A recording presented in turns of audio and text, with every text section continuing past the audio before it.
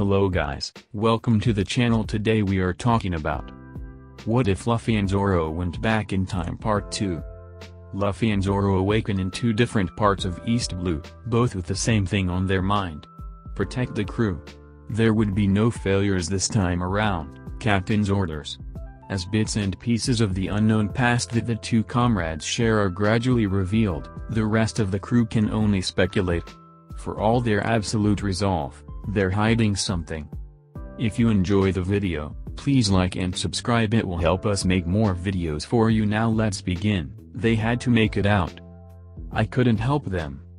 The battle that ensued on the sea leading up to last island of the New World changed everything. It was truly the turning point of an era. It just wasn't what the Straw Hats had had in mind when they'd thought about it. Akainu, Kizaru, and Ryokaju were relentless. They tried to escape on the ship at first with a coup de burst, but the admirals would have none of it. They soon found themselves far too preoccupied with staying alive to even think about escaping, their only choice being to fight. Zoro and Sanji would have actually had the latter two admirals at disadvantages despite their own fatigue if they weren't constantly distracted by the peril that the other Straw Hats were in. I couldn't protect them. Luffy tried to fight a Akainu. He really did. But his body was running on. No, he didn't even know what it was running on anymore. He didn't even know how he was still standing. Much less attempting to ward off volcanic eruptions. He could barely feel the burns anymore. His body was numb. His senses were numb. And as the battle continued, his spirit numbed as well. I couldn't save them. Six times Zoro and Sanji lost their heads and attempted to ditch their fights in favor of running to the side of a fallen comrade, and six times they were rewarded with pierced organs and crushed bones. Six times Luffy lacked the strength to even let out an agonized wail. Chopper was the first to fall, his desperate rumble having left him defenseless. Usopp was next, and then Nami, Robin, Brook, and Franky all followed. After half an hour, Six were left standing. Zoro and Sanji locked eyes, and a long conversation seemed to pass between them in a few seconds as Zoro's expression changed from desperation, to fury, to agony, and finally settled on resigned acceptance. Luffy could no longer resist enough to refute the plan the two had forced upon him. Sanji held the fort against two winded admirals and one fresh one as grabbed Luffy and fired off one last wind slash as he fled. The admirals dodged, mindlessly jumping off the small, restricted space of the Sunny's deck, and Sanji quickly followed. The marine warship that Ryokaju attempted to land on was fried by Sanji's explosive kick, and after one last charge in the name of mindless justice, the devil fruit user was kicked into the sea. Akainu and Kizaru lost their heads for split second, and that was the deciding factor. They charged Sanji, knowing they couldn't recover their comrade without losing this fight themselves. Whatever mobility their devil fruit allowed them couldn't compare to Sanji's skywalk, and he relentlessly kept them at bay despite the damage his body was taking from the laser and magna blasts. Live on, Luffy. If you ever gave a shit about any of us, you'll live on. Luffy's eyes were forced closed by the weights of his exhaustion, and in that moment, his entire world was The demeanor of his crewmate in his last act of martyrdom. The thousand sunny shot off into the atmosphere with a coup de burst, and Luffy knew no more. I let them die. Luffy woke up in a cold sweat and immediately shot upright in his bed. It took his brain a moment to process the concept of a nightmare and another to convince himself that th. Flashback had been just that. The dreams were always so vivid. Even the pain that his mind invented didn't wake him up. He raised his hand over bloodshot eyes and slowly climbed out of bed. Taking a deep breath, he walked out the door and onto the deck of the Going Merry. He spotted Zoro leaning over the railing, green hair following the patho. The cold night wind. Luffy walked up beside him and stared out over the sea, still trying to get the images out of his head. Couldn't sleep? Zoro asked. Luffy shook his head. Which one of them was it this time? All of them, he replied. Zoro was silent for a minute. It won't happen again. We're here for a reason, Zoro reminded him. That reminder alone seemed to give Luffy strength, and he nodded. For a long while, they silently looked out over the dark waters, leaving each other to their thoughts. Luffy finally spoke up. Hey, Zoro? How strong do you think you are right now? Zoro thought for a moment. A little stronger than I was after our two years of training, I guess, he answered. How about you? About the same, Luffy replied honestly. They were thinking the same thing, but Zoro voiced it. We really need to get into shape, he said. Not just us, Luffy replied. Zoro shot him a curious look. Tomorrow, we start Haki training with the rest of the crew, he said. Zoro blinked. Already? The sooner the better. An excited grin made its way onto Zoro's face. Sounds like fun. Luffy smiled despite the lingering tension in his mind and body. Go easy on them, he said as he turned and walked away. No promises. Nami, Usopp, and Sanji stared at Luffy and Zoro in confusion. Haki? Usopp repeated. Those techniques that you use? Can we really learn those Luffy? Luffy nodded. Zoro has mastered them too. There are three types of Haki. One is Conquerors, which isn't an option for you guys unless I've completely missed something, but anyone can learn the other two. I'll demonstrate those now. Which of you wants to volunteer? Nami and Usopp both turned to Sanji, who shrugged and walked up to Luffy. Luffy turned around so that his back was facing Sanji. Try to kick me. As many times as you want. Sanji raised an eyebrow. Is this dipshit serious? Yes, Sanji, I'm serious. And I'm not a dipshit. Not unless I want to be. Sanji blinked in surprise. Did he just read my mind? Luffy finished. Not exactly. If you want an explanation, you better start kicking. Sanji, who was extremely curious now, started doing just that. He started with one swift kick, expecting Luffy to get shot overboard, but Luffy swayed out of the way of his kick, coming back to his initial position once Sanji brought his foot back. Sanji frowned, and then kicked three more times. Three more times Luffy dodged, a tick developed over Sanji's eye. He attempted to sweep Luffy's legs only for Luffy to jump over his foot, and then launched into a full-on barrage of kicks, which were all dodged as well. Finally, he stopped. This game sucks, he said plainly. It's no game, Luffy said, turning around. That was observation Haki. It allows you to sense a living being's aura as it radiates off of them. The most obvious use of this skill is that you can sense where people are, and the most practical use is arguably that you can predict what a person is going to do next in a fight before they even start doing it. But those are just the most basic uses. Once you get really good, you can sense things like the type of being, its strength, and its emotions. With full mastery, you can even hear individual thoughts as they go through someone's mind if you focus hard enough. The Straw Hats were silent as they took in this information. Sanji himself was getting kind of excited thinking about the potential of such a skill. So, you really were reading my mind earlier? Sanji asked in amazement. Luffy shook his head. It's not really reading your mind. I can't tell what you were thinking a minute ago, just what you're thinking when I listen in. And even then, it's a much more vague feeling than that. It's not as if I'm hearing what you're thinking. It's more like I'm feeling what your emotions are with extreme precision. People who train in observation Haki, along with training to suppress their auras so that they're more difficult to keep track of, usually train to control their emotions so that it's harder to know what they're thinking. I'm not much good at that, though. But anyway, that's observation Haki. Next. Luffy pointed to his forehead with his thumb. Kick me in the head as hard as you can. I won't move this time. Sanji didn't question it this time, his curiosity getting the better of him, and he spun around on his palm for momentum before kicking Luffy's head full on with a kinkus. Luffy didn't budge. Sanji grimaced and got up. How'd it feel? Luffy asked. Like I was kicking a steel wall.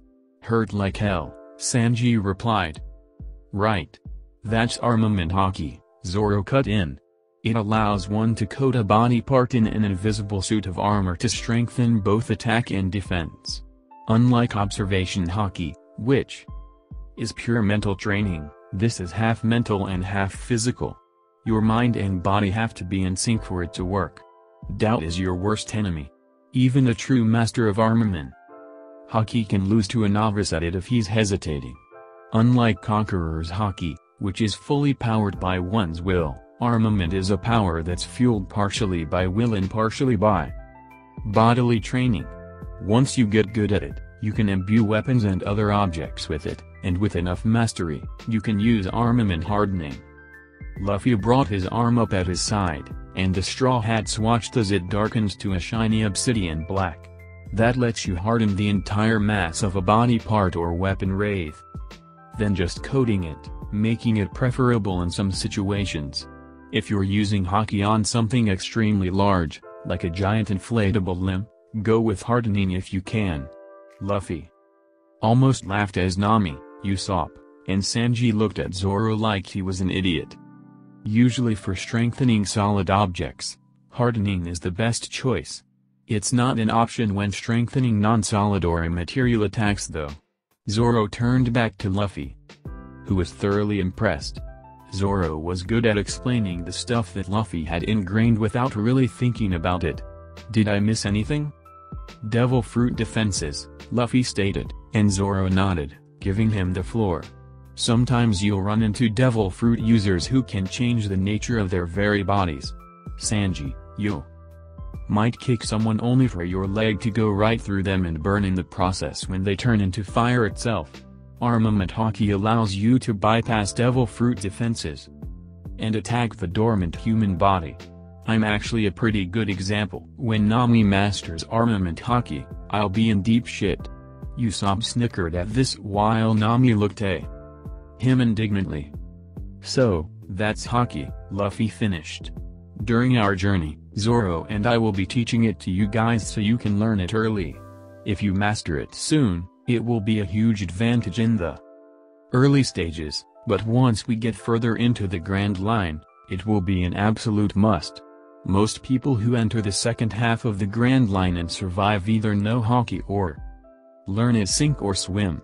Most people specialize in one of the two types. Um, Luffy, Nami began hesitantly, is there any reason why you're teaching this to all of us? Luffy smiled at her reassuringly. If you're worried that you don't have what it takes, don't be. I've seen what you guys are made of firsthand. You can do it. Nami smiled softly back at him after hearing this. But as for the reason, I won't lie to you. Our journey is going to get dangerous. There will come a time when every member of our crew will need to be able to defend themselves against powerful opponents. I can't be everywhere. Nami and Usopp's eyes widened at this revelation, and they both adopted focused expressions. So, then, when do we start? Sanji asked. Luffy thought he detected a hint of eagerness in his voice. He grinned. Now. It was an interesting training session. Nami checked the log pose every now and then, but most of their time was dedicated to getting the concepts down. Basic observation Ha.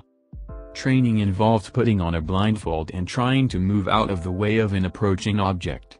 Luffy decided to get creative and have them play tag with each other with blindfolds on. That was the most hilarious disaster he'd ever had the pleasure of directly causing. By the time Zoro called for them to stop, they were all pretty pissed off. Especially Nami. Armament Haki training usually involve taking blows from a sparring partner head-on without dodging until you build up a resistance to them, but Sanji would never agree to Zoro hitting Nami, so they basically set up training dummies and had to three-punch them with their bare hands. Eventually their fists would build up a resistance to the hard material. Eventually, by the end of the day they were all mentally exhausted, the result being absolutely nothing. But Luffy had expected that. No one had a breakthrough on his or her first day of training. It simply didn't happen, unless the power was already awakened on the battlefield. Good first day, everyone, Luffy commented. And don't be discouraged. I felt like I was making zero progress when I first started, but this practice will pay off soon enough. H. Smiled cheerfully and he walked away along with Zoro, leaving the three in an exhausted heap on the deck of the ship. Luffy frantically jumped behind his cover, analyzing his surroundings and options at speeds that made his brain want to go on strike. He could jump out and try to land a hit.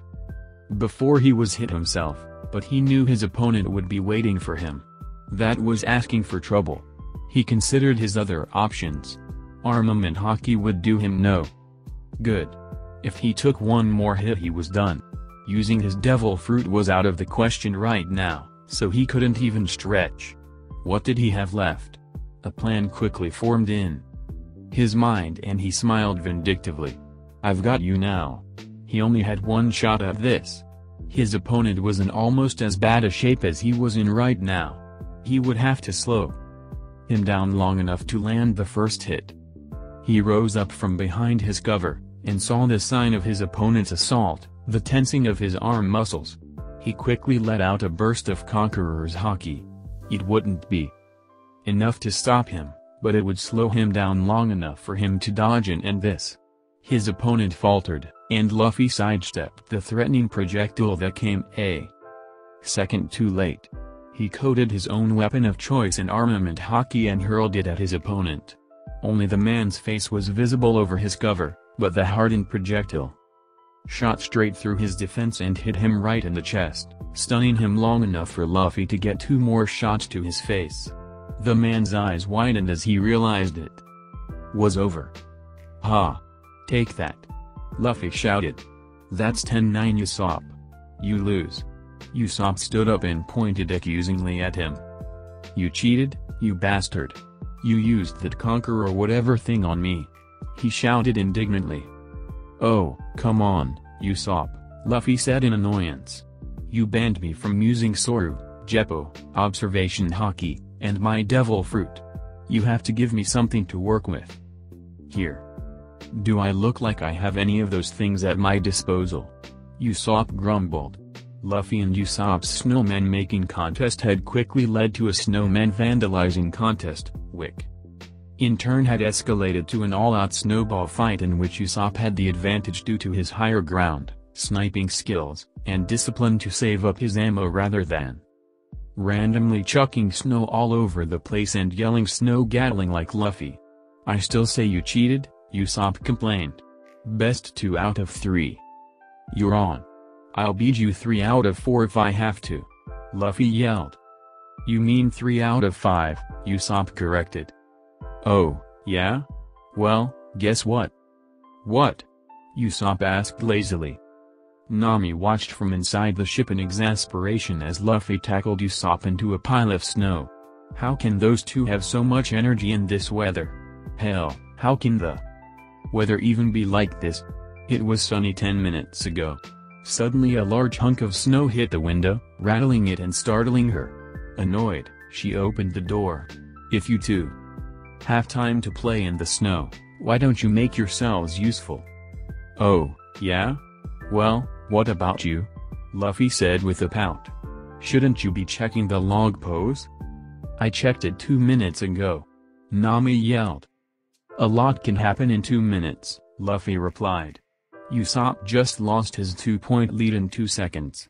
Something like our ship getting turned around isn't anywhere near as miraculous as that.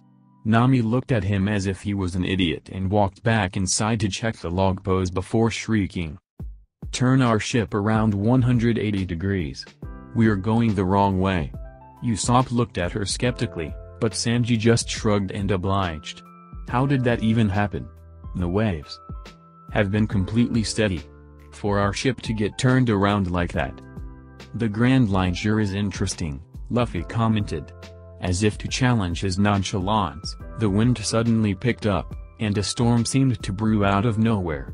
Nami quickly took command and the crew took action, closing the sails and constantly changing their course to account for the supernatural waves that seemed to throw them off at every turn. Iceberg, dead ahead. Usopp shouted. I got it.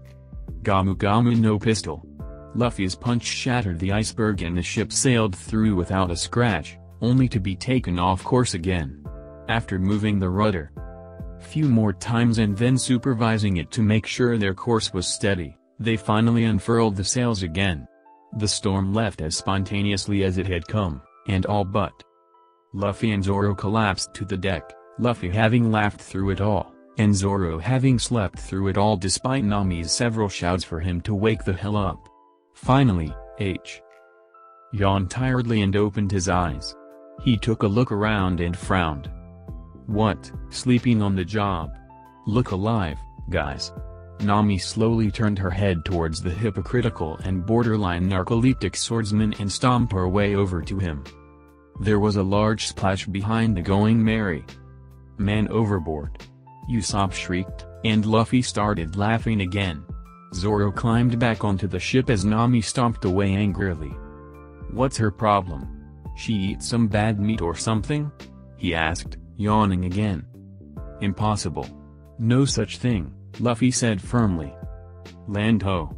Usopp's shout brought everyone to the front of the ship, where they all stared out over the horizon at their stop in the Grand Line. Luffy grinned in excitement. This is gonna be fun. Welcome, pirates. Most of the Straw Hats looked on in confusion as the entire town met their ship at the docks, waving, whistling, and cheering. Welcome to the Grand Line. Welcome to Whiskey Peak. Welcome, warriors of the sea. A town that welcomes pirates? Sanji asked skeptically. The Grand Line sure is a strange place. We should probably sleep with our eyes open, Zoro commented. Sanji and Usopp thought he was joking of course. Unbeknownst to them, Zoro was half serious and Nami was already planning on doing just that. Sanji quickly forgot his skepticism as multiple women waved and blew kisses at him, and Usopp was a lost cause after the warriors of the Say. Comment. A tall man with freakishly curly hair met them at the docks once they dropped anchor, and greeted them cheerfully. Welcome, pirates. I am Mayor Igarappoi. This is Whiskey Peak the Grand Line's most hospitable rest stop. We invite you to take a rest from your courageous and weary adventures to enjoy the food, drink, music, and cheerful atmosphere before you resume your journey. There was a moment of pseudo-hesitation before Sanji was flirting with a multitude of women and Luffy and Usopp were dancing through the streets as the townsfolk cheered them on. Nami face-palmed and sighed. Are they all idiots? She whispered to Zoro. He shrugged. Either that, or they're much better actors than the people in this town. Nami frowned and thought. Now that she thought about it, Luffy was usually more insightful than this. Despite his cheerful and carefree persona, she didn't have much hope for the other two, but could Luffy just be going along with it? He was being very convincing if he was. She decided to go with the flow as well, resolving to milk the situation for whatever it was worth once given the opportunity. There was no way anything could happen with Zoro on guard at the very least. But she still found it strange. Zoro had made that comment in a lazy tone, but she somehow got the feeling that he had been referring to Luffy to begin with. She frowned again. As she thought about the nature of the two's interactions, she sometimes felt like they could communicate telepathically or something. Her eyes widened as she remembered their lecture on observation Haki. Masters of the skill could apparently read thoughts via the emotions that drove them as long as those emotions weren't being suppressed, so. Theory, Luffy and Zoro could communicate non-verbally in a limited fashion. That was how they always held conversations without a single word. They were speaking with each other through conveyance of emotions. But something like a conversation still wouldn't be possible with emotions alone. Something like that needed context. She thought back to that day in the bar in Shell's Town and the first interactions she had witnessed between the two. For the first time she wondered when they had met. Did they really know each other so well that they could make an educated guess as to what the other was thinking and only need a quick confirmation using observation Haki to signal messages? If they really deserved the credit that she was giving them right now, then there was really no doubt that Luffy was acting. If Zoro knew, Luffy knew. Suddenly, the thought of what her two crewmates could supposedly do made her self-conscious. She peeked at Zoro through the corner of her eye and tried to get a read on him. If he was reading her emotions right now, he didn't show it. It wasn't that Nami didn't trust them with that kind of knowledge, but it would take quite a bit of restraint for her to not exercise a power like that liberally if she could use it. As they continued walking, Nami turned to Zoro, her curiosity getting the better of her. Hey, Zoro? How long have you known Luffy? Zoro looked at her curiously, but responded truthfully. About two and a half years. That made sense. Bonds like that could be developed in less time depending on the circumstances. This simply confirmed her suspicions. Luffy and Zoro knew each other as we. If not better, then they knew themselves. Once Luffy had cleared all the food from the premises and caused the chefs to faint, their hosts started a drinking game with the prize of 100,000 belly. Nami readily took part, and Luffy and Zoro followed suit, staring each other down from across the table. Once it started, it really started. The three Straw Hats had the rest of the participants puking and passing out in a matter of a minute, and they continued to chug, eventually abandoning the cups in favor of the bottles, as it was taking too long to pour. As the drink off continued, the mayor seemed to be more and more troubled by something. Inwardly, the mayor was fuming. The three should have passed out long before now. They had been strengthening the concentration of the alcohol in their drinks discreetly until they started drinking right from the bottle and taking away the opportunity. But even without that added punch, they should have passed out ages ago. What were these three made of? He signaled to Miss Monday to initiate Plan B, and she rigged the next batch of bottles with sleeping drugs. It was right as the swordsman and the Straw Hat Kid got ready to chug those bottles as well that they finally collapsed to the floor. The woman seemed to frown at the sight. What was that about? Was she disappointed in them? No, it was more like dot confusion. Mr. 8 filed away the observation as irrelevant as the woman passed out as well. He scoffed. What an annoying coincidence it was that they had all passed out right after they'd taken the effort to rig the booze. Mr. 8 would face palm in embarrassment when he thought back on this later. It wasn't long before the other two pirates had fallen asleep as well, content expression on their faces. Too bad those won't last, Igaram thought grimly. He met up with Miss Monday, Mr. Nine, and Miss Wednesday and described their victims to the Nine couple. The two seemed to be disconcerted when they saw them, but they didn't voice it, so Mr. 8 ignored it. Was all this necessary, Mr. 8? Miss Monday asked in a slightly annoyed tone. We could have taken care of them at the port. It was only five people. You should know well by now not to carelessly underestimate our victims, Miss Monday, he said as he pulled out two wanted posters. Three pairs of eyes widened to epic proportions at what they saw. A total bounty of 73 million belly. Miss Wednesday whispered in awe. Them? Looks can be deceiving. Mr. 8 said simply. Miss Monday nodded apologetically. No matter. Hurry and search their ship while we restrain them. It's preferable to take them out of. The rewards will be 30% less if we kill them. Sorry to interfere with your plans, a new voice came, and the four bounty hunters stiffened as they turned toward the roof of the nearest building. But would you mind letting them sleep for a little while longer? They're pretty worn out from our trip here. What in the world? Mr. 8 exclaimed. How is that swordsman still conscious? How did he escape? What happened to the idiots who were watching them? Oh, those guys were guards? Zoro asked lazily. No wonder they attacked me. He scratched his head, and then a cold, bone-chilling smile stretched out across his face. The apostrophe V. Dot seen better days. It seems this man has seen through our fabrications, Miss Monday assessed calmly. We will simply have to kill this one. Mr. 8 nodded grimly. Too bad, Zoro said. As a rule I don't like cutting up people who give me booze, but I can't have you killing me, now, can I? He paused. So. I guess I'll take you on. H. Raised one sword out of three and pointed at the four of them. Baroque works. Mr. 8's breath caught in his throat. How dot how did you know? He asked in horror. I know a lot of things, he said simply. Some of which I could use to kill every one of you without having to lift a finger. There are only about a hundred of you. Taking into account the size of your organization, you all seem pretty expendable to me. Mr. 8's eyes widened as he actually started to feel an irrational fear of the man's words. Was it because he had hit the nail on the head? But what more could he possibly know? Zoro's smile turned menacing as he pointed off to the distance.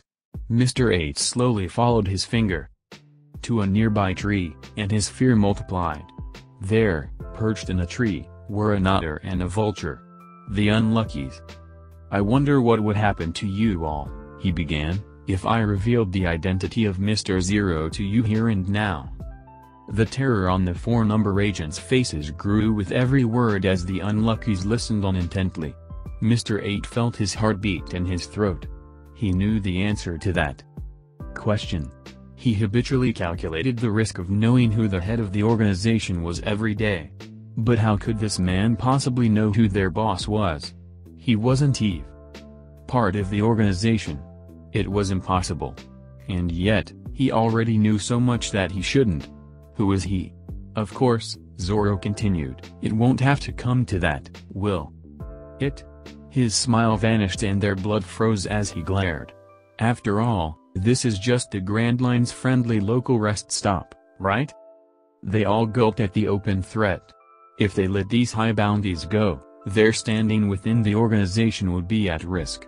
But if they pressed on and it turned out the man wasn't bluffing, they were all as good as dead. Mr. 8 gritted his teeth in frustration. They couldn't take a risk like this. Not now. Call off the others, he said quietly. These pirates leave unharmed. Mr. Nine and Miss Monday looked at him like he was insane, while Miss Wednesday just nodded slowly in understanding. It seems you can be reasoned with. Smart choice, Zoro said smugly. Mr. 8 turned to the still staring agents. What are you waiting for?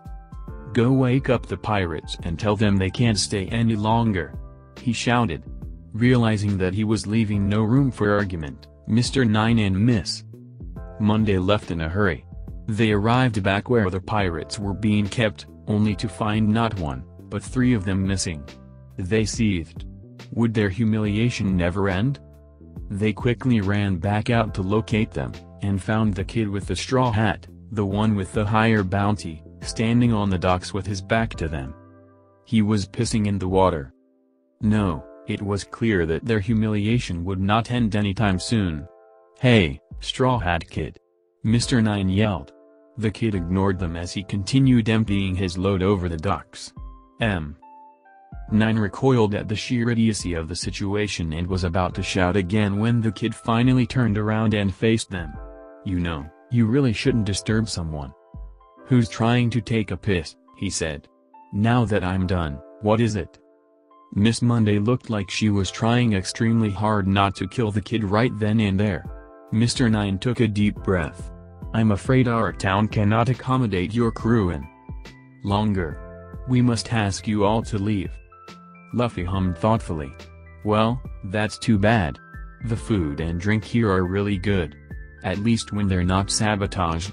The two agents' eyes widened at the implicatio of the statement. The kid smirked. So, I guess Zoro talked some sense into you guys, then? Don't feel too bad. It's not just you. A lot of people think he's scary. Their minds were going haywire. How many of them had seen through the charade? What was it about this crew that continued to blow their expectations to the wind? I'll go. Wake up my crewmates, the kid continued. Thanks for the party. It was fun. And with that, he walked back into the building where his comrades were located. Mr. 9 and Ms. Monday ran back to meet Mr. 8 only to freeze upon their arrival. It seemed their bad luck just wouldn't run dry today. Standing across from Miss Wednesday and Mr. 8, who by all rights should have been suffering from an aneurysm by this point, was their collective death sentence in the form of a couple by the code names of Mr. 5 and Miss Valentine. Mr. 5, Mr. 8 choked, barely getting the words out, we can explain. There's a reason why we failed our mission this time. Failed your mission? Mr. 5 asked in a bored tone. I can't say I really care about that. We're here for a different reason. A different reason? Mr. 8 repeated dumbly. Miss Valentine laughed mockingly. You didn't really think we'd come all the way to the beginning of the Grand Line just to supervise your unimportant mission, did you? She asked. Then, why are you here? Miss Wednesday asked carefully. We've been assigned a mission by the boss, Mr. 5 answered. His exact words were someone knows my secret. Miss Wednesday and Mr. 8 had both adopted expressions of horror once again, while their partners just looked back and forth between them in confusion. Now, I don't know what that secret is, but I do know that Baroque Works is an organization sworn to secrecy. If someone were to find out something that the boss didn't want them to know, they'd have to be eliminated. Isn't that right, Miss Wednesday? He smirked. Or should I say, Princess Vivi of the Alabasta Kingdom? Mr. 8 reacted immediately, launching a series of bombs at the pair. Miss Valentine jumped into the air while Mr. 5 took the blast head-on. I him. Vivi yelled in worry. Run, Vivi. Take the eternal pose to Alabasta and flee this place. I'll hold them as long as I can. The smoke from the blast cleared to reveal Mr. 5 standing completely unharmed.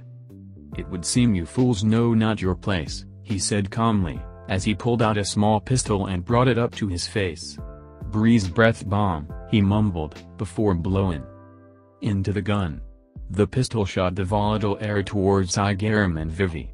Vivi ran, but Igaram was slow to react, and couldn't get out of the way as the explosive breath flew in his direction. and hit two people in front of him. Igaram and Vivi looked on in horror as Mr. Nine and Miss Monday took the full force of the blast for their old comrades.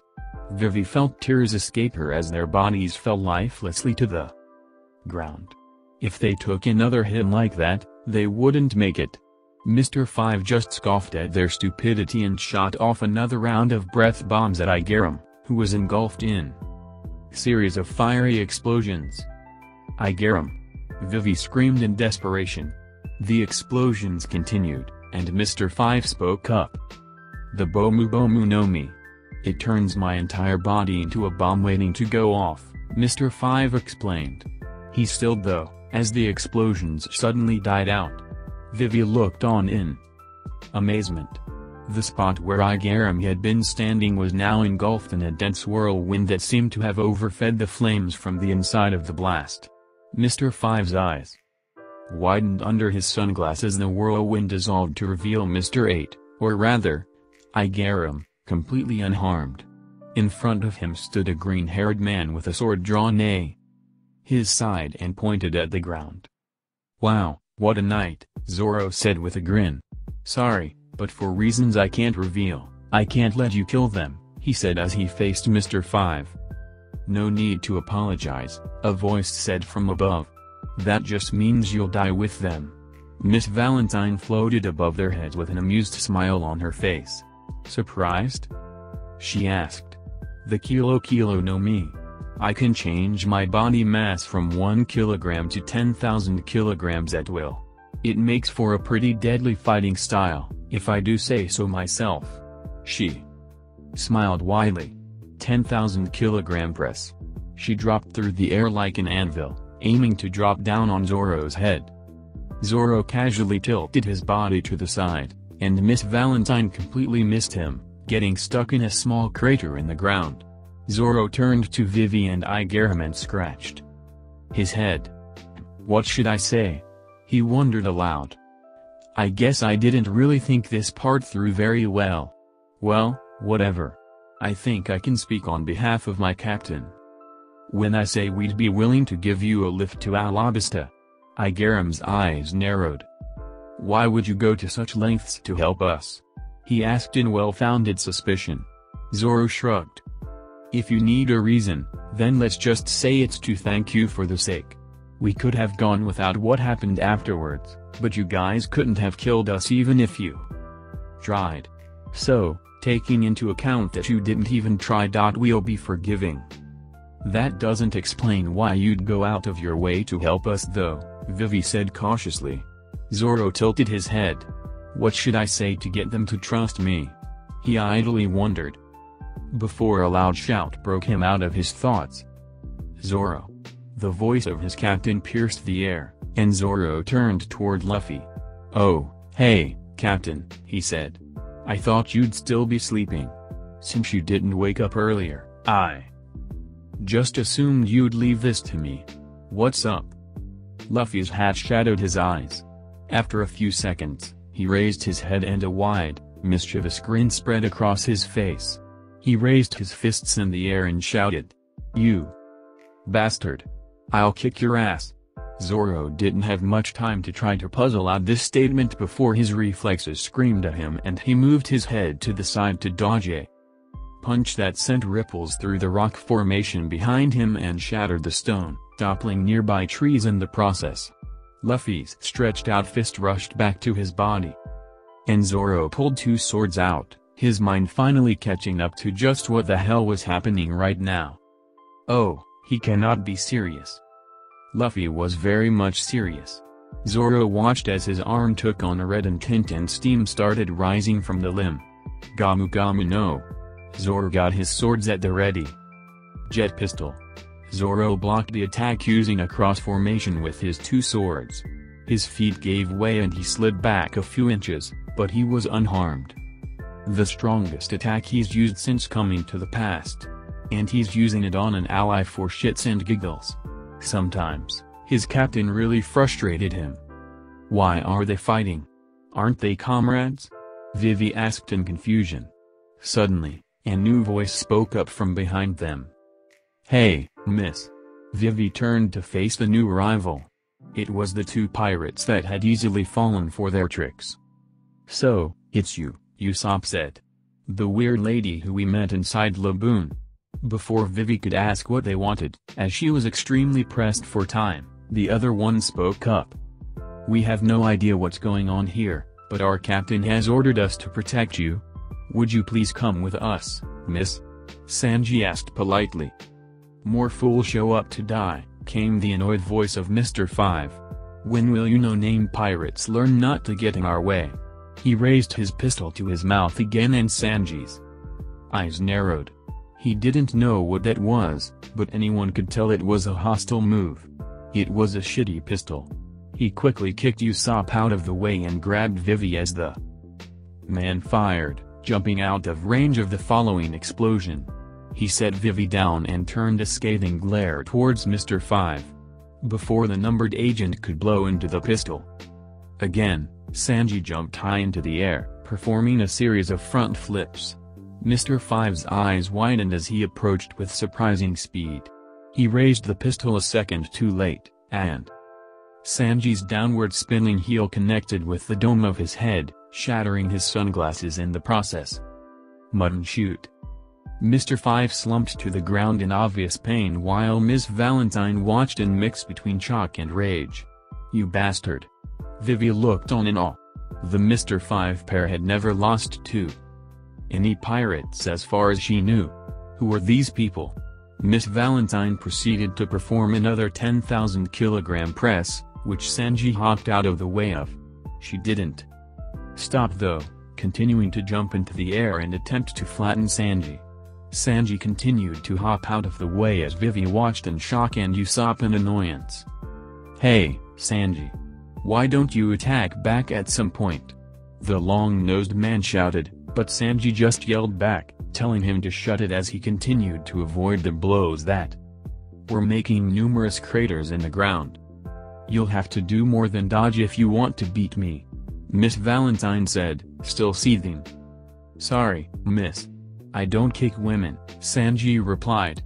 Would you consider not trying to crush me anymore and perhaps cradle my head against your chest instead? He asked the question in the most innocent of tones, but that just seemed to infuriate the woman more. Suddenly, she stopped, taking a deep breath. Then she started running in Vivi's direction. Usopp yelped and held out his slingshot with a frightened expression, and Sanji's eyes narrowed as his code of chivalry clashed with his captain's orders. Usopp shot a flame star at Miss Valentine, only for her to jump over it and soar high into the air. She was directly above Vivi before she increased her weight again and crashed into vacant ground once more. Sanji sat down Vivi carefully and frowned, knowing he wouldn't be able to keep this up forever. One sword style, bird dance. The wind blade, which Luffy dodged, continued on past its target and hit Miss Valentine dead center. She gasped as blood seeped from the wound, and fell to the ground, breathing heavily. Sanji rounded on Zoro. You bastard. That had better have been unintentional. Zoro paid him no attention, though, still locked in his ongoing fight with Luffy. Vivi got over her shock at seeing the Mr. Pair defeated, and turned to Sanji. Why are those two fighting, anyway? Sanji blinked. Oh, them? He asked nonchalantly. They're idiots, he said as if that explained it all. It was that that Mr. Five recovered and looked at Sanji in fury. That fucking hurt, he thought. If it weren't for my devil fruit giving me increased resistance to blunt force, I'd be out cold with a concussion. He ran toward Sanji in frenzy, attempting to take the man out with an explosive punch. Sanji raised his leg in preparation for another assault. Gomu Gomu no dot whip. Zoro jumped over Luffy's leg, which crashed into Mr. Five and sent him soaring through the air before he finally crashed into a rock, and didn't get up. Again. All eyes turned toward the escalating conflict. They seemed to be at a temporary standstill. Fine, Zoro said. If we're gonna do this, then I hope you're ready, Luffy. He unsheathed his third sword and placed it in his mouth before tying his bandana around his head. Luffy grinned widely, and his entire form seemed to redden as steam slowly rose from his body. 3 Sword Style. 1080 Caliber Phoenix Gomu Gomu no. Grizzly Magnum. A large, dense wind cannon shot towards Luffy at the same time his arms blackened to obsidian and grew to the size of houses before their eyes. He threw his arms forward and met the wind cannon head-on. Everyone in the vicinity was blown off of their feet as the ball of condensed air ruptured from the force of the blow. That's new, Sanji commented. Luffy's arms were blown backwards, and quickly shrank back down to normal before he leapt into the air. Zoro barraged him with a storm of large, fast, deadly wind blades, and Luffy danced through the air, weaving through them gracefully as his blackened arms blurred out of sight and rebounded off of Zoro's sword. Zoro quickly sheathed two swords as Luffy landed. One sword style. Lion's death song. Luffy leapt out of the way of the deadly blade, whistling as the buildings behind him were cleanly sliced in half as a side effect of the swing. He landed behind Zoro and prepared his own attack.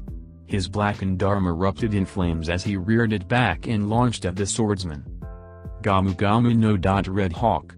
Zoro too jumped out of the way, and Luffy's arm left a long explosive trail in its wake, reducing the buildings that had already been cut in half. Rubble. Zoro sighed in exasperation. Are we done here, Luffy? Luffy shrugged. I guess, unless you wanna get serious. I don't feel like destroying the island, though. Zoro sheathed his swords, and Luffy grinned with mirth. Well, if Zoro's done messing around, what do you say we take a princess to her kingdom? He asked. I'm gonna kill you one day, Zoro mumbled, and Luffy burst out laughing. Sanji and Usopp just watched with blank expressions, used to their antics, while Vivi and Igaram continued to wonder what the hell was going on. Princess? Sanji asked. He turned to the only female that Luffy could be talking about and observed her carefully. Then he shrugged. I wouldn't mind bowing down to you, he said casually. Would someone please explain what on earth is going on? Igaram asked in frustration, his head in his hands. Sure. One second, Luffy said. He turned in a random direction and shouted. Nami. You can come out now. The orange-haired woman appeared out of the shadows of a nearby building, an extremely annoyed look on her face. I finish looting their treasure, and I come to see you two destroying the town? What the hell do you think you're doing? She asked. Igaram looked at the bag slung over her shoulder, and his head sagged. It was the treasure they looted from the previous group of pirates that had passed through. So, she'd seen right through them as well? Were they that pathetic? Hey, Nami, guess what? We're escorting Princess Vivi of the Alabasta Kingdom to her home country so she can prevent a civil war and overthrow the leader of an underground criminal organization. Vivi's eyes widened with each word. Not just the swordsman, but him too? Why did they know so much? Nami stared at Luffy. Why? She asked bluntly. Luffy shrugged. I'm a little curious myself, Luffy, was it? Why are you so willing to help us? Vivi asked. Because we know about the situation in Alabasta and what Baroque Works is doing there. If we don't get you there, hundreds of thousands of people will die over a misunderstanding. We want to prevent that. Vivi just stared at him for a second, and Zoro stared right back. It wasn't a lie. They did want to prevent it. But it was mostly for Vivi's sake. He couldn't exactly tell her that, though. Are you really pirates? She finally asked. Luffy smiled. The best you'll ever find, he said confidently. Some crews came close in Luffy's mind. The Whitebeard pirates, the Red Hair pirates, the Heart pirates, etc. but the Straw Hats were obviously the best. Vivi was still confused but nodded slowly. If you're willing to take me, I would highly appreciate an escort to Alabasta. Just be aware that Baroque Works will be sending officer agents after me the whole way through. She said. They won't be a problem, Zoro said nonchalantly. Nami asked again why they were doing this, and Luffy told Vivi to explain the full situation in her kingdom as well as the structure of Baroque works. After hearing the story, Nami sighed and relented knowing Luffy had made up his mind anyway. So, who is this Mr. Zero really, then? She finally asked. Vivi started sweating and insisted that she couldn't say, lest they be targeted even after they dropped her off. It's Crocodile of the Seven Warlords, Luffy said. Vivi's jaw dropped, Igaram collapsed onto the ground, Nami punched Luffy over the head and started shaking him by his cola. Relentlessly, Usopp shrieked in fear, Sanji blinked, and Zoro laughed. Well, now that that's out of the way, let's get going. Suddenly they heard the sound of scribbling, and looked over to find the unlucky sitting across from them. Vivian. Igaram paled at the sight. They showed them five neatly drawn pictures, one of each of the straw hats, and then started to fly off, but they suddenly fell out of the air and onto th. Ground unconscious. Zoro turned to Luffy with a raised eyebrow. Luffy shrugged. They look tasty. Alright, what's with the otter and the vulture? Nami asked. The unluckies report directly to Mr. Zero, Vivi said with a shudder. If they had gotten away, you would have been targeted immediately. We would have been in horrible danger. I fear we still are, Vivi, Igaram stated. Without a report from the Mr. 5 pair, Mr. Zero is likely to send either the Mr. 3 or Mr. 4 pair next. Vivi's eyes widened at that. Then what should we do? Igaram suggested a plan in which he acted as a decoy and Vivi boarded the Straw Hat ship. Luffy and Zoro reluctantly agreed, knowing what would happen. They were pretty sure the man wouldn't be killed, but decided to keep a close watch on his aura anyway. As well as any potential killing intent in the vicinity. When Igaram's ship departed, they braced themselves for what was about to happen. They still couldn't sense any intent to kill, so they kept silent. When the large explosion engulfed his ship and covered the waters in flames, Luffy and Zoro dragged everyone onto the Going Merry. Vivi had a tormented expression on her face, and Zoro reassured he. Don't worry. He's not dead, he told her. Vivi's eyes widened. How do you? We can tell, Zoro interrupted. We'll talk later. For now, we need to go. Wait, I can't leave without Karyu. She remembered as Zoro climbed onto the ship.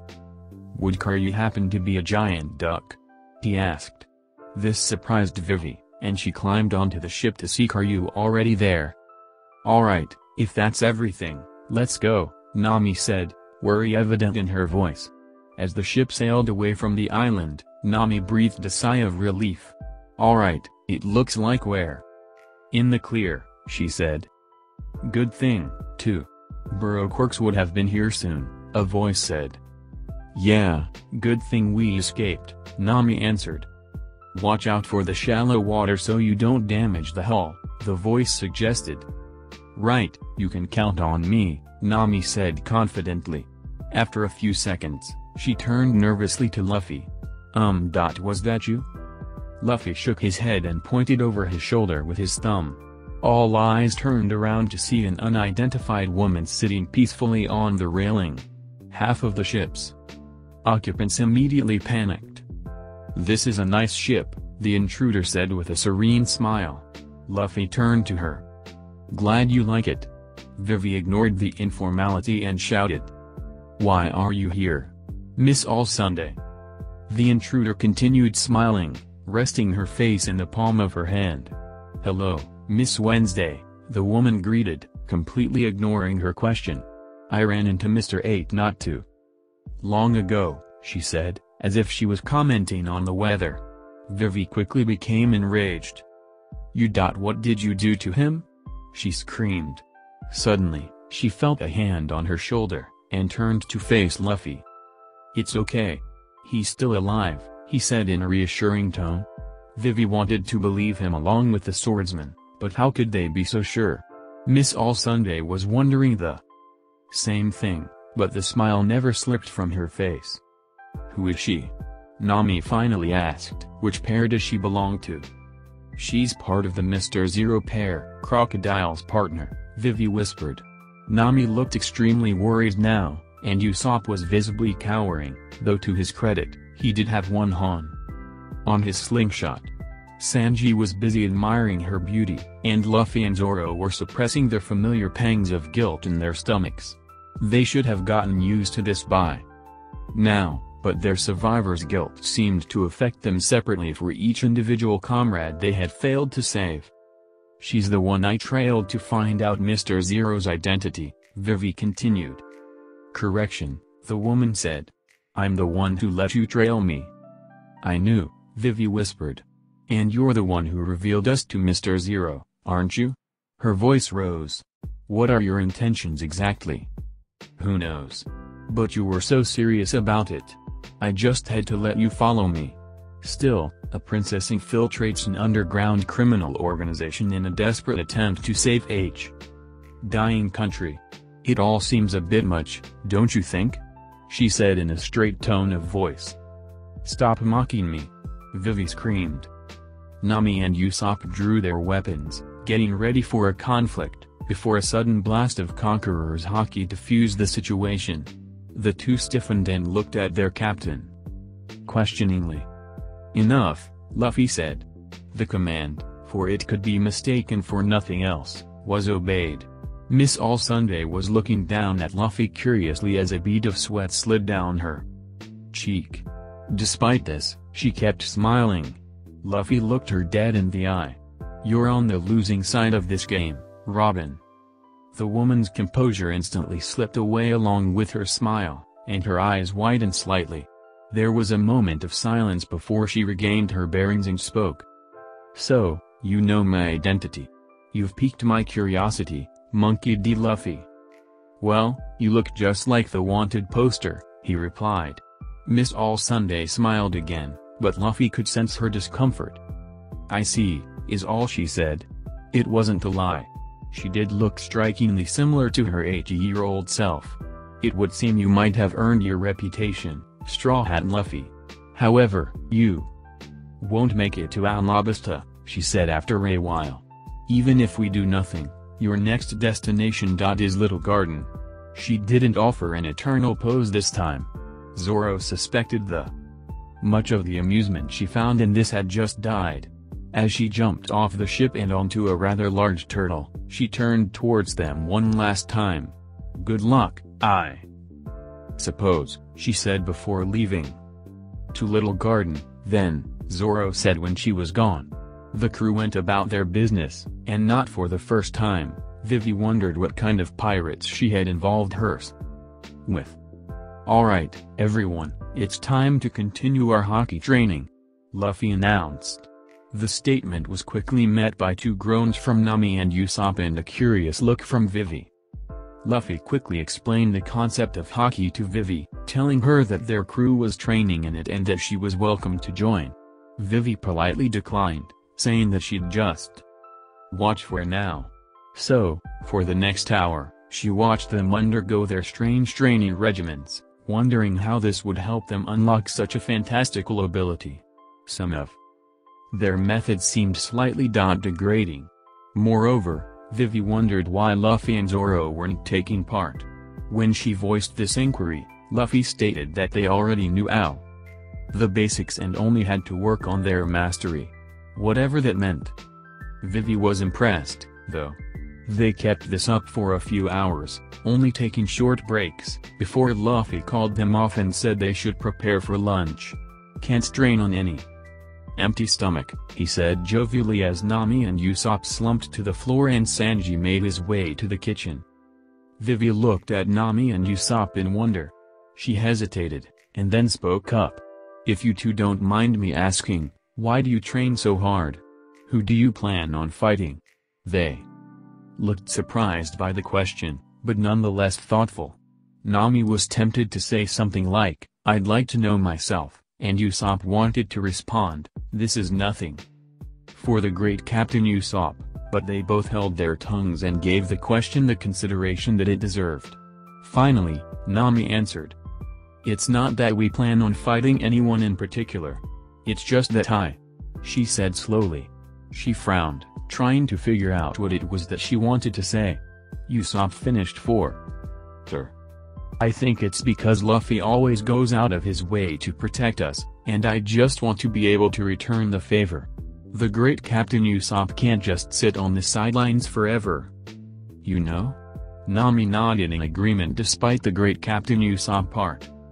I know I'm not a monster like some other members of our crew, she said, but that doesn't mean I can't make a difference. Since he offered us training on a silver platter, I thought, why not? She paused. It doesn't seem like I'm making much progress, though, she said gloomily. Vivi was a bit impressed by their answers. She herself was a pacifist, and didn't believe fighting could solve problems, which made the infiltration of Baroque Works especially difficult for her. But hearing their words, she couldn't help but think back to what her mentor and friend had once told her. It's not about fighting, it's about protecting. Perhaps there was more depth to these pirates' strength than she had originally thought? Perhaps they didn't gain strength for the sake of fighting, but for the sake of protecting. If so, that was an important distinction in her mind. She was honestly starting to take a liking to them. Oh, by the way, Nami, Usopp started excitedly. I've been doing some experiments with a lot of potential for application in combat. In addition to my new and improved exploding star, I came up with a pretty good idea for a weapon. It's a bit unconventional, but that just makes it even better. I could use some suggestions for it, and I think you could probably help. What do you say? Nami looked surprised, but nodded. Sure, I'll take a look after lunch. I just wish I could come up with something similar in case this Haki business doesn't work out. She had a sad look on her face. Ha! Don't count us out just yet, Nami. If my theories pan out, I've got just the thing for you, he said. Soon enough we'll be monsters in our own right. Usopp crossed his arms and closed his eyes, nodding as he envisioned it. This caused Nami to cheer up a bit. Lunch is served, ladies. Sanji called from above deck. Right this way. if you will. Vivi quickly found out that lunch with the Straw Hats was either eaten quickly or not eaten at all. Luffy's arms blurred out of sight as he stole food from everyone's plates. Indiscriminately. Sanji was having limited success in stopping him, and Nami and Usopp were having none whatsoever. Vivi could see the borderline hazardous rage building up. Nami. Only Zoro seemed to be indifferent. But then again, he was the only one defending his food successfully. For the most part. Finally Sanji shouted, Damn it, Luffy, if you can't keep to your own food, you don't get a single bite of the main course. He asserted. Luffy looked as if he'd just been issued a death sentence, and his jaw dropped as he started sweating profusely. He pulled his arm, which was dangerously close to Sanji's plate, back to his side. He started pouting and turned his head away. Sanji's a jerk, he mumbled to no one in particular. When the main course arrived, they were finally able to dig in without worrying about their food disappearing before their eyes. Vivi took a bite and smiled. It's delicious. She said gleefully. Thank you ma'am. Sanji said with enthusiasm. Sanji's cooking is unrivaled. Luffy shouted. He can prepare anything. Even a weird otter and creepy vulture. Vivi froze. Otter and vulture? She asked reluctantly. Ah, that's what the main course is. It's a healthy blend of otter and vulture meat. Apparently, Luffy got them from Whiskey Peak. It was pretty easy to prepare, even if the meat itself is an unconventional consumption, Sanji said. Vivi felt a bit dizzy as she stared down at the plate in front of her. She was eating. Dot the unluckies. That felt. Dot strange, to say. The least. Sanji grew concerned. Is something wrong? He asked worriedly. Vivi shook her head frantically. She brought herself out of her stupor and continued eating, not really caring that much all of a sudden. It really was delicious. Sanji just shrugged. And sat down with everybody. After lunch, Nami informed everyone that they should be arriving at Little Garden soon before disappearing below deck with Usopp. Luffy and Zoro said they were going to train a little. For the next half hour, Vivi was lost in thought, worrying about the state of her country, she didn't know how much the situation had changed since she last checked with Igaram. She wondered where he was right now. Was he on his way to Alabasta as well? Nami and Usopp came back up again, and she suddenly realized how long she'd been spacing out. That's amazing, Usopp. Your theories are pretty sound, she heard Nami say. Do you really think you can make something like that? Of course, Usopp said confidently. I once built a great cannon that could destroy islands with a single blast. This is nothing in comparison. Nami ignored Usopp's habitual lie-in. In favor of thinking about the potential that the weapon he was working on could have. Hey, look, Sanji said, looking out over the sea. What? Did you spot the island? Nami asked. Nope. Just a dolphin, Sanji replied. They all looked in the direction he was pointing. Oh, oh, wow, that's so cool. Luffy said. It's huge. Nami looked at him in confusion. Huge. As the creature drew closer, she soon realized what he was talking about. Just a dolphin. Sanji repeated as the marine mammal that was five times bigger than the Going Merry flipped over their ship. It disappeared into the water and soon resurfaced, swimming right towards them. It looked like it was about to ram the ship, but Luffy held his hand out at it and it slowed down, coming to a slow cruise next to them. Good boy, Luffy said, to the exasperation of the others and the sheer amazement of Vivi. How did you do that, Luffy-san? Why did it listen to you? Luffy grinned. It probably knows that I'm gonna be the Pirate King and decided not to take any chances, he said jokingly. Vivi was surprised at that announcement. Pirate King?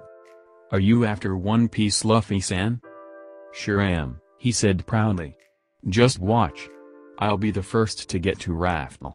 He trailed off as a nod, wistful expression made his way onto his face. It seemed out of place on him. Vivi was about to ask what was wrong when Zoro spoke up. Hey, we've reached the island, he said. Everyone looked over the water to their destination. So, that's the second island of the Grand Line, Nami said. To be honest, I'm a little worried about what Miss All Sunday said, Vivi said. I wonder if there are monsters here, Usopp said fearfully. If there are, bring them back to the ship, Sanji suggested. We're low on food since we didn't get to stock up at the last town. As the ship cruised through a small canal leading into the uninhabited island, an eerie feeling overcame Nami. This place looks like some sort of tropical jungle, she pointed to. Why is it called Little Garden? She took a look around, unable to quite shake the feeling that something was strange about the place. She suddenly heard a loud animal call. And turned her head upwards to see a gigantic reptilian bird bearing down on them. Usopp shrieked, and Nami tensed up as it swooped down in her direction. Mouton Shot. Sanji's kick sent it shooting through the air until it collided with a tree in the forest. The tree collapsed on top of it. Shitty bird, Sanji mumbled. After that th. Heard a loud roar, and turned to see a tiger bigger than a mammoth making its way towards the canal. Sanji got ready for combat again, but as the tiger came closer, it collapsed. Onto the ground bleeding. What's with this place? Usopp asked. What could take down a tiger that big? Probably something bigger, Luffy commented. Right, Usopp said. I think I've just come down with I can't get on this islanditis. We should probably stay here until the log pose sets, Nami decided. Luffy completely ignored her. Sanji. Prepare our pirate lunch boxes. I can just smell the scent of adventure, he said with a grin. Nami rounded on him. Didn't you hear me just now, idiot? We don't know what's out there. She protested. We also don't know how long it will take for the log to set, Luffy replied. It could be a while. We might as well make use of our time. Hey, would you mind if I came with you? Vivi asked. Sure. Luffy said as he accepted two small boxes of food from Sanji. You too, Vivi. Nami said helplessly as she sulked. I really need to unwind and get my mind off of things, she said. Come on, Karoo. Let's go. Karoo looked at her like she just told him to jump into a pit of fire before obliging. Before leaving, Luffy seemed to hesitate about something. He turned to the crew. By the way, the conditions in this jungle seem really intense. Make sure to take precaution. Against the elements. Nami's jaw hung loosely. Was Luffy telling them to be cautious? That was dot extremely out of character. As the three set out, Sanji called after Luffy. Protect Vivi-chan, Luffy. And bring back some good game if you can. Luffy called out a quick confirmation and they left. I think I'll go do some hunting too, Zoro said as he jumped off the ship and over the water. He paused, and then turned back to Sanji. Why don't you go scout for potential enemies? He asked. Since that Robin woman knew where we were going, it's possible that they've already sent assassins here. I'll keep a lookout as well. Sanji nodded at the idea, and then jumped off the ship himself before walking out in a different direction. And we're alone, Nami stated sardonically. Usopp looked equally disturbed. And I can't shake this unsettling feeling, she added. Usopp looked at her questioningly. Little. Garden. I swear I've heard that name before, but I can't quite place it. Hey, Vivi, check this out. Vivi strolled over and looked closely at the object in his hand. It's an octopus shell. He said. This is an ammonite, Vivi said in wonder. Right. Octopus shell, Luffy replied. Luffy-san, where did you find this? She asked curiously. The stream here is full of them. But how could that be? These are supposed to be extinct. It's probably a prehistoric island, Luffy suggested. Vivi considered that for a moment. It seemed pretty far-fetched, to be honest. What makes you say that? She asked. Well, there's a dinosaur over there, he said trivially as he pointed. Vivi's eyes widened as she turned towards what he was pointing at. Towering above the trees, about 20 meters away from them. Was a brontosaurus. How the hell did I miss that? Nami could honestly say that she hadn't been as terrified as she was right now in over eight years. She looked up at her looming death with tears in her eyes. Usopp wasn't faring much better. What's wrong, little humans? Didn't you hear me? I asked if you had any sake, the giant boomed. Why yes. Nami choked out. Yes, we do. A large grin spread across the giant's face, which only served to multiply their terror. Oh ah ooh ooh. So you have some. That's great. He said as he leaned down to meet them at eye level, oblivious to their fear. Suddenly, he shouted at the top of his lungs, Quiet! Literally scaring the color out of their faces. The giant turned around to see a very bold T-Rex biting his ass. With one swing of his axe, he decapitated it. A dam suddenly broke. Nami and Usopp cried out in fear for their lives. The giant, unbeknownst to them, mistook their shouts for battle cries, and proudly let loose one of his own as he raised his axe. I am Elbaf's strongest warrior, the great Brogy. He declared. He then looked down at Nami and Usopp, who were lying on their backs on the deck of the Going Merry. I have some good meat now. How's about I treat you to a meal, little humans? It's not often I have guests. But the two didn't respond, and Brogy looked on in confusion. Although he didn't stop grinning. Luffy jumped up and down in midair using Geppo as he waved his hands in front of the dinosaur's face. Hey, hey dinosaur! Over here! He shouted. Vivi watched in a mix between fascination and shock in the face of what was currently happening. How can he fly, first of all?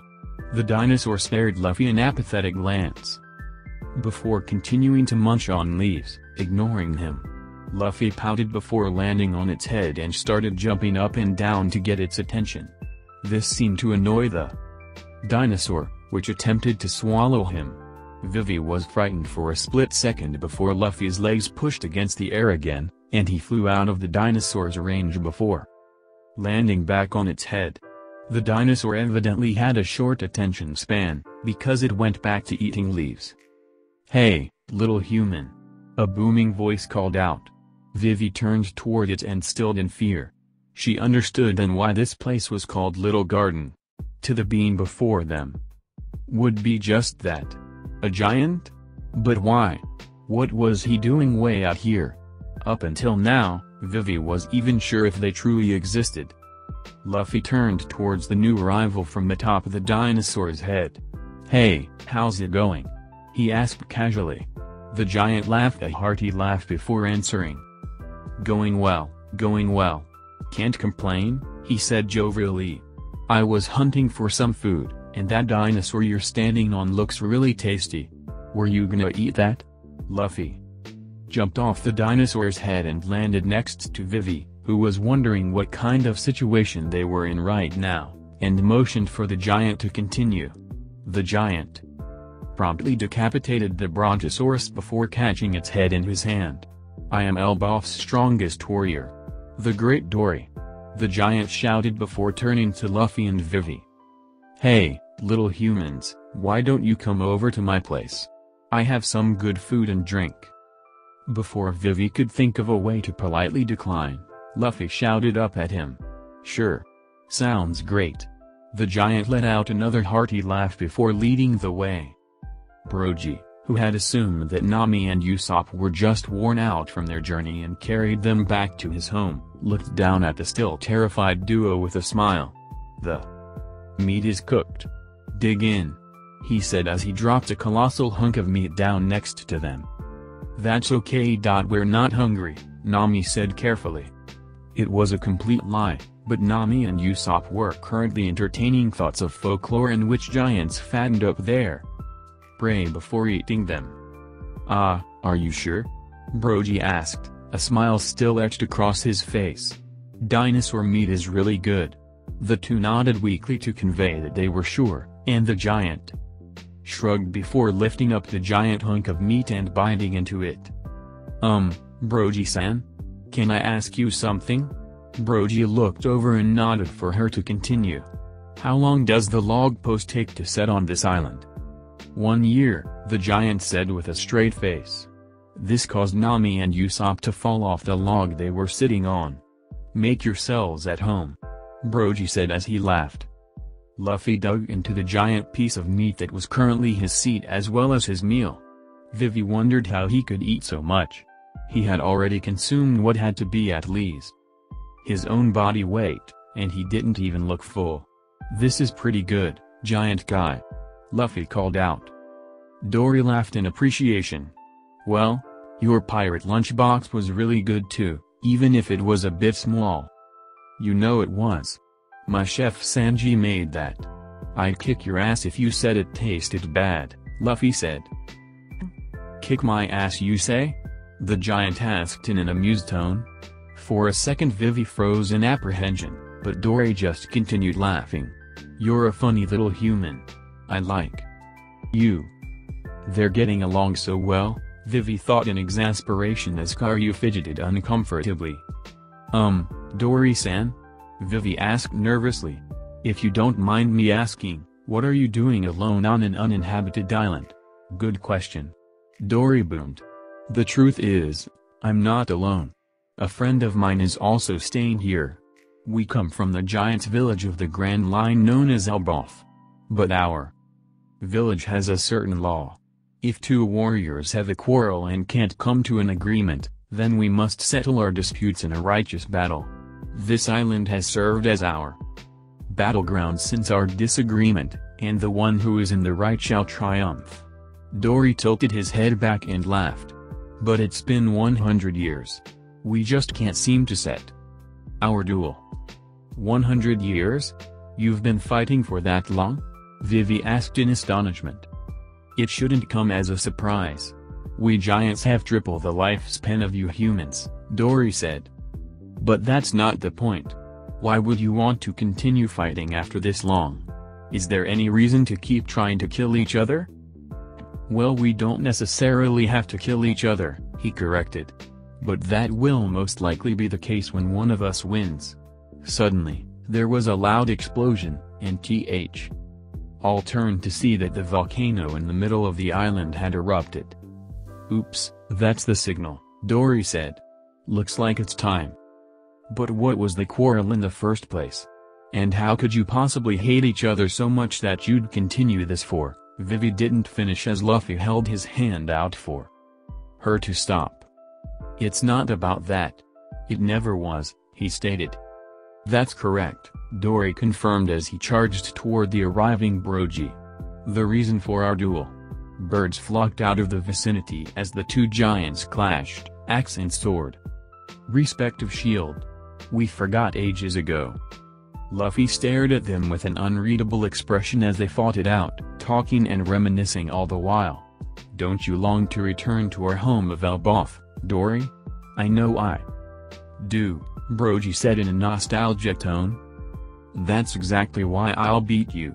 Today, victory is mine. Dory shouted with conviction. Dream on, my friend. Elbaf has chosen me as the victor. Brogy shouted back. If you're lucky, you'll survive your loss and we can both go back home. They both let out loud laughs and continued in a flurry of strikes, dodges, and blocks. On one occasion Brogy managed to land a hit on Dory's head, but Dory adjusted his head so that his helmet would take the blow. On the other side of the forest, Usopp watched in awe. Come on, Usopp. This is our chance to escape. Nami shouted. But Usopp just continued staring up at the two giants as they parried each other. I'm not leaving, he said quietly. Nami looked at him like his nose had just doubled in length. Can't you see? Usopp asked. This is a true battle of pride between two warriors. Nami hummed. Well, I'm not really interested in that, so I'll be seeing you. This is it. This is what I meant when I said brave warrior of the sea, Usopp said to nobody in particular. I want to be just like them. Nami looked at him with a worried expression before huffing and walking back over to sit on the log. So, you want to be a giant? She asked rhetorically. Were you even listening? Usopp raged. They both looked back as the two giants disarmed each other simultaneously before resorting to ramming each other with their shield. 73,466 duels, Brogy commented. 73,466 draws, Dory added. They both collapsed to the ground, panting heavily for a while. Eventually, they both started laughing. Hey, Dory. I got some sake from our guests. Brogy shouted with enthusiasm. Excellent. I haven't had any in so long. Pour me some, yeah? Unbeknownst to the two giants, four humans had recently arrived on the island, completely undetected. Or so those humans thought.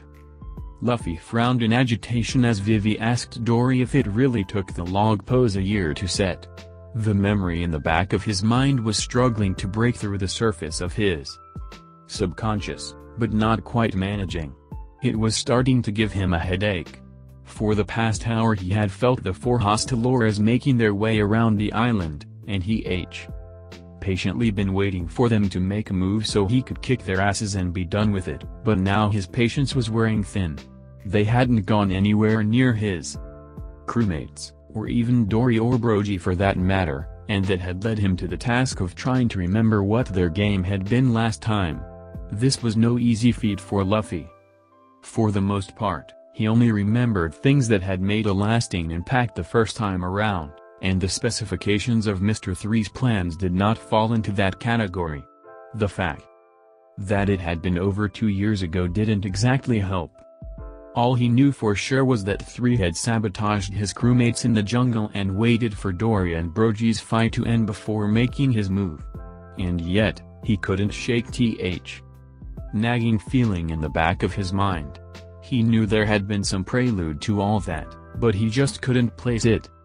By the way, little humans, Dory's voice roused, snapping Luffy out of his thoughts, am I right to assume that Brogy's guests are your crewmates?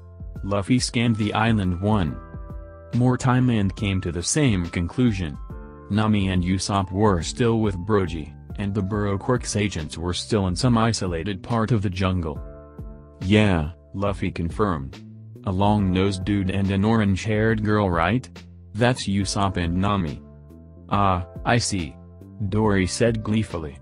Then I suppose I should thank you for the sake they gave me.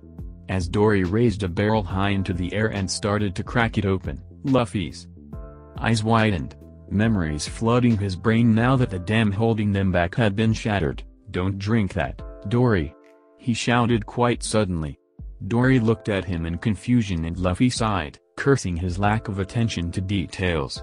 He hadn't given their movements. A second thought. He should have realized that their oars were coming from the direction of his own ship at one point. How could he have missed that? It was probably because he had been focused on making sure they didn't get too close to any of the other oars on the island.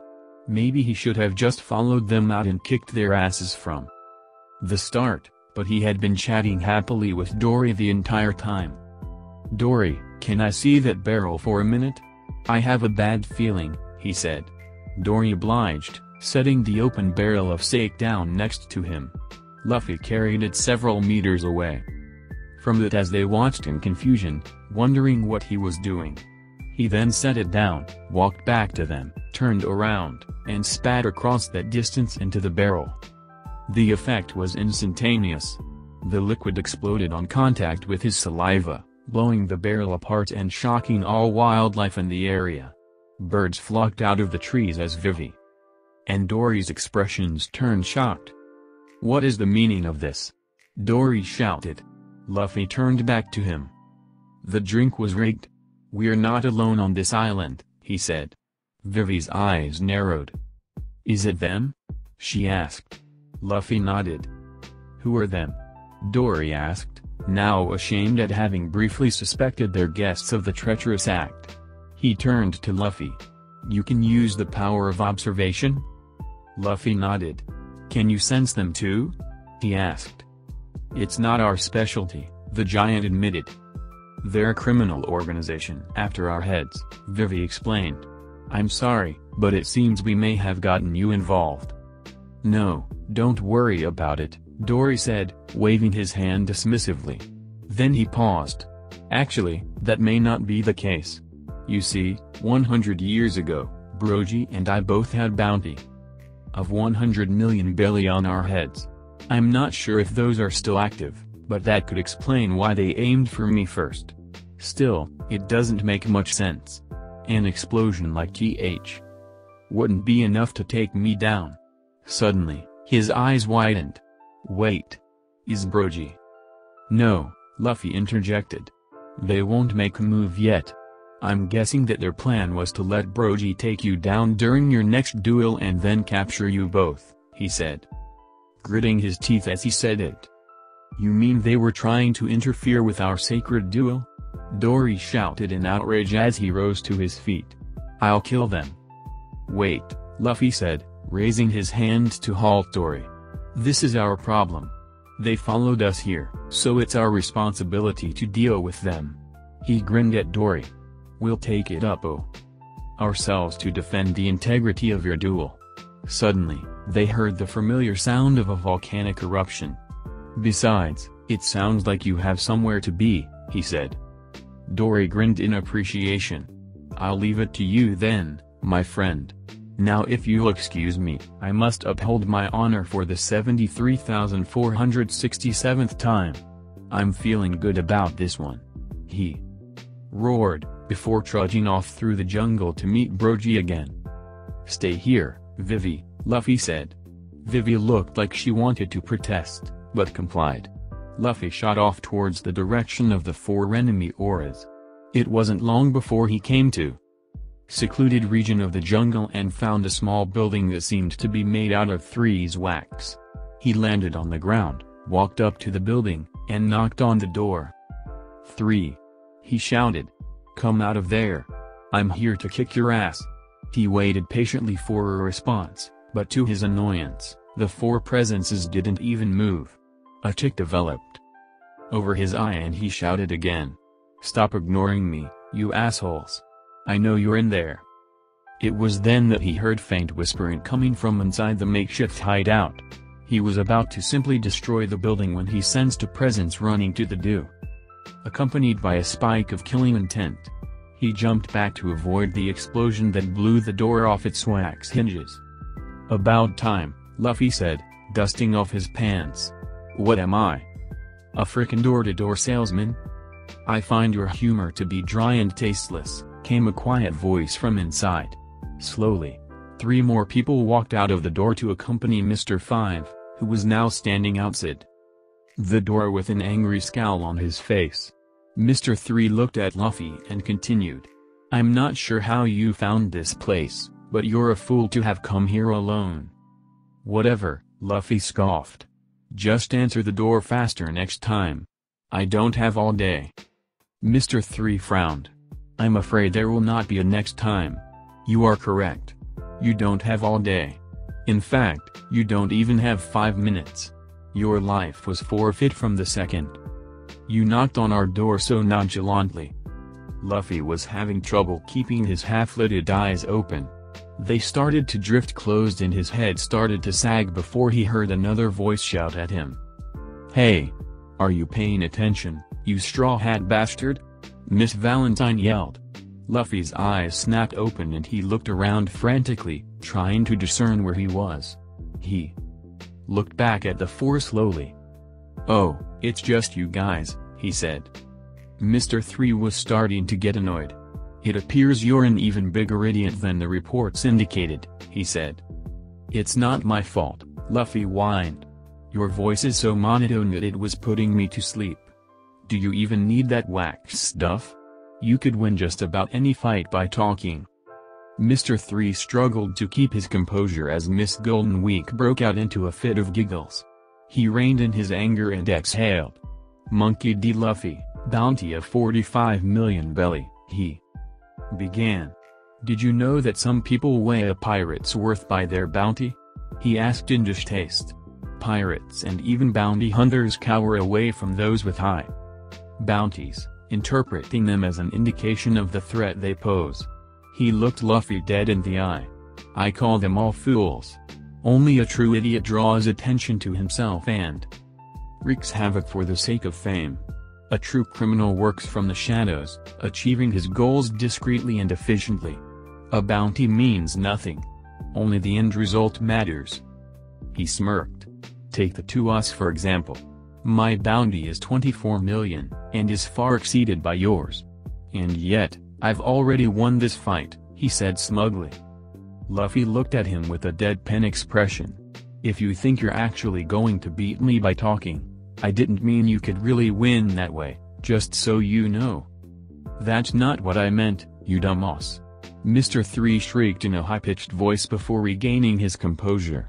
You see, You've already fallen into our trap while listening to M. Monotone voice. You might want to check your feet, Straw Hat, he said with a knowing smirk. Luffy looked down and saw a circle painted on the ground at his feet. Confused, he looked back up to see the short girl who he assumed was Three's partner holding up a paintbrush.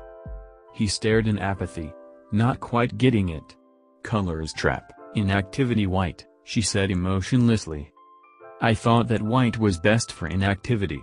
I mean, I could say inactivity blank, but that does not roll off the tongue quite as well. Mr. Five and Miss Valentine were both grinning widely now at the thought of revenge.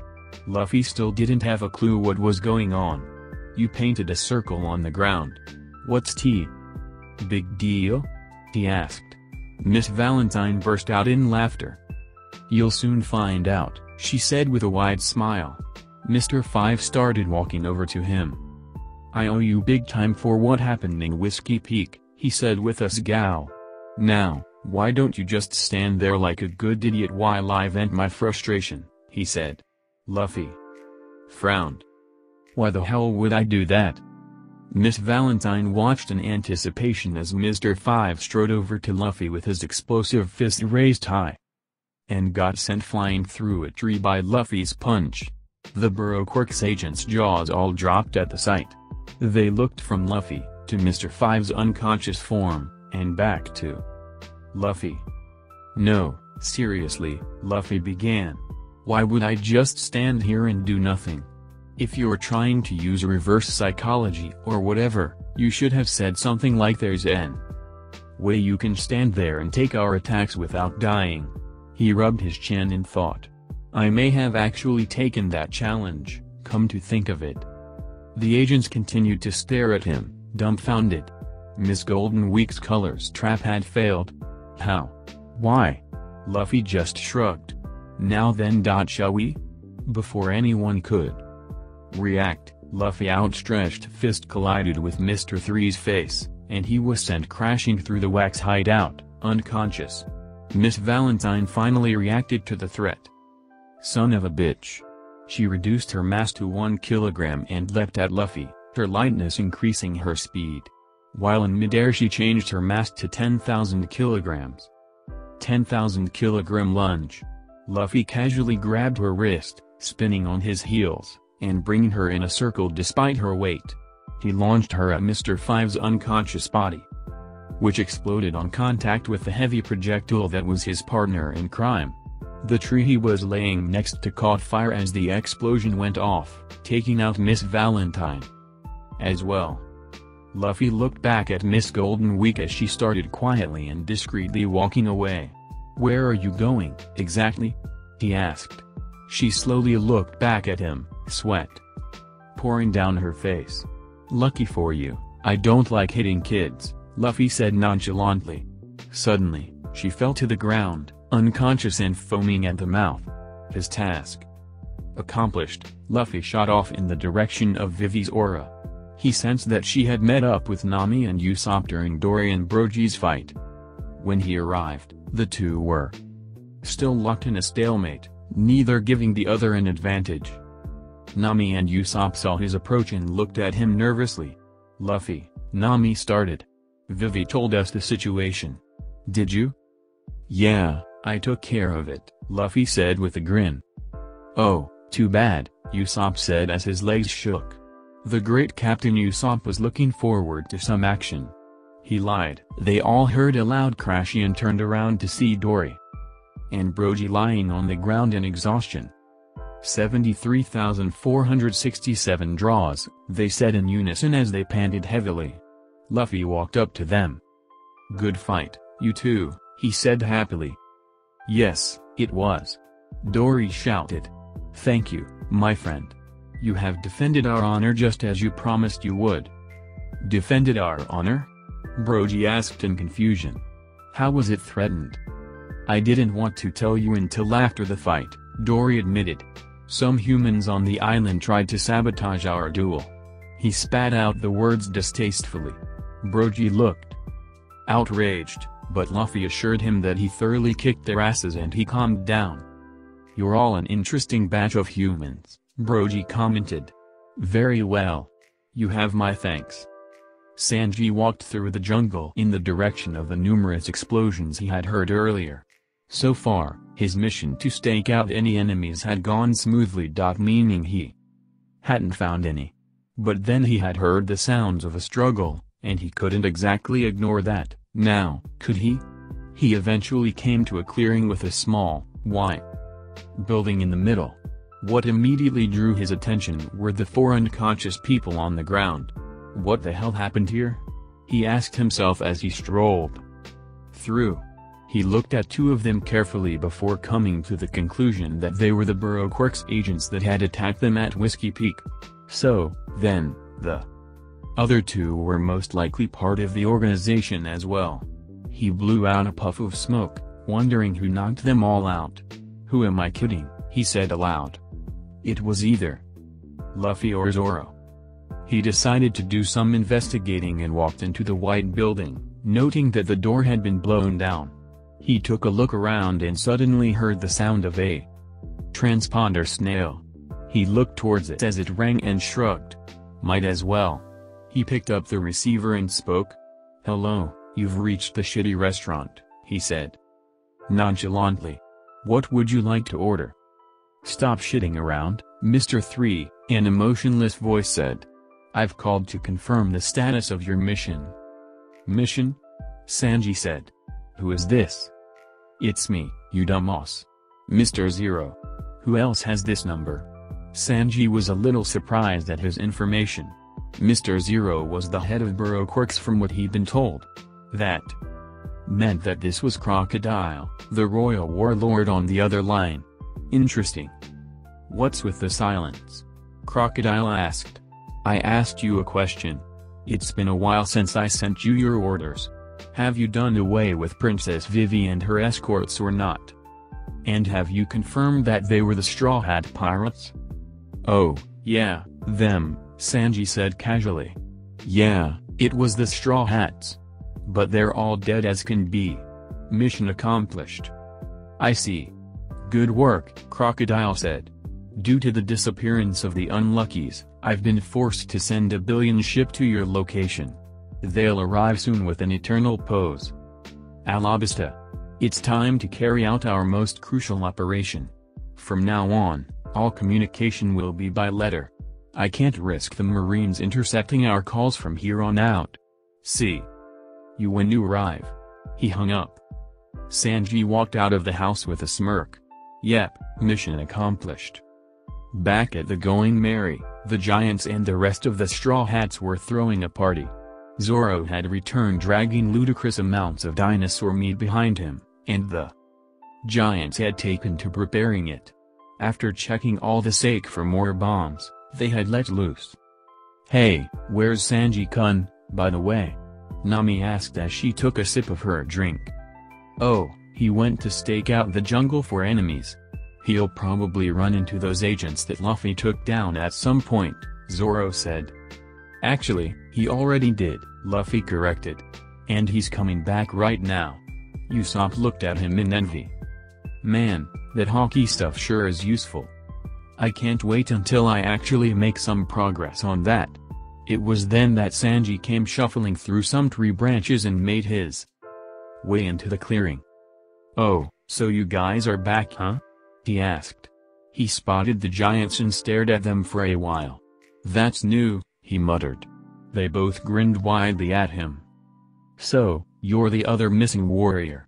Welcome to the party, Brogy said. Nice to meet you, little human, Dory said with a wave. No, no, pleasure's all mine, Sanji replied casually. He turned back to the crew. So, are we ready to leave? It looks like we've got enough supplies to last a while. Oh, my god, that's right. Vivi said in dismay. The log. It takes a year to set. How are we going to get off this island? Sanji hummed thoughtfully. I think I may have a solution. They looked at him in confusion and he explained that he had stumbled upon the enemy's base of operations, taken.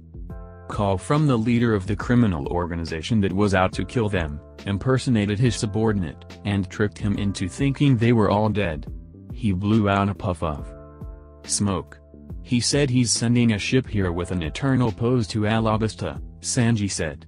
Most of the crew stared at him in wonder. Luffy was laughing his ass off. So, basically, we wait for that ship to arrive, kick their asses, and take the eternal pose, Zoro concluded. I guess all in all mission went well? He asked with a smirk. You could say that, Sanji replied. Thank you so much. I was so worried. Sanji-san, I could hug you. Vivi shouted with glee.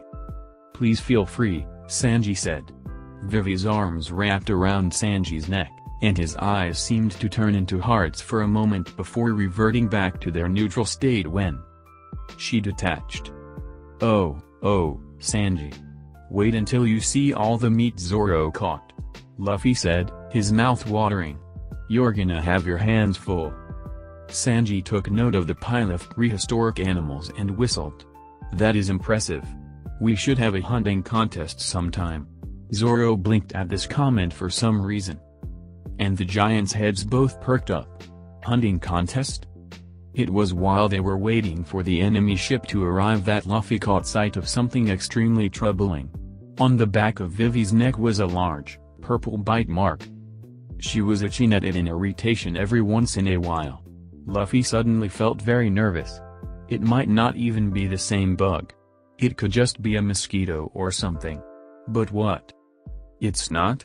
What if he had inadvertently caused Vivi to be bitten simply by coming back to the past and changing things? He tried to calm himself down. Vivi? He asked. She turned to him. What's that mark on your neck? Oh, that? She asked. I must have been bitten by some bug. It's been bothering me a little. Zoro walked up and looked at it before exchanging a nervous glance with Luffy. Vivi, he began, you know this is a prehistoric island right? We have no idea what kinds of bug thrive in these conditions. That might not be an ordinary bite. You should probably have someone look at it. Nami narrowed her eyes at the words. The logic made sense even if she hadn't thought of it herself. It just seemed so unlike Luffy and Zoro to be this cautious. What had them so worried? Well, I guess I can get it checked out when we get to Alabasta, Vivi said. Luffy and Zoro knew that it probably wouldn't be that simple, but they let it drop for now. What could they say? Luffy, for his part, felt sick. He knew he couldn't have really prevented this. What was he supposed to do?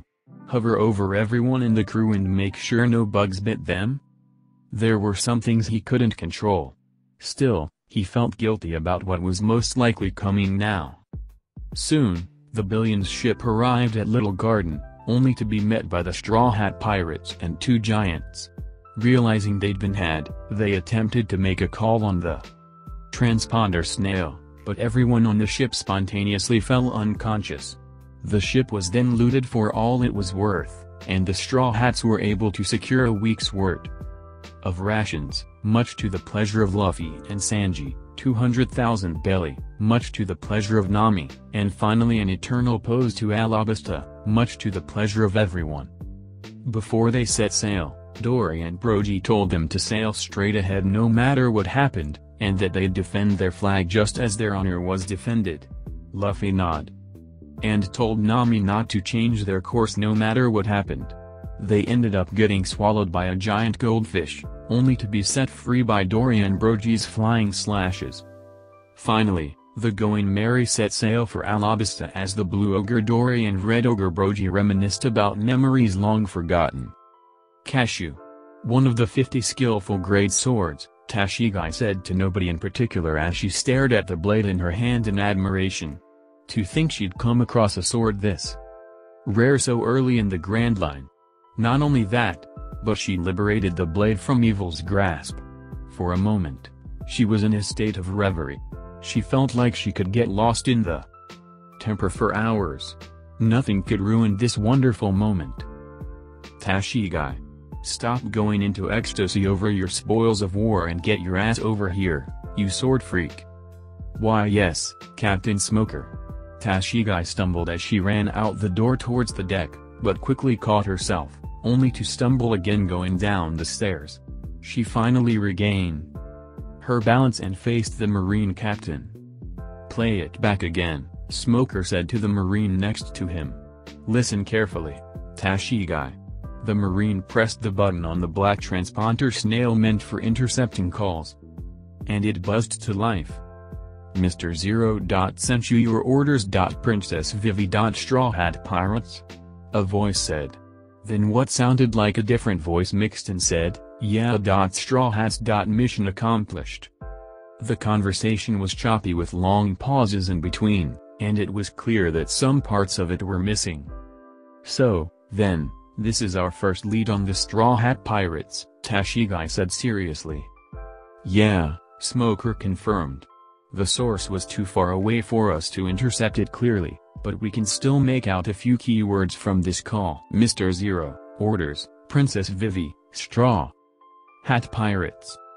Could Mr. Zero have anything to do with the Mr. 11 we've apprehended? Tashigi asked. Good point. If those numbers are code names, we could be dealing with some criminal organization, Smoker speculated. Mr. 11's head perked up at this. Mr. Zero? Are you really resorting to guesswork? I have no idea who that is. Just because our names are similar doesn't mean we have some connection, he said. Then how do you explain this letter we found in your pocket from a Mr. Zero with orders written on it? Smoker asked emotionlessly. The man's eyes widened. But I could have sworn I burned that letter. A, a actually?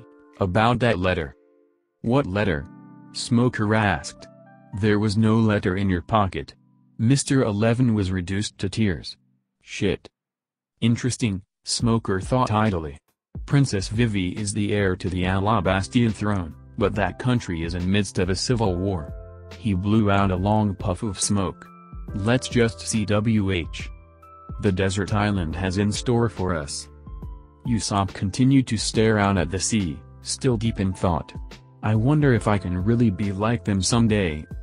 Hey, Usopp. What are you thinking about? Is the sea that interesting? Luffy joked. Usopp spun around and pointed at him. No, I will be. He shouted, as if Luffy had been the one to express doubt on his behalf. One day I'll visit Elbaf, the village of warriors. And prove myself. Count on it. He crossed his arms and closed his eyes, envisioning it. Luffy hummed thoughtfully. Sounds good to me, he said. Meanwhile, Vivi and Nami were discussing how much longer it would take to get to Alabasta. Nami noted that Vivi seemed to be a bit worn out. I guess that's just what happens when you go adventuring with Luffy, she thought with a mental sigh. Nami-san, Vivi-chan. I made some snacks for the journey ahead, Sanji said as he came down the stairs onto the deck, holding out a plate. He heard a sharp intake of breath. And slowly turned his head to see Luffy practically drooling over the plate. Your share is in the kitchen, he said in an annoyed tone. Luffy jumped from the deck up to the kitchen door with Usopp scrambling closely after them. The only one not outside was Zoro, who was trying to get back into shape by lifting weights. Luffy had taken to doing that a lot as well, annoyed by the limits of his weaker body, but he didn't really have the attention span to train in such a dull way like Zoro did. He preferred sparring over everything else, really. The two had been doing a lot of that recently. Luffy walked back out with a plate of food, and something worrisome caught his attention. Vivi was sweating and leaning against the mast of the Going Merry as if she was having trouble standing. Nami was shooting her troubled glances every few seconds, as if to make sure she wasn't about to collapse. Luffy jumped down and landed next to her. Are you alright, Vivi? She looked up at him and gave him a small smile. I'm okay, Luffy-san. I guess I'm just a little tired after all that. Luffy walked closer to her and brought a hand up to her head. Her forehead was hot enough for him to feel the heat before he even touched her. You're burning up, he said quietly. I'm fine, she insisted. It's probably just the effects of climate change. It'll wear off soon. Luffy knew that this was by no means true, and was about to argue when Vivi came loose from the mass that had been supporting her and walked away. Or at least she tried to. After a single step, she faltered, and would have fallen onto the deck if Luffy hadn't caught her. This quickly drew everyone's attention. Vivi-chan.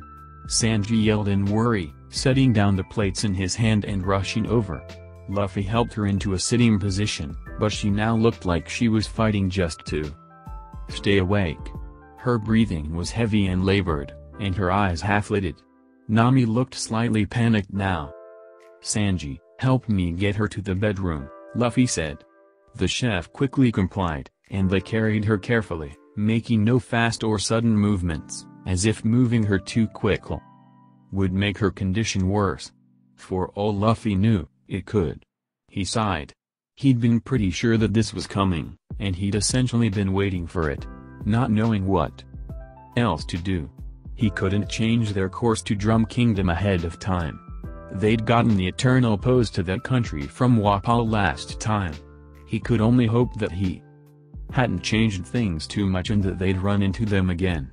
If not, he would personally coat Vivian a Haki shield and fly her there himself at speeds that would put Eve the Thousand Sunny to shame. Once they got Vivian to a bed, Luffy walked out of the room and called Zoro down. Sanji was looking at Vivi with a grim expression, and once Zoro came in and saw her, his face matched the chef's. He shared a quick glance with Luffy, who simply nodded. She has a high fever, Nami began. If left alone, I think it could possibly become life-threatening. She said this objectively, but her voice quivered at the end of that statement. Dying of illness at sea is a common occurrence, especially in Grand Line conditions. We're going to need to find her a doctor. She paused. We're still a week from Alabasta, she said quietly. If she goes untreated until then. She trailed off, a pained expression on her face. She remembered the newspaper that she'd hidden from Vivi. It was either Vivi's life or her wish to save her country. They would have to risk one. If they risked the latter, Vivi might not forgive her. But if they risked the former, she might not forgive herself. She started trembling before she felt a hand on her shoulder. She turned to see Luffy looking at her with a determined expression. His gaze spoke of an end. Resolve. Don't worry, Nami, he said. We'll save Vivi, then we'll stop the war. One thing at a time. But the log pose. Nami protested. We can't just abandon the course when all we have is one eternal pose. And she won't make it to Alabasta at this rate. Her voice sound desperate. Then I'll fly her to the nearest island. Whatever it takes, Luffy said firmly. As if his attitude was contagious, the looks on Sanji and Usopp's faces slowly became less uncertain. And more decisive. They would not let Vivi die out here before she even got to her country. And no, Vivi suddenly spoke up. All eyes turned to her in shock as she slowly and shakily pushed herself into a sitting position. Nami wondered how she could possibly have the energy to sit up with a temperature of 40 degrees C. Celsius continue our course, she said with difficulty. We see can't afford any DD tours. Nami, Usopp, and Sanji looked at her like, she was insane. Luffy looked at her with an unreadable expression. Finally, he spoke.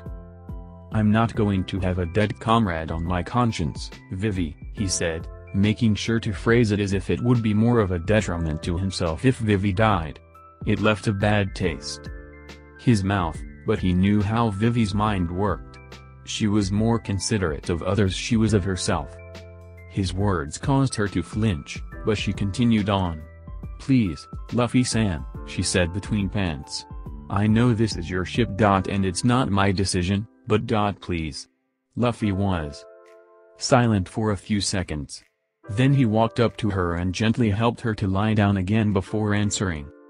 Your greatest desire is to save your country. I know that, he said. As captain of this ship, it's my job to protect not only its occupants, but their dreams and ambitions as well. He looked her in the eye. So, I'll do anything to save your country, he said. Nami, Usopp, and Sanji looked at him with wide eyes, wanting nothing more than to protest the decision he had seemingly just made. But before they could, he spoke again. And if that means saving your life first, I'll do just that without a second thought. There's no way. We can save your country without you Vivi.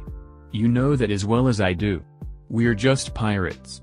Right now, my highest priorities are saving both your life and your dream, and dry. Now, that means we need to find a new course. If you want to save your country, then you better make damn well sure you survive.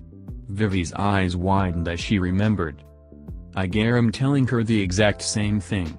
Nami and Usopp both sighed in relief, and Sanji gained a newfound respect for his captain at that moment. Luffy got up from his chair and walked out of the room, and Zoro spoke up for the first time. I guess that's that then, he said. Usopp, Sanji, stay here with Vivi. Nami, come out so we can discuss with Luffy what we need to do now. They all nodded wordlessly and did as instructed. As soon as Nami stepped out of the room, though, she froze. This feeling. It's not a normal storm. Could it be? Luffy, we have an emergency. She shouted. We need to unfurl the sails and catch the wind from the port side. Luffy turned to her and nodded. He and Zoro both altered their course slightly to account for Nami's instructions. About a minute later, they were rewarded with the knowledge that their ship wouldn't sink at the hands of the massive cyclone. That manifested in the area that they had previously been sailing into. For the next day, the Straw Hats delved back into their Haki training to take their minds off things, not knowing what else to do. They each took turns tending to Vivi, while Zoro stayed on the lookout for signs of an island, or of a certain Damas King's ship for that matter. It was after about 21 hours that he spotted a familiar sight. Hey, there's an enemy ship ahead. He shouted down to Luffy, Nami, and Usopp. Usopp ran over to the rail and looked out over the sea. What are you talking about, Zoro? There's no enemy ship. Just a guy standing on the water. Zoro raised an eyebrow at him. A guy dot standing on dot the water. Usopp repeated attempting to rationalize it. Standing on water? Nami asked. Is that even possible?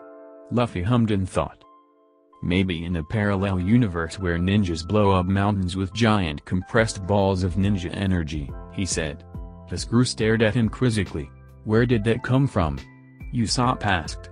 Luffy shrugged, not really knowing himself. Their ship finally came to a stop in front of the strange man who was still standing on top of the water as if it was a completely natural thing to do. Nami and Usopp stared at him with deadpan expressions. Quite cold today, isn't it? The man commented. Usopp perked up as if he had just noticed. Yeah, it is pretty cold today, he said matter-of-factly. I know, right? The man said. The two continued staring at each other while the others watched silently. Finally, Usopp spoke. So, how are you standing on the... He was interrupted by the sound of water being displaced and their ship being pushed back by the waves as a huge submarine emerged from the water. The submarine quickly converted to a regular ship when the roof reeled itself in. Suddenly the door to the Going Merry swung open and Sanji dashed out. What are you guys doing? All this swaying. Going to. He paused, taking a look around. He slowly lit a cigarette and took a drag before letting out a puff of smoke. So, he said. What's happening? We're being ambushed, Luffy stated matter-of-factly. Yeah, I figured. Sanji said as several men aimed rifles at his face. That makes five people. Is this crew really that small? A fat man wearing white hippo fur said. Well, not that it matters. I'd like to ask you all a question. What is it? We're in a hurry, Luffy said. The man hummed. We're on our way to Drum Kingdom, he said as he chewed on a large piece of meat. But I guess we can take the time to loot your ship. Give us all your treasures, he commanded. No, Luffy said with a blank expression. Insolent commoner. One of the intruding men shouted as he addressed Luffy. You dare disobey the orders of King Wapol? Know your place, trash. Luffy turned to him with a glare, and the man froze in fear as his flesh chilled and his blood froze. He took a step back and fell backwards onto the deck, dropping his rifle. You can go jump into the sea now, Luffy said, in a simple tone that somehow conveyed that it wasn't really a suggestion. The man scrambled to his feet in terror and leapt over the railing of the Going Merry before a loud splash was heard. Luffy turned back to Wapol, who was staring after the man in annoyance. What the hell is wrong with that idiot? He asked. Well, whatever. He started to open his mouth. Luffy, whose observation haki alerted him to the fact that Wapol was about to eat part of their ship, promptly sent the man flying off of it with a kick.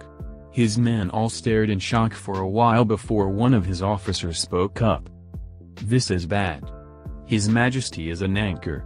We have to go get him. They all prepared to leave in panic, but Luffy spotted something of interest and stopped them. Hey, you! He shouted to a man who he assumed was their navigator. Is that an eternal pose? The man turned to him in fear and stuttered out an answer. Why yeah, it is. He said. Is it pointing to that Drum Kingdom place? Luffy asked. The man confirmed his theory once again. Cool, Luffy said. Hand it over. The man looked shocked. Why the hell would I do that? He shouted. The answer Luffy provided him with was quite painful, and as Luffy looked over the eternal pose labeled Drum in interest, Wapol's officer, the one who had been standing on the water, shouted after him. You bastard! We need that to get back to our home country. Give it back before we take it by force. Luffy turned back to him. No, I'm actually going to keep this. You should probably go get that hippo dude by the way. He'll drown soon. The officer looked at him in outrage, knowing he was right, before shouting for Wapol's men to take them in the direction that their king had flown. As the ship pulled away, he shouted one more time over his shoulder. You better remember this. Don't you dare forget our faces. We'll have our revenge one day. The other officer shouted. I don't think I could remember them even if I wanted to, Luffy thought sardonically. With their course now set out for them thanks to the eternal pose Luffy had acquired, the Straw Hats finally had an idea where they were going. They started following the need. And after a couple hours it started snowing consistently. Nami theorized this meant that they were approaching an island, remembering a conversation she'd had with Vivi about the individual climates of islands in the Grand Line. After another hour, Sanji spotted land. A winter island from the looks of it. When they got close to the island and got ready to dock, Luffy sensed hostile auras surrounding them and frowned, remembering what happened last time. Zoro suggested that they send a couple people to look for the doctor while the rest wait. They would only travel slower in a large group. Luffy and Sanji both volunteered to go. Only Luffy, Zoro, and Sanji noticed the crowd accumulating on the cliffs surrounding them. Hey, we've got a welcoming party, Sanji said in a neutral tone that somehow didn't fail to convey his sarcasm. Stop right there, pirates. They all turned to the authoritative voice. Turn around at once and leave this island, the man said. Your entrance will not be permitted. What? Nami asked in shock. You won't even let us dock? Please, we're looking for a doctor. One of our crewmates is dying. Her voice seemed to falter at the end of that sentence. The man's eyes seemed to widen slightly at this as if it was something he hadn't been expecting. but the surrounding crowd just started shouting at them, rifles raise. Your lies won't fool us, scum. We're not letting any damn pirates wreak havoc in our country. Raise anchor and leave, or we'll make you. Sanji grimaced. Well, that was a bad first impression, he commented. None of your smart-ass remarks. One man shouted, firing once at Sanji's feet. Sanji barely avoided getting shot in the leg due to the guy's impulsive actions, and he immediately turned a glare towards the villager. So, you want to play big shot, tough guy? Sanji muttered darkly. The man gulped but reloaded in response to Sanji's challenge, and Sanji took a step forward, but was held back by Nami and Usopp. Another gunshot went off. It was would have hit Nami in the back had it not rebounded off of Luffy's open palm. The villager seemed undeterred due to the fact that he hadn't successfully hit anyone yet, and continued firing. But the bullets were all either deflected or straight out blocked by Luffy's hand. The man ran out of whatever limited ammo he had, and gulped again. Some of the other villagers got ready to support him, and from the upper deck of the Going Merry, Zoro unsheathed his sword. Slightly. Luffy gave the villager his own glare. I think that's enough, he whispered. This time the man's reaction was much more profound. He dropped his empty rifle and stumbled bah onto the snow, sweating despite the extreme cold. All of the other villagers had similar reactions, taking multiple steps back and some even dropping their weapons. Only Dalton seemed unaffected, but even he was taken aback by the fact that the determined villagers were somehow being threatened into submission. He looked the pirate captain dead in the eye, and the man stared back, unflinching. For a long while they locked gazes, until the captain did something unexpected. He lowered himself onto his hands and knees and bowed his head to the ground. Please, he said loudly. We can't leave. If we do, our crewmate will die. Please help us. The villagers seemed shocked that the man who had them all shamefully cowering just seconds ago was now bowing his head and begging for their assistance. It especially struck Dalton, he relented first. We'll lead you into the village, he said. Follow me. At those words, the crowd started dispersing. Luffy rose to his feet and Zoro sheathed what was visible of his sword. Sanji, get Vivi, he ordered. Sanji hastily did just that, realizing the tension had subsided, and when he returned with the sick princess, they all followed behind Dalton. Let me warn you beforehand, Dalton said. There is only one doctor in this country. Most of the Straw Hats were shocked at this information, how could an entire country be home to only one doctor? Dalton stopped and turned back to them. And they call her a witch, he added, huh? A temperature of 42 degrees? Dalton whispered in disbelief. How can that be? We'd like to know ourselves, Nami answered despondently. It's been steadily rising ever since we realized she had a fever. Dalton stared down at the girl in awe. The fact that she was still alive was almost miraculous. What kind of life force did she possess? It doesn't matter if she's a witch, Luffy said firmly. As long as she can cure her, it'll be enough. Sanji nodded in agreement. Dalton pointed out the window to the direction of several tall, white mountains. Those mountains are called the Drum Rockies. You might see a large castle at the peak of the one in the middle. That castle is currently vacant of a king. Dr. Kureha lives in the castle. She's the lone doctor in this country, whom its citizens call a witch. Luffy nodded in acceptance. He really didn't care if she was crazy. That witch doctor was able to cure Nami last time. She knew her stuff, and the same could be said for Chop. Sanji seemed to accept this easily enough as well and spoke up, then let's call her. If we wait much longer. He trailed off. I wish I could, Dalton said regretfully. But we have no way to contact her. Sanji's eyes widened, and he quickly explained. She essentially treats people according to whim. She comes down from the Drum Rockies whenever she feels like it, treating the sick and taking whatever she wants from their homes as payment. According to eyewitnesses. She flies down from the Drum Rockies on a sleigh pulled by an unidentified creature. Usopp was conspicuously freaking out over this new information. Nami looked disbelieving and even Sanji was having trouble taking it in. I guess we're going up that mountain, then, Luffy said as if it was that simple. Dalton stared at him apprehensively, but nodded. How can there only be one doctor in this entire country? Nami asked doubtfully. Dalton hesitated, then started explaining how the country's previous king had nearly brought to ruin. The Straw Hats were shocked at the mention of the word Wapol, remembering the man that had recently attacked their ship. After Dalton went on to explain how Wapol had purged the country of its doctors and essentially monopolized the treatment of the sick, Nami informed him that they had run into Wapol at sea shortly before arriving here. Dalton looked distressed after hearing this, saying that the country could very well fall to ruin if he returned now. But why is the former king of the country out on the sea pretending to be a pirate? Usopp asked. Dalton's teeth clenched. Because he abandoned his country, he responded. He went on to explain the situation that the country was in and how it all started. He explained that without warning, the entire country had been ravaged by pirates. At mention of the name Blackbeard, Luffy's demeanor changed drastically.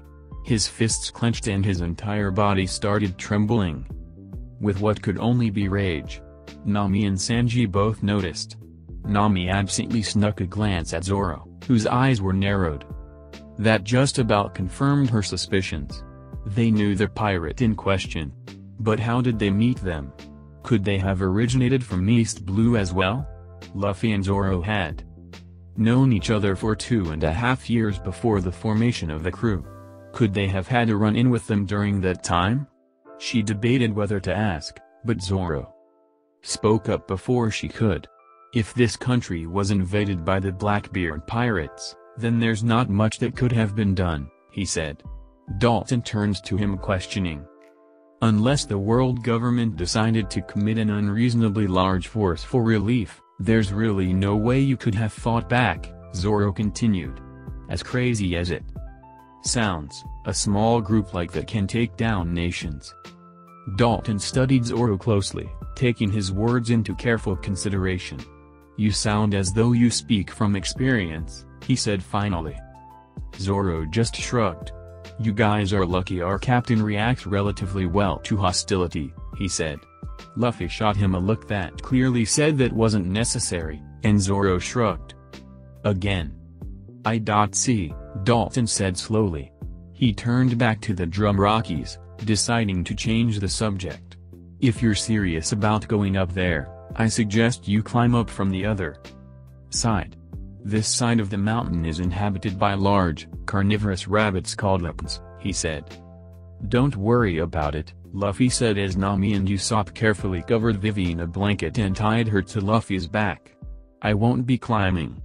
Dalton blinked at this and wondered what he meant by that, while Sanji sighed. I want to go with you, he said. But with the way you travel, I'll just slow you down. He looked at Luffy determinedly. So, take care of Vivi-chan, Luffy. Luffy nodded firmly. And then turned to Zoro. One more thing, Zoro. Zoro looked at him, but Luffy was silent. After a few seconds, Zoro raised his eyebrows. Luffy just grinned at him. Eventually Zoro sighed and shrugged. The rest watched this display in a mixture of confusion and annoyance. Nami knew they were communicating something. She just didn't know what it was, or why they didn't want everyone else to know. The rest of them didn't really know what to make of the exchange. Nami sighed in exasperation. Luffy gave Zoro a thumbs up before he jumped high into the air. Dalton wondered for a split second what he was doing before he took another jump in midair. Dalton's eyes widened. He can fly? Is that a devil fruit? Dalton asked. To be honest, I don't know how he does it, Usopp said. But Luffy defies logic a lot. You learn not to question it. They watched as Luffy shot off into the air, going deliberately slow so as to not put too much pressure on Vivi, and eventually left their sight. Soon afterwards, A villager came and informed Dalton that Dr. Kureha had been spotted in the neighboring village of Cocoa Weed. It took a few seconds for the rest of the straw hats to process this information. Oh, fucking hell. It was about 10 minutes later that Luffy reached the top of the Drum Rockies. Slightly winded, he took several seconds to catch his breath. Damn, I really am out of shape, he said matter-of-factly as he walked towards the castle. He slipped through the open door, careful not to bump into it as he caught sight of the bird's nest on top of it. Taking a loop around, he absorbed the familiar sight.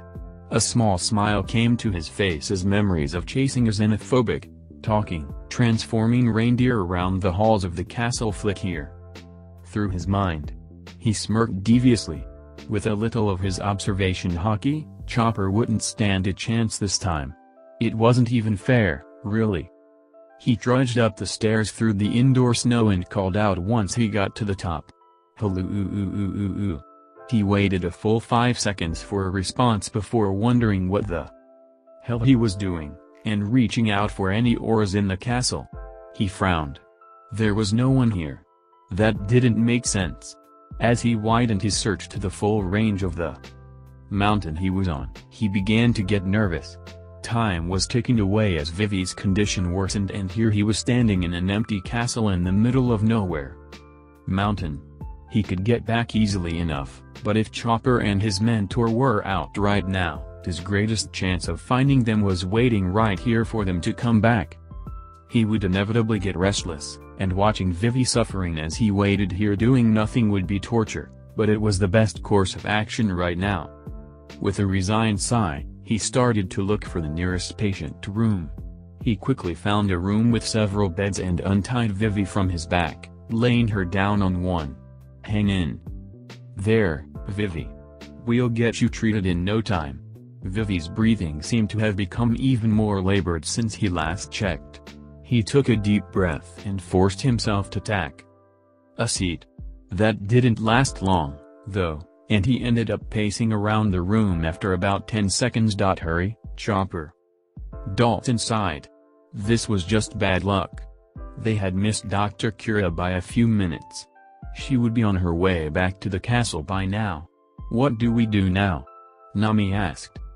Should we just hope that Luffy is able to meet up with her? That's about all we can do, Nami-san, Sanji said worriedly. I don't doubt that Luffy will make it to the top, but I wonder if he'll actually stay there once he realizes that the place is empty. It would be bad if he came back down and wasted that much more time. He frowned. To top it off, the only ones of us who can somehow guess what that guy is.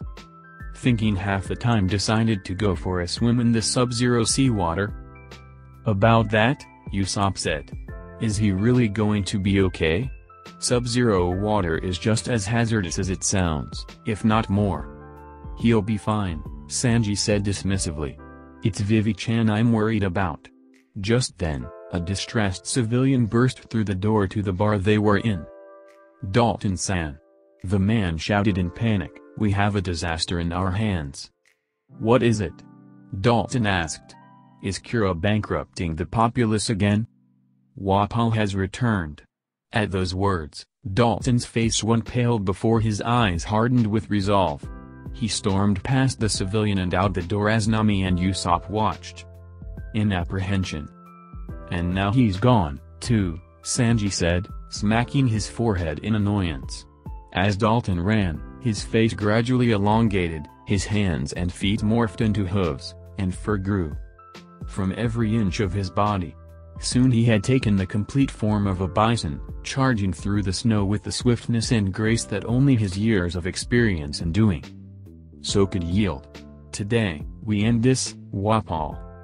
As Kureha and Chopper walked back towards the castle, Chopper frowns. Kureha kept walking before noticing he wasn't following, and turned back to him. What is it, Chopper?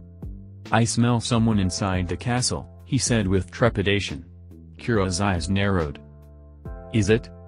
It's not Wapol, Chopper said with certainty, guessing her question. There are two people. I've never smelled either of them before. Well, let's go see who they are, shall we? Chopper hesitated for a second before nodding.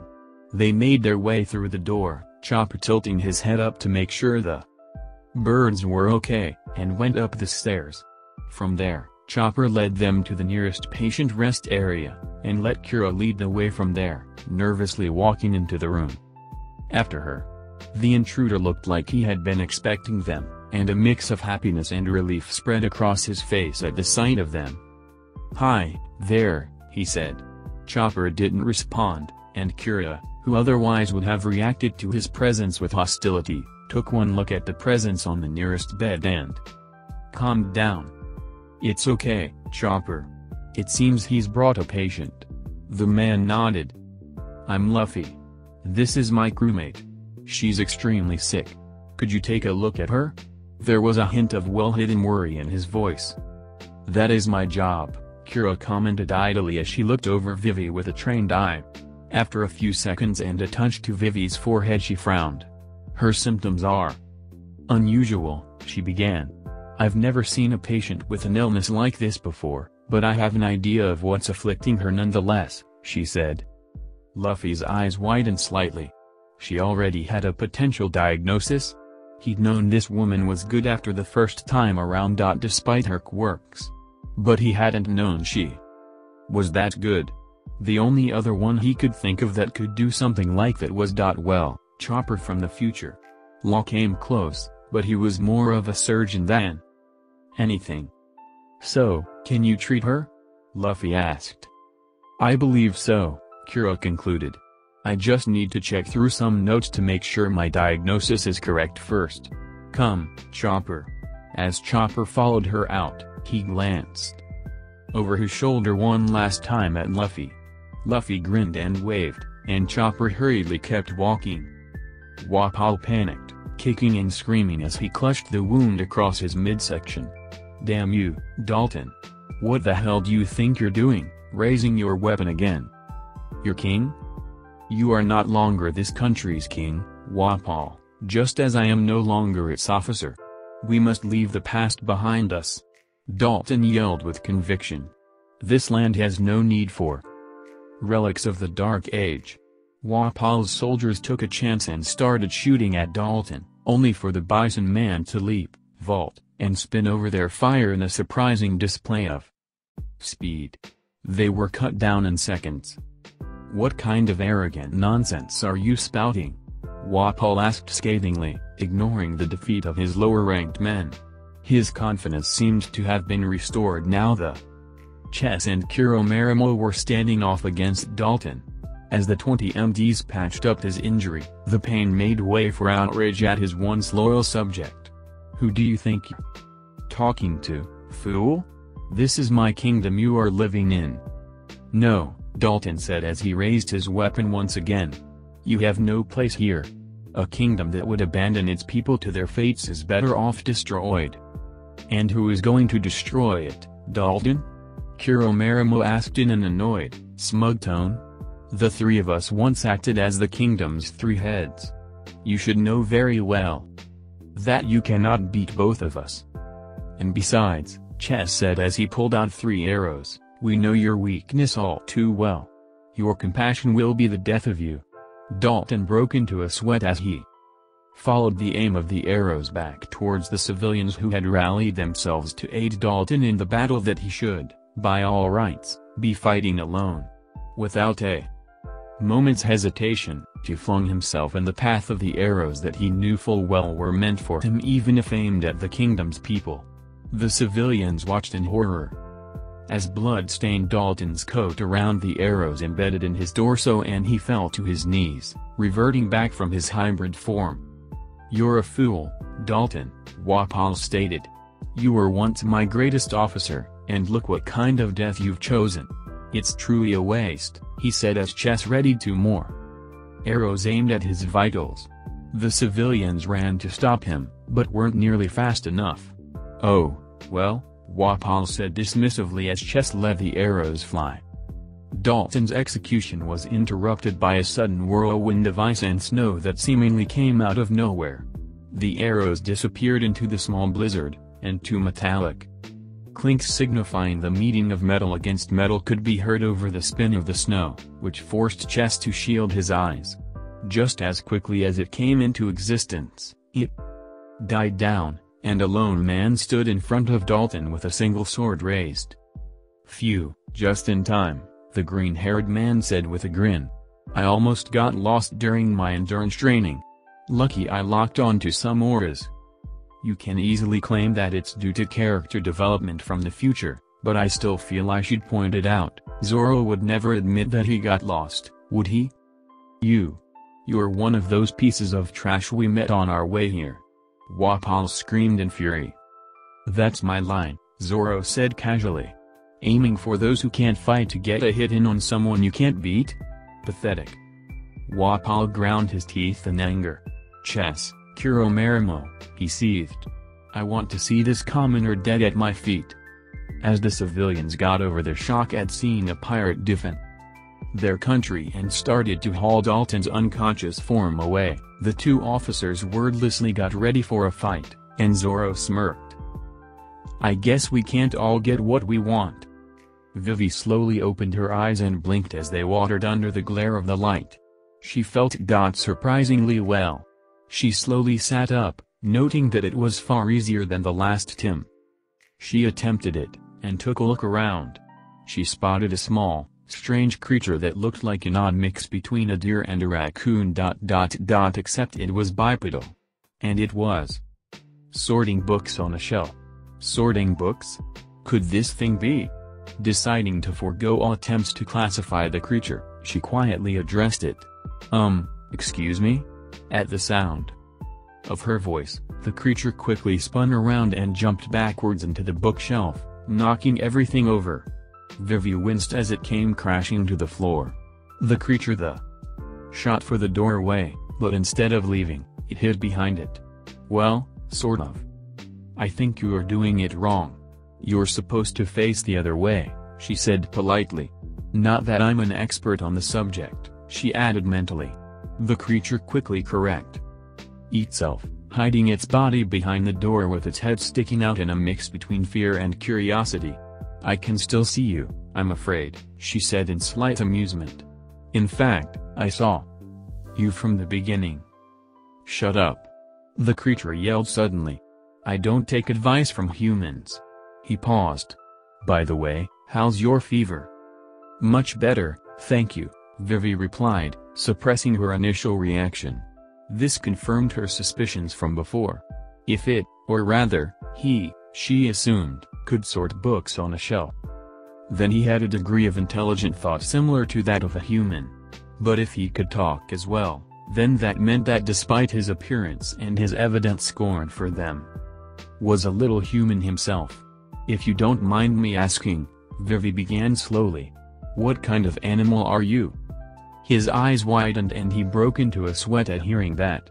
Evidently deciding he would have no more of this, he called out. Doctorine. Keep it down in there, Chopper. A low feminine voice called out. A woman of gray hair and old age walked into the room, and the creature made a break for it. The woman snickered. Looks like your fever has gone down quite a bit, girl. How are you feeling? Better than I have in days, Vivi replied. Are you the one who treated me? The woman poked her in the forehead rather than responding. 38 degrees, not bad, she muttered before taking a swig of the sake bottle in her hand. Vivi was impressed that she could discern her exact temperature with a touch. And no, the woman continued. Chopper is the one who nursed you back to health. Chopper? Vivi asked in confusion. Is he? He's that little reindeer you startled, the woman confirmed. I'm Dr. Kureha, his mentor. You can call me Doctorine. Doctorine, would you mind telling me, what? You want to know the secret of my eternal youth? She asked with a grin. Um, maybe later, Vivi said. Where am I exactly? Drum Kingdom, Kureha replied. More specifically, the castle atop the Drum Rockies. Drum Kingdom. Vivi repeated. She knew of the country, but not much about it. Was she here alone? Where was the rest of the crew? If you're wondering about the one who brought you here, I had him relocated to another room. Kureha supplied. And dot who was that exactly? Vivi asked sheepishly. Kureha grinned in amusement. A young man named Luffy. Wears a straw hat. He was quite the character. He ascended the mountain like it was no big deal. When I asked him how he did it, he replied that he flew. I was skeptical, but how else could he get up here without a scratch? Vivi's eyes widened. So, Luffy had brought her here. That meant the crew had found a new route and Luffy had brought her to a doctor personally. My, you must have really been out of it, Kureha said. But I guess that's to be expected. You were bitten by Kestia, after all. Kestia. Vivi repeated. It's an extinct species of tick that carries a lethal strain of bacteria. If one is bitten by it, symptoms of the infection include a fever of 40 degrees or above, intense pain throughout the entire body, and death after five days. You were on your third day it seems. Vivi gulped as she rubbed the spot on her neck that she had once dismissed as a simple mosquito bite. Honestly, you're lucky I kept the antibiotic to that strain of bacteria. It's been extinct for over 100 years. I'd love to know how you spent your week. Kureha continued. Were you running around on a prehistoric island or something? Vivi gave her a small, sheepish smile. I'm afraid so, she admitted. Kureha threw back her head and laughed. Is that so? Well, hopefully you at least covered up. That can help sometimes, though I guess it didn't quite do much for you in this case since you were bitten on the neck. I see, Vivi said. Then, if the illness has been treated, I suppose I can get discharged soon? She inquired, thinking about how long it would take to get to Alabasta now. Depends what you mean by soon. Even if the bacteria has been killed and the fever has gone down, your body is still in a delicate condition, and the infection still needs to be monitored.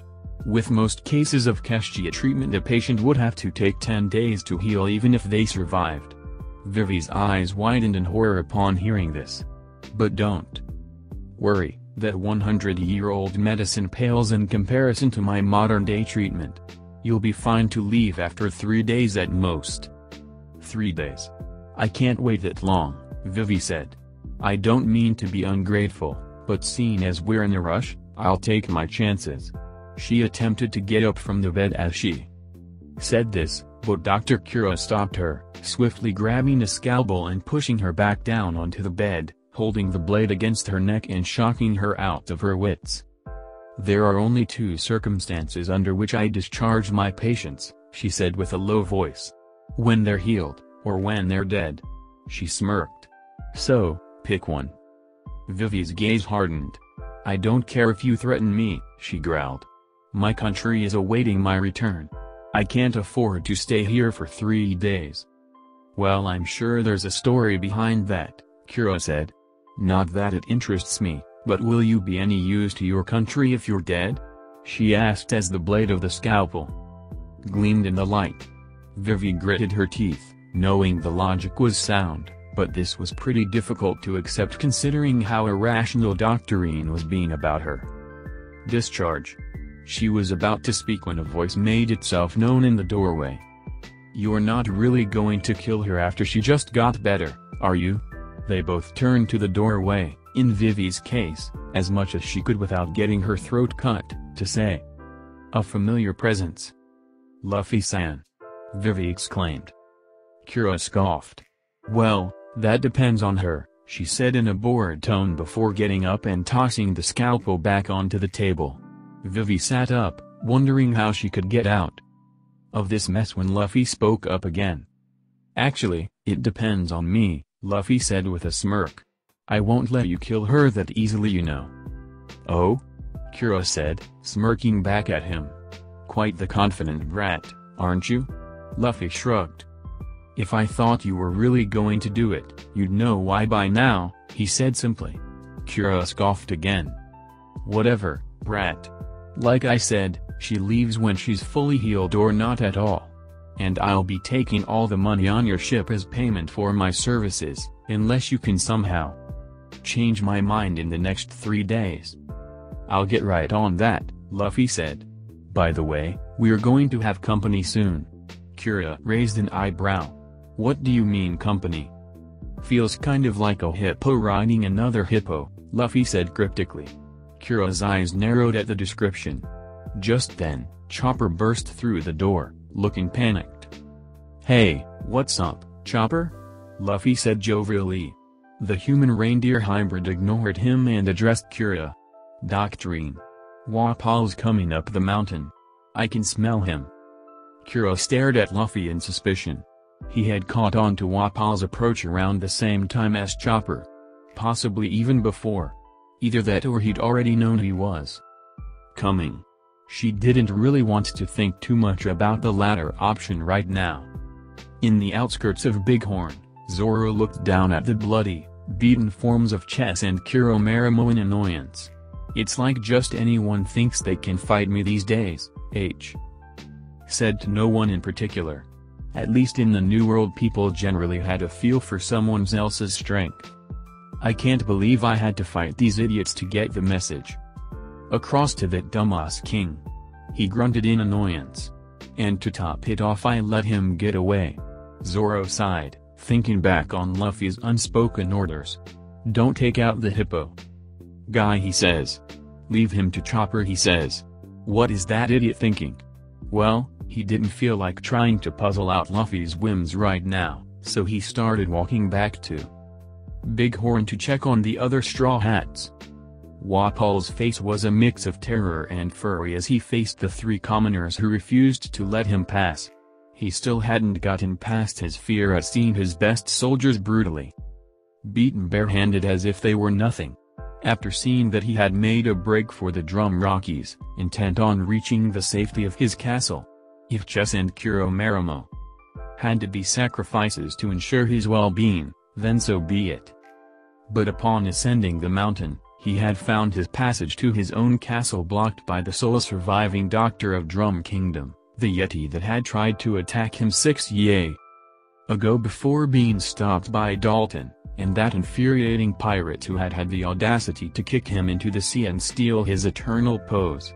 In short, he was surrounded by treason. He gritted his teeth in frustration. He now had no choice but to take his country back himself. His subordinates may have been thrashed, but he was the king. He couldn't be beaten by commoners. He had the divine right to rule by blood. Get out of my way. Wapol commanded.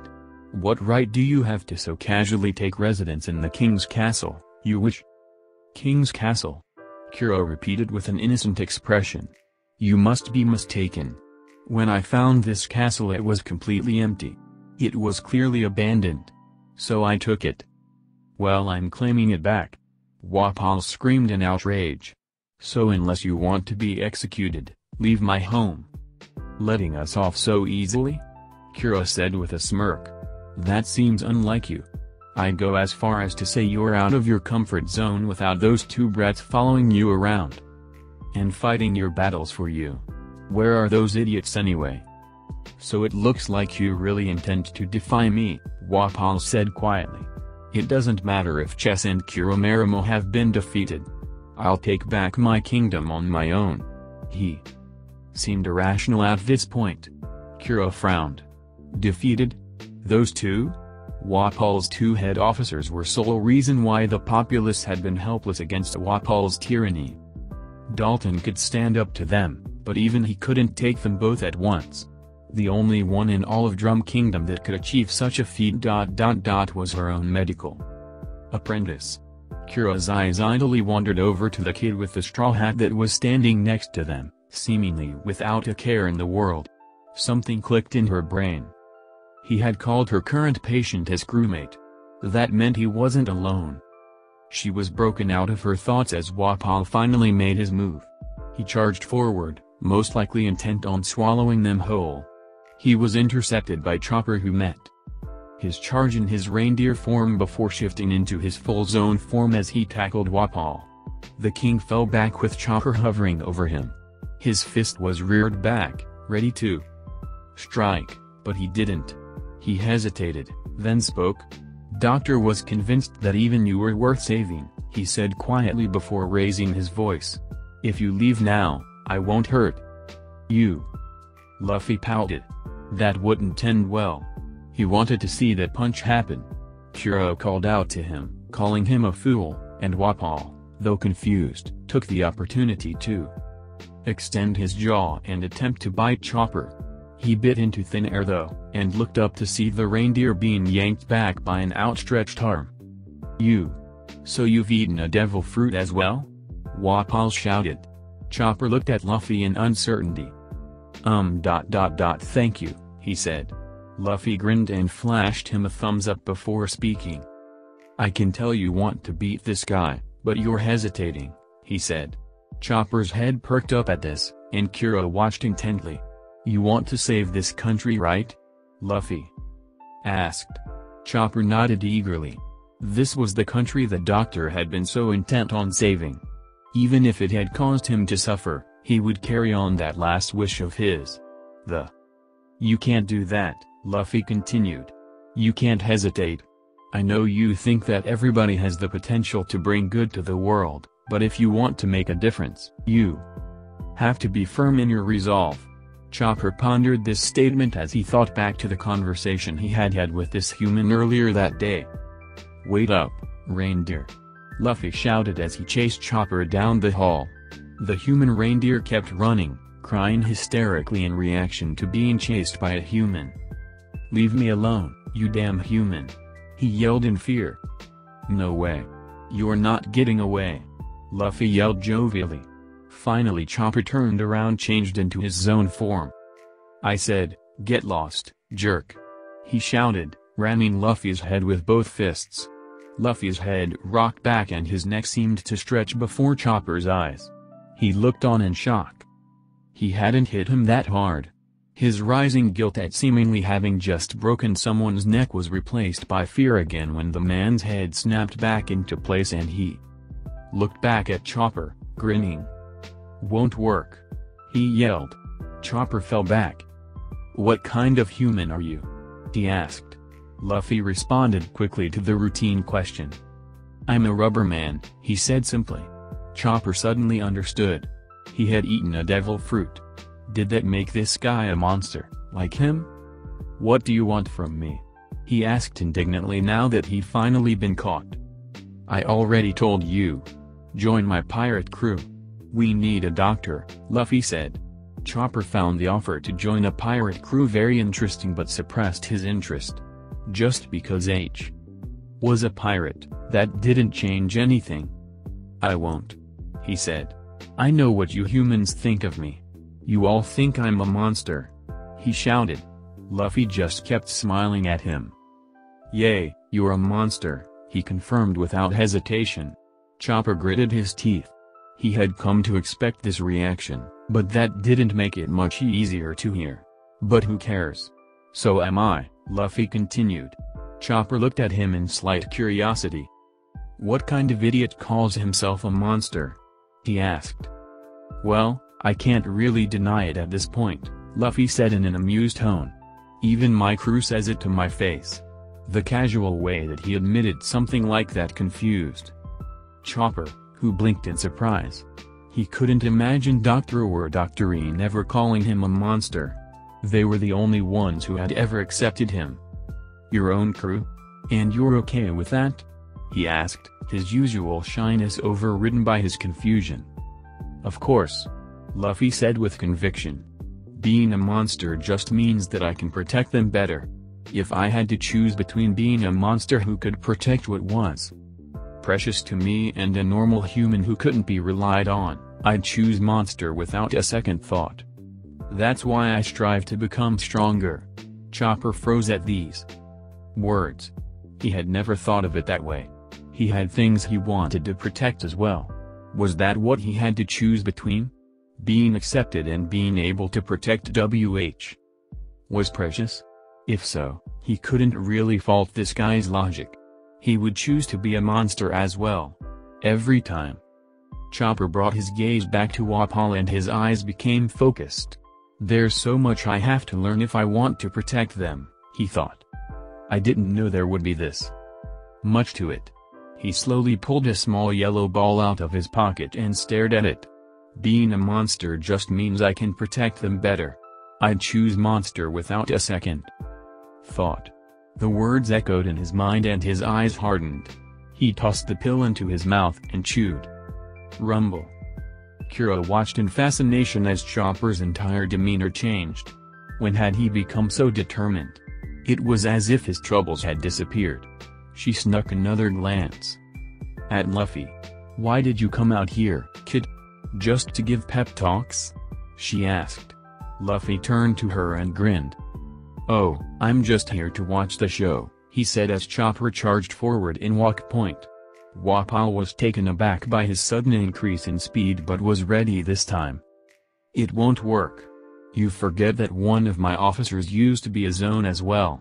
I already know how your power works. He knew the reindeer was going to change to his Zoan form. To throw another punch, and got ready to swallow him whole.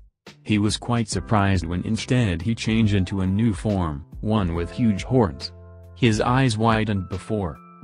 His mouth got caught on the large antlers and Chopper continued, undeterred. Wapol began sliding through the snow until Chopper finally bucked, sending him sailing through the air. He landed and continued sliding, coming to a stop just short of the cliff, before getting up again. So then that's your hybrid form. Well, now I've seen them all, he said as he wiped the blood off his chin. Luffy smiled wryly, his expression a mix of I know something you don't. know and you're about to get fucked? This did not escape Kureha's notice. Behold. The true power of the Baku Baku no Mi. Wapol yelled, as he transformed into what appeared to be a house with cannons for arms. This surprised Chopper, but he pressed on. He couldn't afford to waste precious rumble time. As Wapol aimed both cannons at him, he quickly switched to guard point. The small cannons hit him dead on, on to have no effect. He switched to jump point and leapt right at Wapol, who was stunned at having seen five different forms now, before switching to arm point after the jump. Kokutei, Rosa. Chopper's hooves embedded themselves into Wapol's stomach, leaving a visible imprint. Wapol coughed up blood and stumbled back, but regained his balance. He glared at Chopper in outrage and aimed his cannons at him again. This time Chopper dodged the aim using jump point, soaring high above Wapol's head. Wapol looked up in surprise as he increased his weight using heavy point and fell upon him like a boulder. Wapol raised his cannons too late and Chopper landed another hit. Kokutei, Diamond, Wapol grit his teeth as he was plunged deep into the snow. Six forms now? When would it end? He didn't have time to think about it though, as Chopper was preparing for another attack. As he charged, Wapol raised his cannons and shot from his awkward position. Chopper switched once again to guard point and winced at the impact, knowing he couldn't take too many hits like that. He landed and finally switched to brain point which only seemed to infuriate Wapol more as he pulled himself out of th. Snow. Seven forms. Scope, Chopper whispered as he scanned for Wapol's weak point. He soon found it and chastised himself for not realizing it sooner. It's over, he said confidently. You won't get up after this next attack. Keep dreaming reindeer, Wapol growled. Your pathetic attacks won't bring me down. Chopper wasted no more time. He had 30 seconds left. He switched back and forth between walk point and jump point as he dodged the aim of the cannon fire. Finally he jumped right into Wapol's face and switched to arm point one last time. Wapol grinned. Fool. Going for my face is suicide. He opened his mouth wide and attempted to crush Chopper between his jaws, but Chopper was undeterred, having expected it. Before he could chomp down, Chopper sank his hooves into the back of Wapol's throat. Kokutei, cross. Wapol choked upon impact, and his eyes rolled back into his head before he fell. Backwards onto the snow, unmoving. Chopper sighed. Three minutes, he thought with satisfaction as he changed back to his hybrid form, panting lightly. Nice one, Chopper. Luffy called out. Chopper looked at him in surprise, before a sheepish, happy expression came onto his face. Shut up. Complimenting me won't make me happy, you bastard. He said in a very happy tone. As he swayed back and forth comically, Kureha contemplated what had just happened. This man was most likely the cause of Chopper's sudden boost of confidence. That was the only explanation. Not only that, but he seemed to have a large amount of confidence in the reindeer, as if he knew he'd win. Where had that come from? She had overheard one of his attempts to recruit Chopper into his crew of pirates. She idly wondered if he'd be successful. The wound in Chopper's heart couldn't be easily healed, but considering the progress he already seemed to be making, it didn't seem so far-fetched. Chopper seemed dot dot dot more comfortable in his own skin. Dalton-san, that's Wapol. Kureha turned to the voice and saw Dalton and a group of villagers arriving at the top of the mountain in the cable lift. Most of them were staring at Wapol's unconscious form in shock. Zoro, Nami, Usopp, and Sanji, who had also arrived, were all coming to similar conclusions, except for Zoro who had a contemplative look oh. His face as he noted the hoof imprints on Wapol's torso. Dr. Kureha. Dalton called, turning to the amused woman. What happened here? Who subdued Wapol? That would be my apprentice, Kureha said, pointing to the human reindeer who was currently hiding behind a tree with his entire body exposed. The straw hats were a bit confused, having assumed it was Luffy. Dalton's eyes widened as he recognized Chopper. He's the one who tried to attack Wapol after the death of Dr. Hiriluk. Is he really the one who defeated him? When the realization hit him, he fell to both knees. Chess and Kuromarimo had been defeated as well. This meant that finally, their country could be reborn. He bowed his head to the ground and faced Chopper. You have my thanks. Now. We can start anew.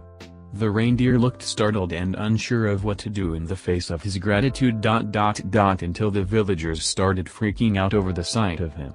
Once the word monster was let loose despite Dalton's discouragement, Chopper stepped out with a pained but resolved look on his face. So what if I'm a monster? He shouted. Even if I am, if I can protect everybody, I'm satisfied. Even if I can't be with everyone or make friends, if I can keep Dr. Hiriluk's dream alive, I have no regrets. The villagers were stunned at this, not only at the fact that the alleged monster was talking to them, but also at what it was conveying. Dalton wore a pained expression at the thought of Hiriluk's death. The man had given his life to keep hope alive in Drum Kingdom, but here was his successor right in front of them having vanquished the tyrant that threatened the man's dream, claiming that he would gladly live the life that had been forced on him if it meant protecting those that had forced it on him. The people who claimed that Dalton was this country's savior knew so little. What are you talking about, idiot? A voice came, breaking him out of his thoughts. Of course you can make friends. Take a good look, he said as he walked up and stood beside his crewmates. We're your friends from now on, and there's one more of us too, so get used to it. Now get over here and join our crew already. The straw hats all perk up and took a good look at Chopper. So that little guy is joining our crew? Nami asked. Is he a doctor? We really need one. Bit of an oddity isn't he? Sanji commented. Well, not that I care. What's with the weird nose? Usopp asked hypocritically. Zoro stayed silent, simply taking a long look at Chopper as the reindeer stared at Luffy in shock before finally shaking his head stubbornly. I can't. Chopper yelled back. I want to, but it's impossible. I'm not like you. Regret filled his voice as the words left his mouth. Who cares? Luffy shouted back with stubbornness in equal measure. You think any of us are normal? We're all a sailing circus. Before anyone could attempt to refute this statement, Luffy pointed at Zoro. I mean look at this guy. My first mate drinks all night, sleeps all day, and then claims he doesn't get hangovers. Zoro let this comment slide. As he continued to observe Chopper. Luffy pointed to Nami next. You ever heard the phrase put your money where your mouth is? Well our navigator puts her money where he eyes are. I have no idea how she does it to this day. Nami had half a mind to interrupt his rant with a solid punch, but sighed, knowing full well that he was right. Luffy moved on to Usopp. Our sniper could lie a thousand times during a lie detector test, and if his lies weren't so ridiculous, you'd never even know he was lying. Usopp swelled with pride and stood straighter, taking this as a compliment. Luffy then pointed at Sanji. And our chef will kick you through a wall for chewing with your mouth open while simultaneously flirting with the first woman he lays eyes on. Sanji shrugged indifferently, not bothering to deny it. Luffy pointed to himself. And me, I'm the most monstrous guy you'll ever meet in your life, so don't act like that doesn't make you a contender.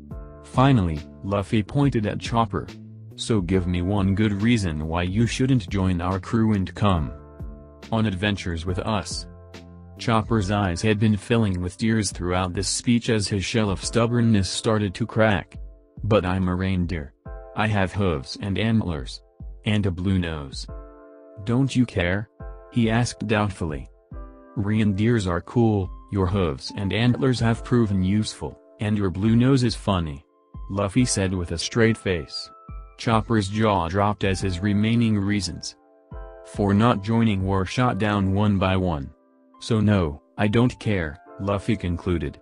Now shut up and let's go. A dam seemed to break at these words, and Chopper was reduced to a fit of hysterical crying. The villagers and Dalton, who had stayed silent throughout the confrontation, looked on in wonder. From behind the castle wall, Vivi smiled faintly, having heard the entire thing. Will you stop your infernal crying and make up your mind? Kureha said with a scoff. Are you going or not? Chopper attempted to compose himself and turned to her. I'm sorry Doctorine. I dot dot dot I want to go with them, he said as he sniffed. I appreciate everything you've done for me over the years, and I'll never forget it, but... He trailed off a. The goodbye became too much for him. Kureha waved her hand. Fine. Good riddance then, she said nonchalantly. Inwardly, her heart clenched as she turned away from him and walked back to the castle.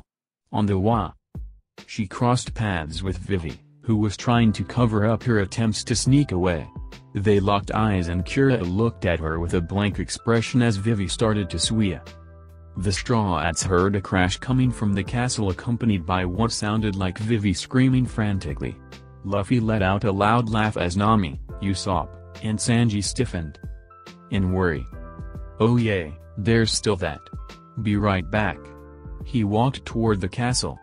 Get everyone onto the ship while I get extract Vivi, he said. The Straw Hats looked hesitant, but compelling.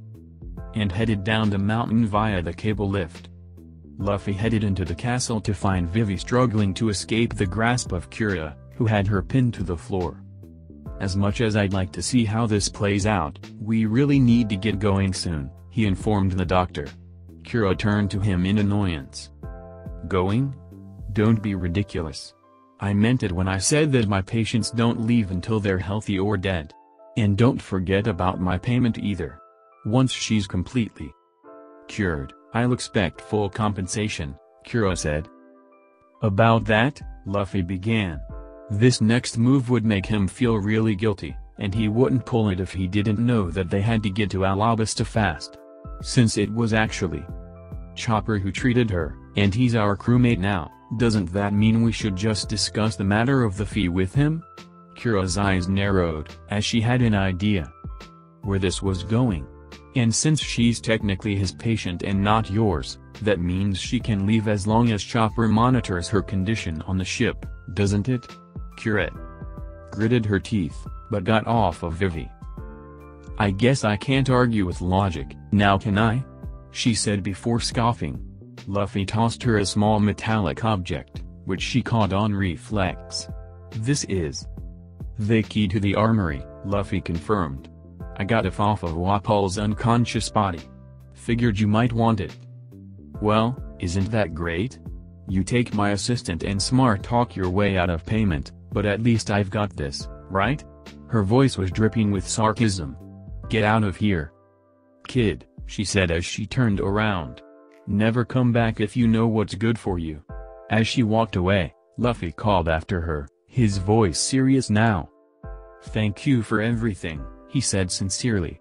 I promise I'll do what's best for him and help him fulfill his dream. Kureha froze in place, and Luffy noticed that she had started tremble. Suddenly she spun around. I told you to get the hell out of here, you fucking brat. Now leave before I change my mind. She shouted with bloodshot eyes. Luffy signaled to Vivi and the two quickly made their way out of the castle. When they got to the edge of the mountain, the lift was already gone. Luffy hoisted Vivi onto his back, and Vivi paled as she realized how they were going to get down. She resisted the urge to scream as Luffy took them across the mountainside and down to ground level using Geppo. When they finally got back to the Going Merry, she was panting furiously. As they made their way onto the ship, Luffy noticed Chopper's troubled expression. He didn't know WH. The reindeer was thinking about, but he had a hunch that whatever loose ends he was dealing with would be tied up soon. I'd keep an eye on that mountain if I were you, Chopper, he said with a grin. Chopper looked up at him curiously, and then turned back to the drum Rockies. It wasn't long. Before the all of the snow in a large circular vicinity of the center mountain turned pink from whatever chemical was adhering to it.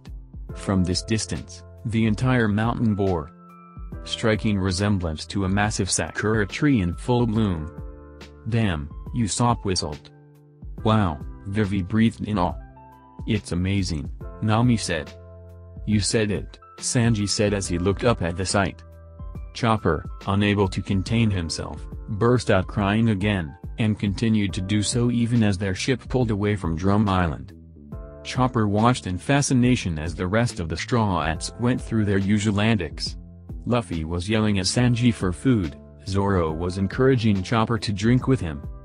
Nami was yelling at Zoro to stop being a bad influence on the impressionable reindeer, Usopp was offering a toast to their new crewmate while simultaneously telling him a story. About the 50-meter-tall abominable snowman he had fought in Drum, Sanji was yelling at Luffy to stop yelling at him for food and to just wait five damn minutes for it to cook. And Vivi was sitting next to Chopper, watching them all with an amused smile. They're pretty lively huh? She asked Chopper. Chopper nodded his agreement. He had never seen people with so much energy before. It was really like watching a circus. Not that he'd ever seen one, but he'd heard about them. What's the big deal Nami? If you're old enough to be a straw hat, you're old enough to drink, Zoro said sagely. Even if that were true, he's too cute to be drinking with you idiots. She said firmly as she pointed at Zoro. So I guess that doesn't apply to you then? Zoro said with a smirk. He was promptly knocked to the deck head first by Nami's fist. He got up and laughed, ignoring the throb in his skull. You're just proving me right you know. Nami looked annoyed enough to continue doing just that, until Chopper walked up and grabbed a sake bottle. I want to try it, he said, smiling widely. Zoro grinned at victory as Nami looked at Chopper skeptically. Have you ever actually had alcohol before? She asked. Nope, Chopper admitted. But alcohol is okay in moderation. As long as you don't have too much, the body can cleanse it from the bloodstream without any long-term effects, H. said, remembering what he'd read over the years. Right, Nami said with a smirk. Alright, go on then. She motioned for him to drink with her hand. Chopper brought the sake bottle to his lips with both hands and started chugging. After about a second, his face turned blue, and he dropped the bottle, gagging and coughing. His tongue hung from his mouth and he had a traumatized look on his face. Luffy and Zoro started laughing out loud and even Nami giggled. So, how was the first drink? Nami asked tauntingly. Chopper, not one to note sarcasm, responded as if it was an actual question. It was nasty. He shouted. It's even worse than my rumble balls. You guys drink that stuff for fun? Not me, Nami replied. I usually just drink when it turns me money. What would you do for money? Zoro asked as his laughter died down. Refrain from punching you? Nami suggested. Zoro blinked in recognition. Oh, that is something he was interrupted as he was once again sent plummeting to the deck head first. Damn witch, Zoro said aloud from a seated position as Nami walked away to check the course. The Straw Hats continued partying well into the night before they finally went to sleep. Luffy looked out over the horizon with lifeless eyes as the island finally came into view. Zoro, he whispered. The swordsman awoke from his trance and looked as well.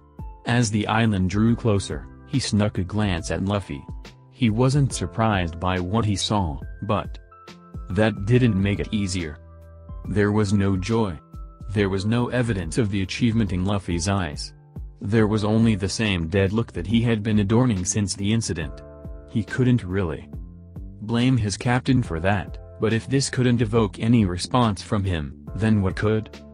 Luffy had been looking forward to this moment for most of his life, but as he took his first step onto the island he knew could only be Raftel, he felt no sense of accomplishment.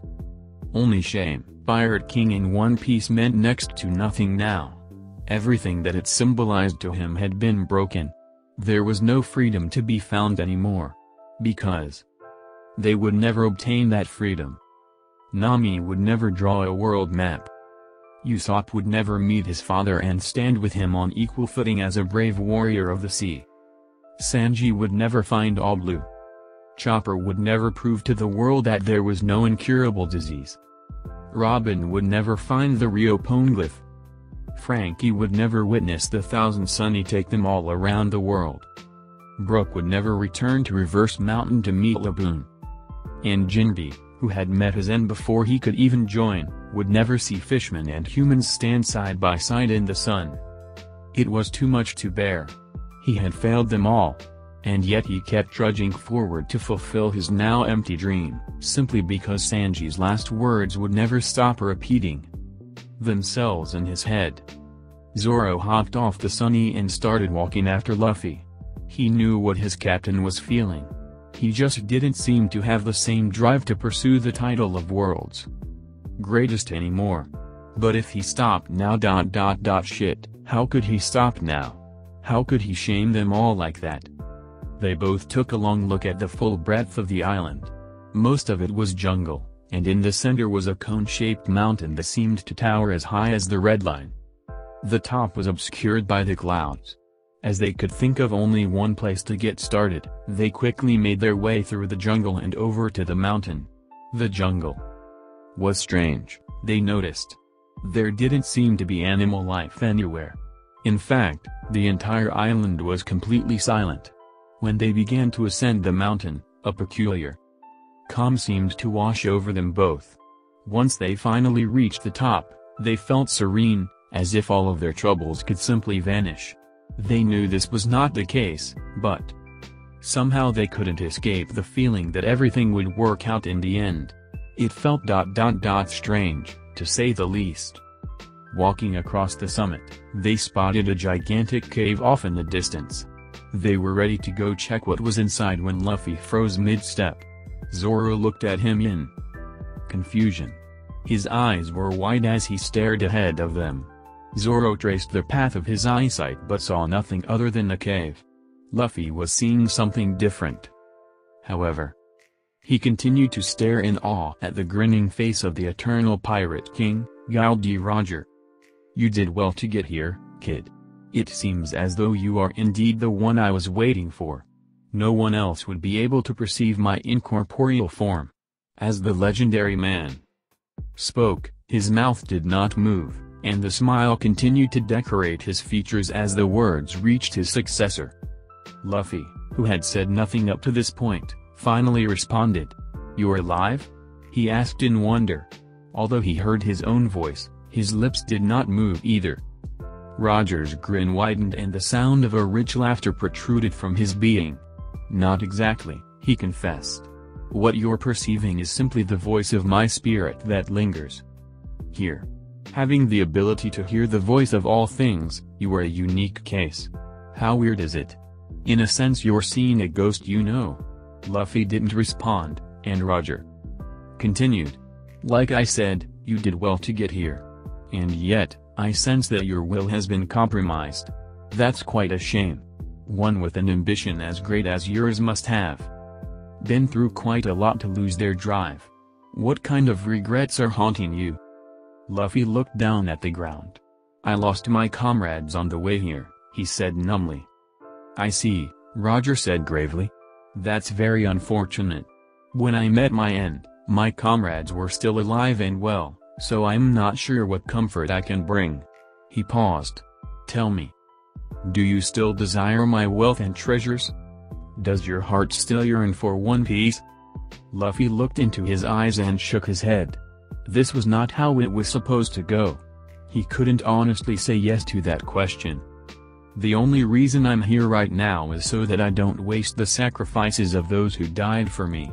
I don't want their deaths to be in vain, he said. Roger stared long and hard and Luffy, as if assessing him, before the smile slowly crept its way back onto his face. Kid, I'm going to give you two options. Option 1, you walk into the cave behind me and inherit wealth, fame, and power beyond your wildest dreams. He paused for a few seconds, and then continued. Option 2, you turn away from your dream for now, and I give you a chance to do it all again. As he finished, Luffy stared at him blankly, not comprehending option 2 at all. Roger raised an eyebrow at him. What, too vague? I'm offering to send you back in time so you can do right by your comrades, he said. Luffy stilled, his mouth agape, and his eyes wider than they had ever been before. Can you do that? He asked quietly. Roger nodded. You'd be surprised at what I can do. I've long since transcended the laws of the living. The payoff of course, is that I'm dead. He threw back and head and laughed. So, what? Do you think? Option 1 or option 2? Luffy didn't hesitate. Option 2. He said numbly, still in shock that this was happening. He wasn't one to not believe in something just because it defied common sense, not all. But this seemed far too good to be true. He dot dot dot he could save them? Alright then, Roger said. He was grinning, as if satisfied with Luffy's decision. You might want to explain what's going on to your friend first. He's been calling your name for the past two minutes. Probably thinks you're batshit insane by now. Luffy awoke from his trance and his head spun towards Zoro. The swordsman stared at him in a mix between annoyance and concern. What the hell's with you? He asked. You. We're completely out of it there. Luffy immediately launched into an explanation of what had just happened, what he had just learned, and what they could to now. Zoro stayed silent, taking it all in. He was clearly skeptical. Well, assuming this can be done, I'm all for it, he said, scoffing. But that's a pretty big assumption. Despite his pessimism, Luffy could clearly see the fire that had manifest in Zoro's eyes. Luffy smiled for the first time in what felt like ages. Alright, let's do it. He shouted. Zoro scoffed again and threw his hands in the air, smiling despite himself. Alright, let's see what you can do, Pirate King. Right after he said this, his body immediately dissipated into nothingness. Luffy stared in shock at where his first mate had previously been standing. What the hell happened? Oh, that's right, Roger said. The body can't handle the mind being forcefully stripped away from it and transferred like that, so it vanishes in the process. Don't worry though. You'll both awaken in your old bodies. Did I forget to mention that? I guess I forgot to mention that. Luffy was too thrilled to be annoyed right now, so he let it go as Roger grinned sheepishly. I've chosen a moment that was significant to you to transfer your consciousness back to. It's easier that way, Roger stated. He paused. The third one will be difficult, but I think I can manage, he added ambiguously. Have fun. Before Luffy could question what he meant by that, his body dissolved, and he knew no more. Luffy opened his eyes and sat up in his bed. He sighed and got up, walking out the door onto the Going Merry's deck. Another night without sleep. Oh well. He looked up at the stars and smiled. So far so good, Roger.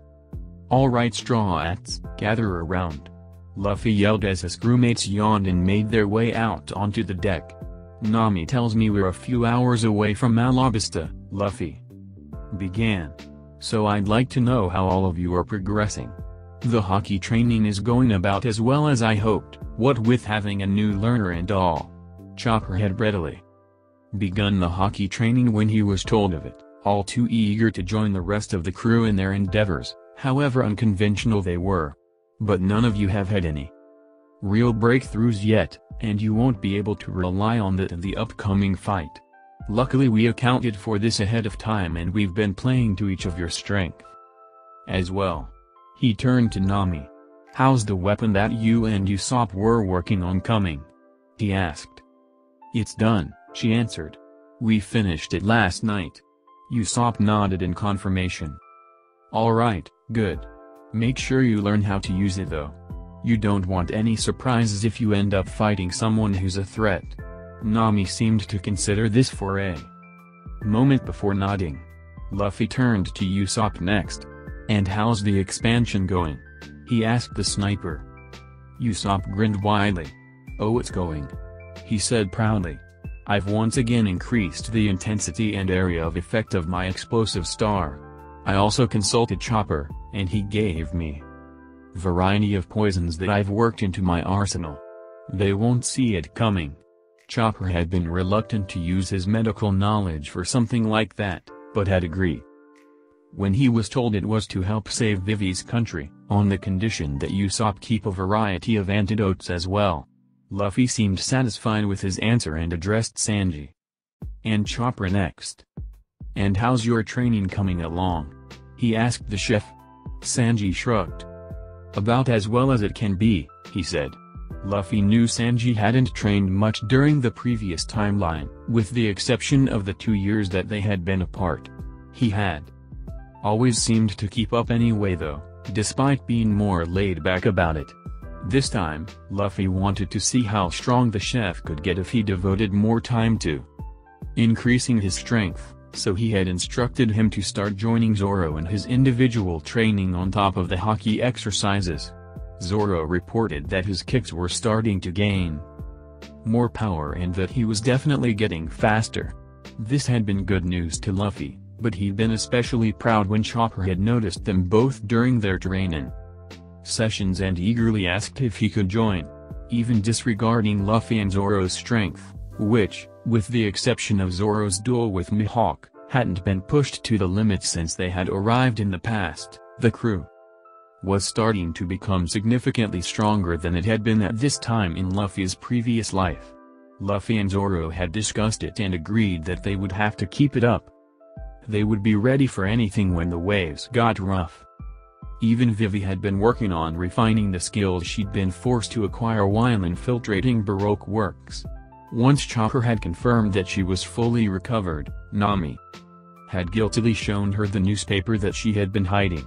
Upon reading that thousands of Royal Army soldiers had joined the efforts of the rebel army, she had been distraught. She was increasingly nervous on the route to Alabasta, and the Straw Hats could do little to comfort her other than come up with a plan. Alright, then we should talk about what we're going to do when we reach Alabasta, Zoro said. Luffy and I have talked about it with Vivi and we all agreed on the course of action. Our first priority is to get in contact with the rebel army. Vivi knows their leader, and she'll be able to convince him not to engage in the civil war once he learns who is really behind it all. Still, we don't want to put all our hopes into the plan. Crocodile currently has Alabasta in a vice grip, and there's a good chance that he'd find a way to start the war regardless. If that happens, we move on to Plan B. Plan B? Nami questioned. You guys are actually coming up with multiple plans, as if one wasn't enough of a miracle? That's right witch. We need to be prepared. We're going up against a warlord who has a lot of influence in Alabasta. Plan B is simple. Take down Baroque works and subdue Crocodile so that we can stop the war without any of their meddling. Nami, Usopp, and Chopper looked a little nervous about Plan B, but simply nodded. Zoro sighed. Truth be told, if he and Luffy had their way, that would have been Plan A but Vivi had insisted that they refrained from doing something that reckless until she was able to get in contact with Koza. She was still pretty naive in that regard, but the real problem was that she didn't want their lives to be at risk fighting Baroque works. But she had at least acknowledged that Crocodile most likely wouldn't stand by and watch them stop the war, so she had agreed to the backup plan. It was another three hours before the Straw Hats caught their first sign of Alabasta in the form of a fleet of Baroque's billion ships. This will be tough, Vivi said, as a bead of sweat rolled down her face. These guys are different than the hired bounty hunters. With that many ships, if they notice us, they won't be a problem, Zoro said. Vivi looked at him worriedly. Are you sure? This isn't like what happened in Whiskey Peak. We're at sea, and they have us surrounded. Vivi-chan's right, Sanji said. I have no doubt we can beat them all eventually, but we'll just waste time and draw attention to ourselves. For now we should just ignore them. And get to the island. We only need to engage if they notice us. No, like Zoro said, they won't be a problem, Luffy spoke up. I just put them all into comas. They'll be out for a week. The Straw Hats' reactions to this statement varied. Nam. And Vivi looked disbelieving, Usopp and Chopper looked odd, and even Sanji looked shocked, although he kept a moderately neutral expression. Zoro just smirked at their reactions. Chopper was the first to speak. You can do that Luffy? He shouted. Was it with that haki stuff you told me about? Luffy had already explained what Conqueror's haki was to Chopper while going over the basics of haki again before he joined the training. Yep, that's it, Luffy responded. So cool. Usopp and Chopper shouted simultaneously, only to be yelled at by Nami. Don't believe him so easily. How could he just knock out all those people from all the way over here? How long will you continue to underestimate our captain? He can do a lot more than this, Zoro commented. That was only about 200 people, Luffy stated. Even if they were spread out, that's not enough to push me to my limits. Usopp was deeply impressed. How many people can you knock out then? He gasped. Luffy thought for a moment. It depends. If they were all that weak. I guess about 150,000. Usopp's eyes bugged out of their sockets, Chopper looked at him starry-eyed, Nami was clearly still disbelieving, and Sanji looked a bit disturbed. 150,000? If that's really true, he could defeat the Alabastian royal army single-handedly if given enough time, Vivi thought. Could such a power really exist? And without the aid of any devil fruit? That's ridiculous. Nami said. You could take down armies without lifting a finger if that was true. Why do you think they call it Conqueror's haki? Zoro asked lazily.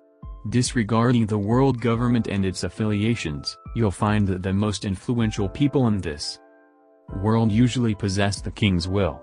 That's not to say that it's an accurate measure of one's strength, but no one can deny that the ability is what its name implies, a manifestation of one's will to conquer. I can only think of a few exceptions. Dot dot dot one of them being this guy, he said as he pointed at Luffy. Really? Usopp asked. But doesn't he want to conquer the Grand Line? I don't really want to conquer anything, Luffy admitted. I don't mind making a name for myself, but in the end that's not really my goal. I just think that the person with the most freedom in this world is the Pirate King. I plan on obtaining that freedom dot dot dot and sharing it with anyone who calls themselves my comrade. Nami couldn't help but smile. She always wondered what Pirate King meant to Luffy. There were two things she could say for sure that she knew the value of, freedom and money. The world map that she would one day draw wasn't just a means to both, but she'd be lying if she said that the vastness of the open sea wasn't extremely alluring to he. She had to admit, if she was told to choose between fame, power, and freedom, she would always choose the last option. Now if one of the choices was wealth on the other hand, Usopp was actually tearing up. In a way, that was what being a brave warrior of the sea was all about. It had never been the promise of wealth, fame, or power that had attracted him to this life. Before he knew that his father was on a Yonko's crew, and even now, it was always the promise of freedom that lured him out to the sea. There was a reason why before he became a true pirate, he could spend hours just staring out at the infinite waters. Sanji was thinking about All Blue. Yes, it was a chef's paradise, but now he realized that it was more than that. Deep down, every human being craved freedom. It was a basic human instinct. There was a reason that he never felt completely satisfied on the Baratie, and it was the same reason he had stayed there. Although his guilt regarding Zeff was slowly releasing its grip on him, Sanji would never truly forget what he had taken from the old man. But that was also the reason he had left. If Zeff's search for freedom could even be partially fulfilled through him, Sanji would make damn well sure that he lived free as can be. Chopper continued to stare at Luffy in wonder. He thought back to his days with Hiriluk and what the Sakura tree really meant to him. He had long since learned that it would take much more to fulfill his dream to prove there was a cure to every disease, but there was a reason that the Sakura in full bloom was so appealing. He had grown up in a land of eternal snow. As a reindeer, he was satisfied with that, but as a reindeer, human hybrid, there was always a part of him that looked out towards the sea in curiosity and wondered what else the world had to offer. Hiriluk Sakura was the first taste of the vastness of the world, and it would always hold a place within his heart, even if it couldn't literally cure diseases. Now, full speed ahead. Luffy shouted, breaking them all out of their thoughts. To eat at the nearest restaurant. I mean, to save Alabasta. In the center of Nanohana, there was a crowd gathering around a local restaurant. It's getting pretty noisy over there, a white-haired man said as he smoked two cigars. Yes, there seems to be quite the commotion, the blue-haired woman next to him replied. Apparently a customer spontaneously died while eating. Captain Smoker. A marine yelled as he ran towards the marine captain. You're not going to believe who we found.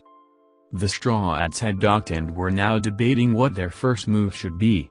Zoro suggested that they search the town for any intel on the whereabouts of the rebel army. Vivi stated that there was no need, since she knew their base was a noob, but Zoro insisted that they should try to gather information anyway, seeing as she hadn't been back home in a while. This led to Vivi acknowledging that her information could possibly be out of date, and she agreed. Nami's eyes narrowed. She once again found herself in a position where she couldn't fault his logic, but she still couldn't shake her unfounded suspicions. Zoro usually thought things through, but at best he was a big-picture guy, not a detailed planner. Every now and then though, he showed a surprising degree of attention to detail that even she herself couldn't match. It was almost as if he knew what to look out for. Was she imagining things? She turned to the rest of the crew. None of them seemed to pay it any mind, except for Sanji, who was staring at Zoro curiously. Meanwhile, Luffy had been staring off into the distance, towards the center of town, with an unreadable expression. Zoro broke him out of his trance. You should go. We'll search for the rebel army and you can meet up with us later, he said. The rest of the crew looked back and forth between Zoro and Luffy in confusion. Leaf rubbed his head sheepishly. Yay, sorry. I'll be right back, he said. Where are you going? Usopp asked. Don't tell me you're just going to the nearest restaurant to stuff your face. Believe me, this isn't just any restaurant. Luffy said enthusiastically, causing the entire crew minus Zoro and Sanji to face fault. Zoro tossed a wave over his shoulder as Luffy took off in a high-speed sprint toward the center of town. Sanji stared after him. When Luffy arrived at the restaurant in question, he slowed his pace to a walk. He was close enough now that he could hear the familiar voices inside. What should I do? One voice said. You could just sit there and let me arrest you, the second voice suggested. Rejected, the first one replied. Luffy paused in front of the door and took a deep breath, mentally bracing himself for the coming reunion. To be honest, I'm not really interested in you. I'm looking for a different pirate, the second voice stated. You could just let me go, the first suggested. I can't do that. So long as I'm a marine, and you're a pirate. What a stupid reason. Chill out man. Luffy walked in. The sound of the door opening instantly gathered the attention of both men and their observers. The two men, who had been seconds away from a confrontatio, now stared at the newcomer with wide eyes as he casually walked towards the counter and sat down on nearest stool. Hey old man, can I get a couple rounds over here? He asked the bartender. He then pointed to the dumbfounded man in the seat next to him. This guy's drink is on me, he said. The bartender looked back and forth between the narcoleptic and the newcomer before nodding frantically and pouring two cups of sake. Luffy turned to his brother in all but blood and grinned. So, how've you been, Ace? He asked. The Whitebeard pirate was now staring at him with a deadpan expression. You always knew how to make an entrance Luffy, but that was another thing entirely, he said as he rubbed his temples. Well, what can I say? I lived to surprise you, Luffy replied. The bartender set two cups in front of them, and the two of them exchanged cups as their observers watched, before proceeding to chug their drinks. Brings back memories, doesn't it? Ace asked, reminiscing. Yay, but it just doesn't feel right until I snatch your food, Luffy said with a smirk. Ace's eyes widened as he looked down at his plate, which was now empty. He sighed in annoyance. As fast as always I see, he grumbled. He was about to say something else, but they were interrupted by a familiar voice. Stop ignoring me you dipshits. Smoker shouted in frustration. Ace and Luffy turned to him in acknowledgement. Oh yay. Forgot about him, Ace thought. Gee Smokey. If you really want a drink I'll buy you one too. Relax, Luffy said. I've been waiting for this, Straw Hat, the Marine captain said, completely ignoring him. Ever since Loguetown. Smoke started to emanate from his body as he pulled the jut off of his back. Ace looked back and forth between the two in amusement. You really want to do this? It'll end the same way it did in Loguetown, Luffy said. Calm down Smokey. Live life a little. Have some food and chill out. Luffy got his answer in the form of a pillar of smoke rushing towards him. He and Ace both jumped out of the way, but soon found the entire building filling up with smoke. Maybe we should take this outside Luffy, Ace suggested. Good idea. Gomu Gomu no, pistol. Smoker crossed his arms in front of him and blocked the incoming blow, but it still pushed him back out of the restaurant. Luffy quickly caught up to him with a quick Soru while Ace walked calmly behind them. A crowd was quickly gathering around them, along with a squad of marine soldiers. Smoker-san. Tashigi yelled as she made her way to the crowd. Her eyes widened when she caught sight of Luffy. Straw Hat? Smoker got his jut ready again while Ace walked up next to Luffy. I'm surprised. You can already use Haki, he commented. I was expecting to have to step in, but I guess. You've got this. Yay, just sit back and relax Ace. I'll show you something interesting, Luffy replied. Well that's no fun. I was looking forward to fighting this guy, but it looks like he's after you, which means I'm stuck with the cannon fodder, Ace said, as he took note of the many marine soldiers loading their weapons and taking aim at them. Suddenly the two found themselves being riddled by bullets. Only this didn't achieve the desired effect. The bullets passed harmlessly through Ace's flame body and the marines ended up shooting each other. The bullets that hit Luffy ricocheted off of him and also impacted with the unfortunate soldiers. Now the only marines left standing were Smoker and Tashigi. Smoker looked like he'd had just about enough. White blow. Luffy sidestepped Smoker's lunge and grabbed him. Halting his momentum, he aimed a punch at the smoke man's torso, only for a hole to open up in the spot. where his fist occupied.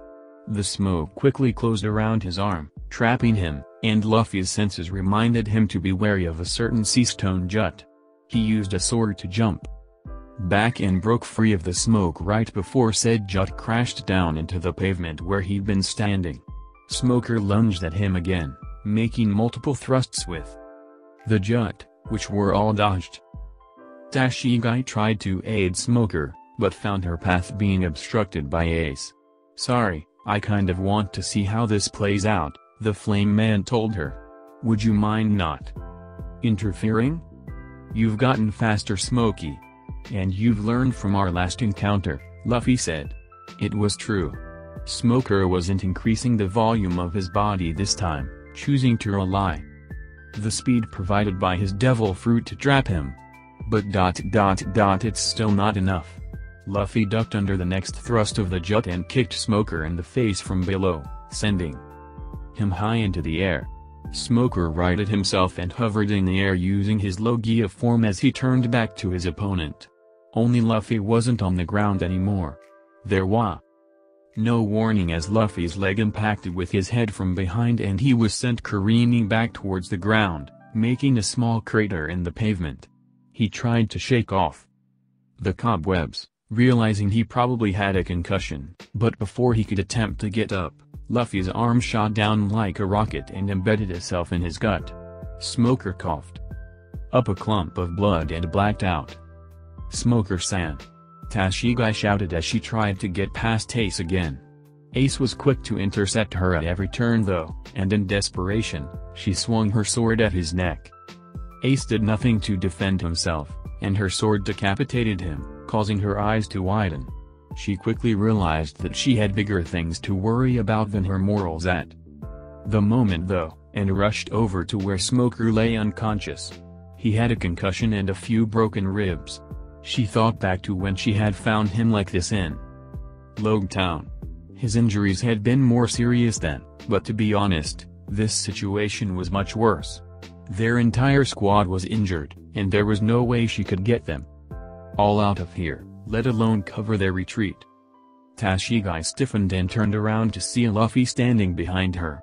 She readied her sword again, her mind racing. She knew she couldn't beat Straw Hat. Captain Smoker was far stronger than her, and even he had lost. She couldn't call for backup either. He'd just take the chance to end the fight.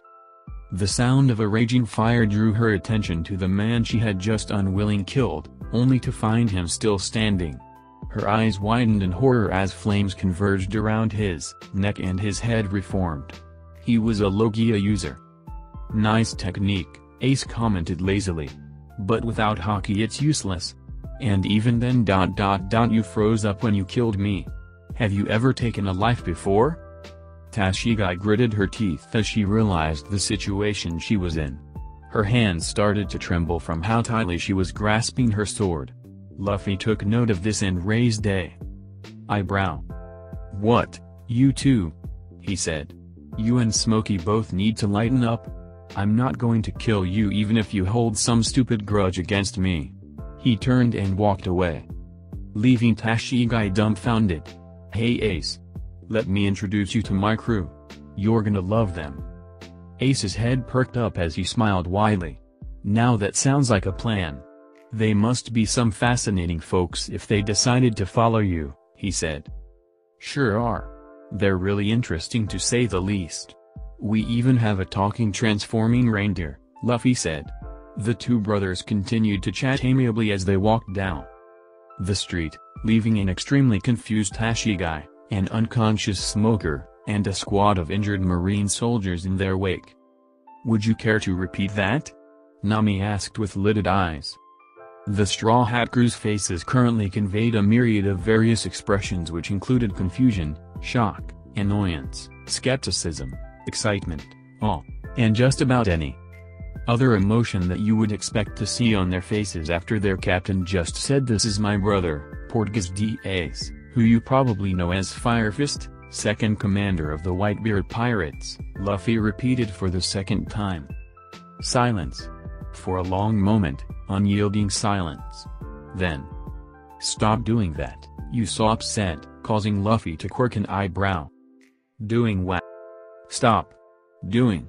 That. Nami repeated, putting emphasis on each word. A confused Luffy opened his mouth as if to respond, then paused in thought for a moment. Okay. I'll just stop doing that then, he said, as if that would be the end of the discussion. Nami would have none of it. And what are you going to stop doing? She asked, with the tone a mother might use to lecture a child, as Ace looked back and forth between the two, wishing he had a snack. For the show. How the hell should I know? Luffy mumbled indignantly. Why don't you tell me? What do I have to stop doing? You have to stop delivering shocking news as if you're predicting the weather. Nami shouted in annoyance.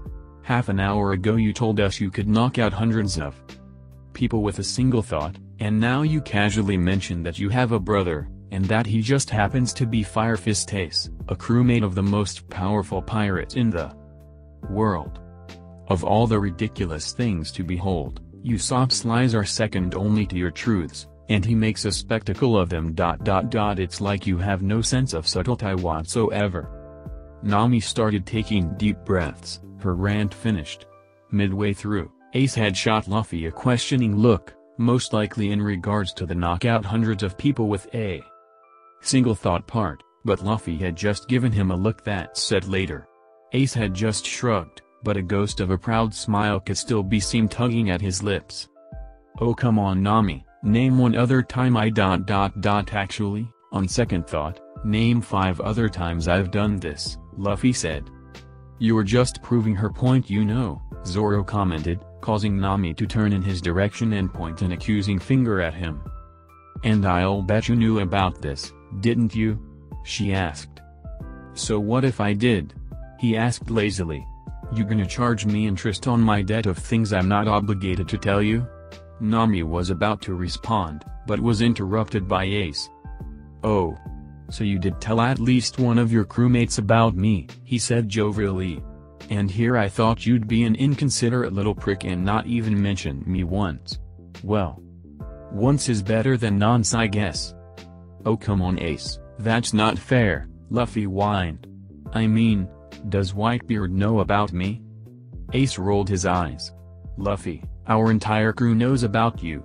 Said crew has over a hundred times more people than yours not including our allies, and even the new guys learn about you within a few days of joining. Whitebeard himself was in bed with a hangover the morning after your bounty made the papers, congratulations by the way, in fact, th. Only member of our crew who wasn't bedridden that morning was our first division commander, and he has regenerative powers. Luffy by now was rubbing the back of his head guiltily. Ah, sorry Ace. I guess I'd just like to save the news for the occasion. You have to admit, it's pretty entertaining blowing their minds like that, he said as he motioned toward his attentive crew. I knew it. Usopp said enthusiastically. He does do it on purpose. I'd tell you to pay up Nami, but I know better than to take any money from you, and I have no doubts that it would come back to bite my ass if I did. You're right. You'd end up paying me back ten times over, maybe more depending on my mood, Nami remarked absent-mindedly. So anyway, where are the others? Ace asked curiously. Didn't you say there were seven of you? There are. A few of us, Vivi, Sanji, and Chopper, are out searching for Alabasta's rebel army, Luffy replied. Ace blinked. I'd ask why one of your crewmates has the same name as this country's missing princess but I assume it has something to do with why you're searching for the rebel army to begin with. Luffy nodded. We're here to stop a civil war. Ace stared at him curiously. It's not really like you to get caught up in things like that. What brought this on? He asked. Vivi's our comrade, Luffy responded, without missing a beat. If she wants to save her country, we're with her all the way. Ace grinned and nodded in understanding. Well, that sounds like it could be difficult. The rebel army is pretty determined from what I hear. I'm not sure Vivi can persuade them, even if she still has a good standing in Alabasta, Ace said. Vivi knows someone on the inside, Zoro replied. But that's not the real problem. We'll have to take down one of the seven warlords if we really want to end the war. Ace frowned. You mean Crocodile? What's he have to do with this? He's the one instigating the civil war from the shadows, Zoro said, causing comprehension to dawn on Ace's face. That explains quite a bit actually. Well then, he said, turning to Luffy. How are you planning to beat Crocodile? Do you think you can take him in a straight fight? Usopp and Nami looked at Luffy, silently asking the same question. Of course I can, Luffy said, before pausing. I'll most likely be fighting him in the desert though, so I'll have to be careful. You know about his power then, Ace said, with a hint of surprise in his voice. You're more prepared than I thought you'd be. You've changed quite a bit since I last saw you. Luffy smiled morbidly. You have no idea, he muttered, causing Ace to frown slightly. As quick as it came, Luffy's gloomy mood disappeared, leaving Ace to wonder if it had be there to begin with. Luffy? Gloomy? Was he imagining things? I've changed in more ways than one Ace, Luffy said in a slightly smug tone. It wouldn't be so one-sided this time if we sparred. Ace smirked at the unspoken challenge. Oh really? Just because your first bounty is higher than mine was, you think you can give me a run for my money now? I think I can do a lot more than just that, Luffy replied evenly, although the nonchalance in his tone didn't match the enthusiasm on his face. Zoro couldn't help but mirror the grins as he watched the two brothers stare each other down. Well then, Ace began, the confident smile never leaving his face, I'll just have to put that on a list of things we need to talk about later, along with how you awakened Doll. Three forms of Haki so early, and why both you and him. He said, motioning to Zoro, are both suppressing your auras. He paused. And we might as well throw in since. When does Luffy think I'm an idiot while we're at it? Luffy, for his part, was suddenly taking great interest in the clouds overhead, while Usopp stared in confusion and Nami in growing suspicion. Suddenly, Zoro scoffed. Believe me, that's going to be an interesting discussion. Very interesting, Luffy added, still staring at the sky. Chopper, are you sure about that? Vivi asked in a hushed tone as they made their way through the crowded streets of Nanohana. I am, Chopper replied. It's hard to tell because of all the perfume around, but I can still make out the scent of gunpowder. It's really strong. I'm not sure what that could be other than the rebel army, Sanji commented. Anyway, we're lucky. We came across a lead pretty fast. Lead the way, Chopper. Chopper nodded, and he took off through an alleyway in Walk Point, Sanji and Vivi trailing behind him. It started to dawn on Vivi what this could mean. If it really was the rebel army, then they were just a hair's breadth away from preventing the war. The relatively uneventful trip back to the ship consisted of Ace dispatching of a group of overly ambitious bounty hunters, and beyond that, awkward silence. While Luffy, Zoro, and Ace were content to put off the annoying conversation they all knew was coming until they got back to the ship, and Usopp accepted the state of confusion he was in, Nami was inclined to send frequent, conspicuous glares in the direction of Luffy and Zoro making it quite clear that she was not a fan of being left out of the loop. Nami was a suspicious person by nature. She was never given the choice to be anything else. But even though her philosophy was to have a healthy skepticism for, well, everything, she also knew when to have faith in something for what it was. But for better or for worse, having faith in people wasn't something she had made a habit of until June. Recently. She had faith in facts. She had faith in her experiences. She had faith that there was a very limited number of things she could put her faith in. Her crew was one of them. But to what extent did she trust them? It was a question she hadn't really thought about. Did she trust them to the extent that she trusted North to always be North, South to always be South, 2 and 2 to always make 4? There were some things in life that were constant and eternal. Was Luffy one of them? Was Zoro? Could humans really be s consistent and solid in their ways that you could have complete faith in them to never betray you? The more she thought back on their journey so far, from that small detour to Shellstown all the way to Alabasta, the more she wanted to say yes. But her mind kept coming back to one inescapable fact that continued to draw ever closer to her line of sight, Luffy and Zoro were hiding something. It begged the question, what didn't they want the rest of the crew to know, and why? Whatever it was, it seemed they were willing to tell Ace whatever conversation they were going to have when they arrived at the ship, she and Usopp were apparently not going to be a part of it, which annoyed her to no end. Was he simply on a need-to-know basis? Whereas the rest of them weren't? Or did Luffy not trust them as much as he trusted his brother? Nami's eyebrows furrowed. No, that wasn't right. Luffy's trust in her had never wavered even when her loyalty was questionable at best. If anything, he was too trusting. Did she even have a right to question him for not telling her some things? Nami sighed. She was being a hypocrite, no doubt about it. When they got back to the Going Merry, Zoro led Ace to the training room where they could speak in private. Luffy turned to Nami and Usopp and rubbed his head rather guiltily. I'm sorry about this guys, he began. It's just, there are some things, he trailed off, not really knowing how to put it. Surprisingly, Usopp flashed a smile and gave him a thumbs up. No worries Luffy. If this is something between you and your brother, the great Captain Usopp will respect your privacy. Dot dot dot along with the rest of the crew. He nudged their navigator. Right Nami? Nami crossed her arms and pouted for a split second before nodding, which caused Luffy to smile gratefully. Luffy dot dot dot it's fine if you're not ready to tell us everything. I know I'm not really one to talk in that regard, she said. But just dot dot dot never feel like you can't tell us something because of how we'll react, okay? Whether because Luffy was surprised at her sudden change in demeanor, or because she was spot on, her words seemed to strike a nerve in her captain, whose eyes widened.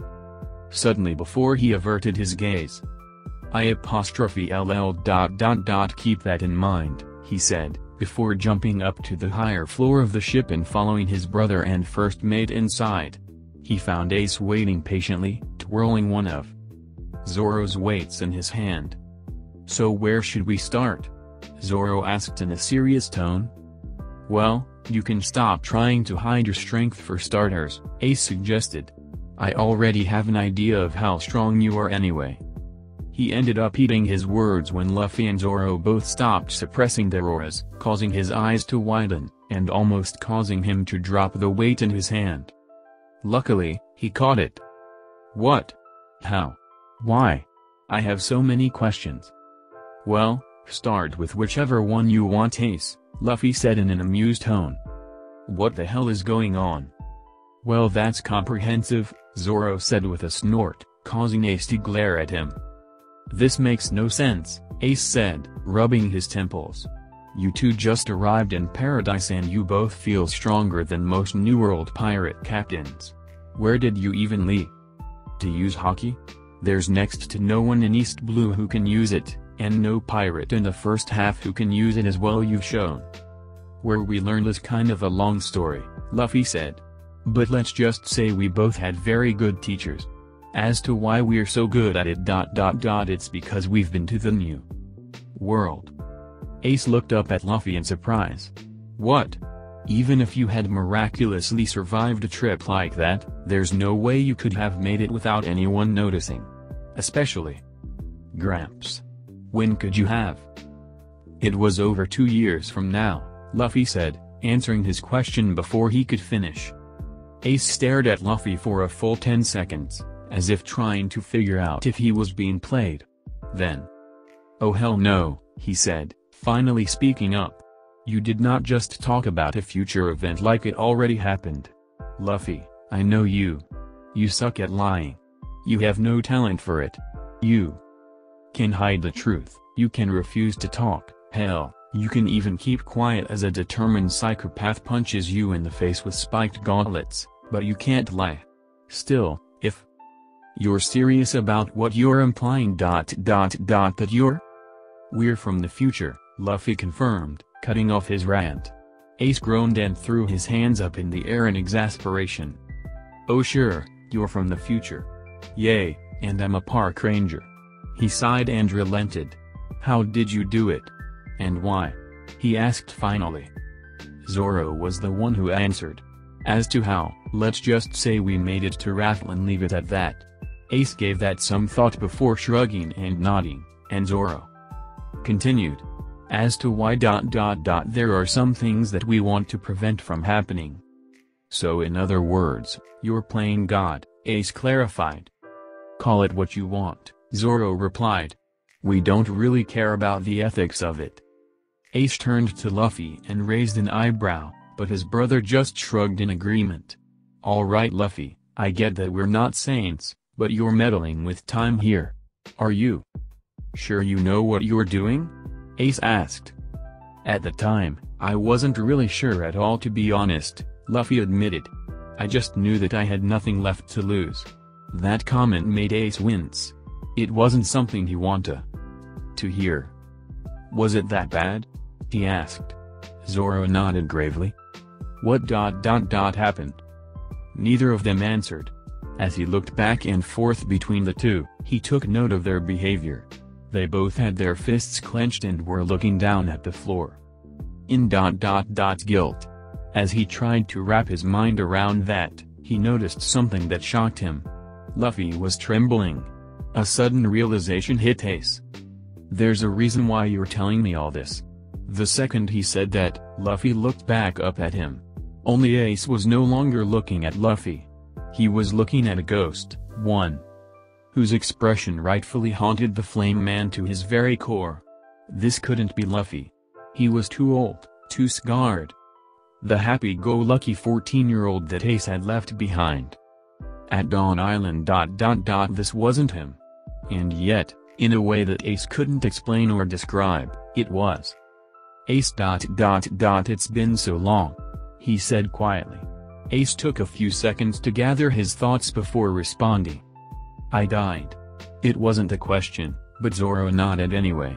And you flipped the world onto a different axis just to save me? He asked with narrowed eyes. This elicited a dry chuck. From Luffy. No Ace. That was just the beginning. It all started with your duel with Blackbeard, Zoro stated. Ace stilled. So I got done in by teach? He asked. Zoro thought he detected a hint of annoyance in his voice. No, worse. He handed you over to the world government, Luffy replied, causing Ace's eyes to widen in recognition. If he did that. Zoro completed the thought for him. Whitebeard wouldn't let them execute you without a fight, but the world government was determined to do it, even if it meant. Ace covered his face with his hand. War. Luffy and Zoro gave him a minute to collect his thoughts. He finally spoke again. So where do we go from here? That's the part you're not going to like, Luffy said. Whatever you do, you can't confront Blackbeard. Not yet. In our timeline he became a huge problem, but if we can prevent the war of the best, he'll lose his chance to gain the power he's looking for. You should know that he already got the Yami Yami no Mi from Thatch, and he's already someone to be careful of. Yeah I'll bet, Ace scoffed. If he took me down, he's a force to be reckoned with. He thought for a moment, then sighed. You're right Luffy, I don't like it. The old man warned me not to go after the bastard, but I was determined. I still am. But if going after him is going to bring my own crew to ruin, then I'll hold off on it dot dot dot for now. At least until I'm sure I can beat him. Luffy's shoulders slumped in relief. The first big step had been taken to shaping a better future. The Whitebeard War had changed a lot, and not for the better. He would still have to pay close attention to make sure it didn't happen though. He couldn't account for all the factors after all. Is there anything else you think I should know? Ace asked. Well yeah actually, Luffy replied. Sabo is alive. Ace didn't think he could ever sympathize with Nami more than he did at that moment. Guys, what the hell are we doing here? I can't believe we're here right now. He's going to kill us. We're so dead. What? I don't wanna die. Shut up you idiots. The two complaining voices were silenced by the third, but their defeated expressions conveyed what they thought of the current situation perfectly fine. Mr. 3, a fourth voice spoke up, they have a point. What makes you think the boss will spare us? Shouldn't we get far away from here? You're talking a lot more now that our lives are on the line aren't you, Miss Golden Week? And I already told you, it doesn't matter where we go. He'll find us. Our only choice is to ask for a second opportunity to get rid of the straw hats. Hey, isn't that jumping the gun a bit? Asked Mr. 5. Even assuming that he'd give us a second chance, he hasn't contacted us since he gave you those orders. That means he probably thinks you're dead. We could escape right now and he'd never know we survived. No, he'd find out, Mr. 3 said somberly. Don't underestimate the boss' ability to gather information. Especially when he has Miss All Sunday working for him. He won't leave in loose ends. This is crazy, Miss Valentine said. You're just going to walk up to him and say sorry I failed the mission, let me try again. This is Mr. Zero we're talking about. I didn't ask for your opinion. Mr. 3 hissed. If you want to run, go ahead. I never asked you to come with me anyway. Miss Valentine gulped. She knew he had a point, but she also knew their chances of evasion, and by extension survival, were quite a bit higher with Mr. 3 with them. That's what I thought. Now let's get going. The more time we spend here, the more time we give the Straw Hats to arrive in Alabasta. If they interfere with Mr. Zero's plans, we'll never escape his wrath. On cue, the four undercover agents scurried down an alley towards the center of Nanohana. Are we getting close, Chopper? Vivi asked in mid-run.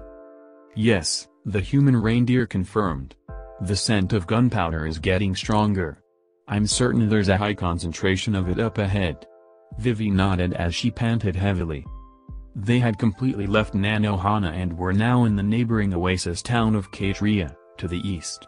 Vivi was surprised Chopper's nose had picked up whatever scent they were following. Hey Vivi-chan, the rebel army would be trying to stay hidden right? Sanji asked. Yes, that's right. So they'll probably have guards on the lookout won't they? Yes. Why do you ask? Because I just found some of that gunpowder. You too. Stay right where you are. A voice spoke up from above them. Vivi and Chopper looked up to find a man on a nearby rooftop aiming a rifle at them. Sanji was not so coincidentally standing in between the man and Vivi, whose eyes widened in recognition. Kebi? She practically shouted. This caused the man to temporarily lose his rigid demeanor, but he quickly composed himself. How do you know me? Identify yourself. Vivi removed the white hood from her head, and this time the man's eyes widened. He immediately lowered his weapon. Vivi. Vivi was smiling in relief. She never thought she'd run into another member of the Sunasuna clan. Well, other than Koza. This made things much easier. Vivi, what in the world is going on? You've been missing for over two years and now I find you sneaking around in an alleyway?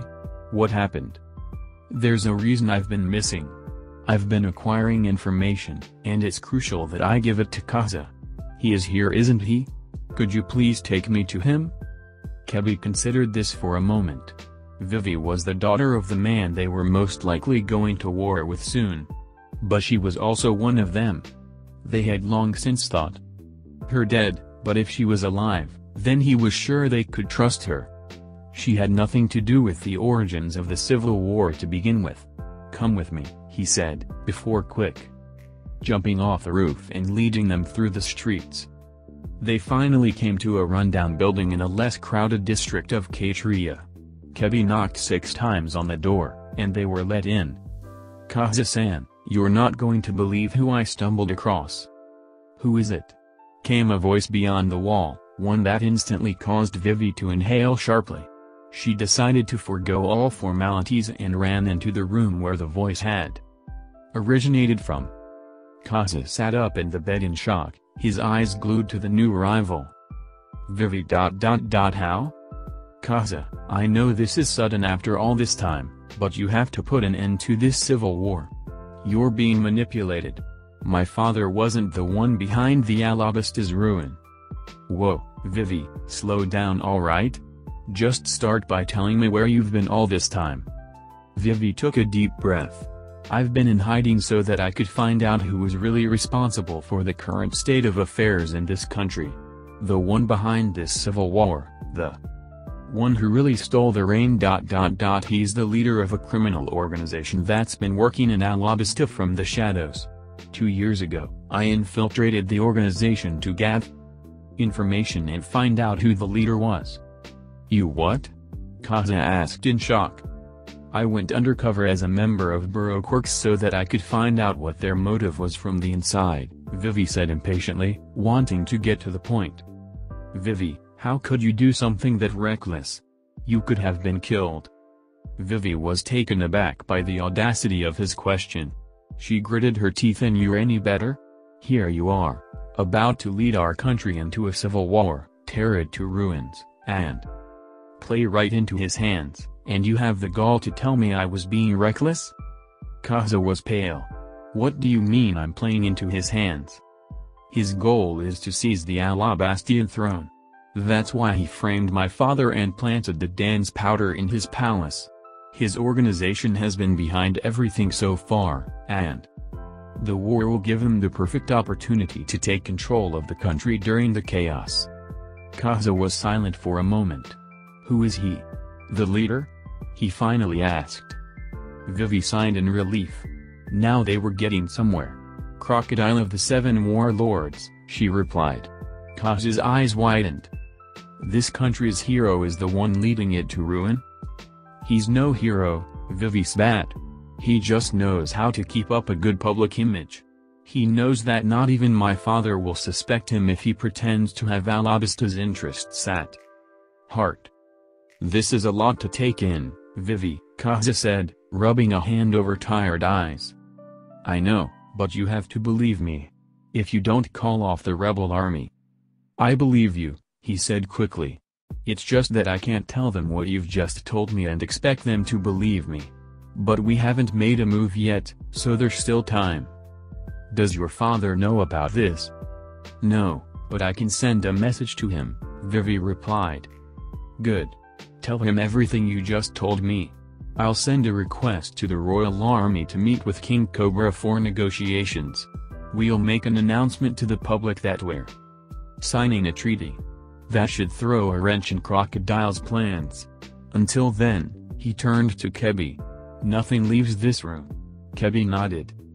Vivi let out a breath she didn't know she was holding. Thank you, she whispered.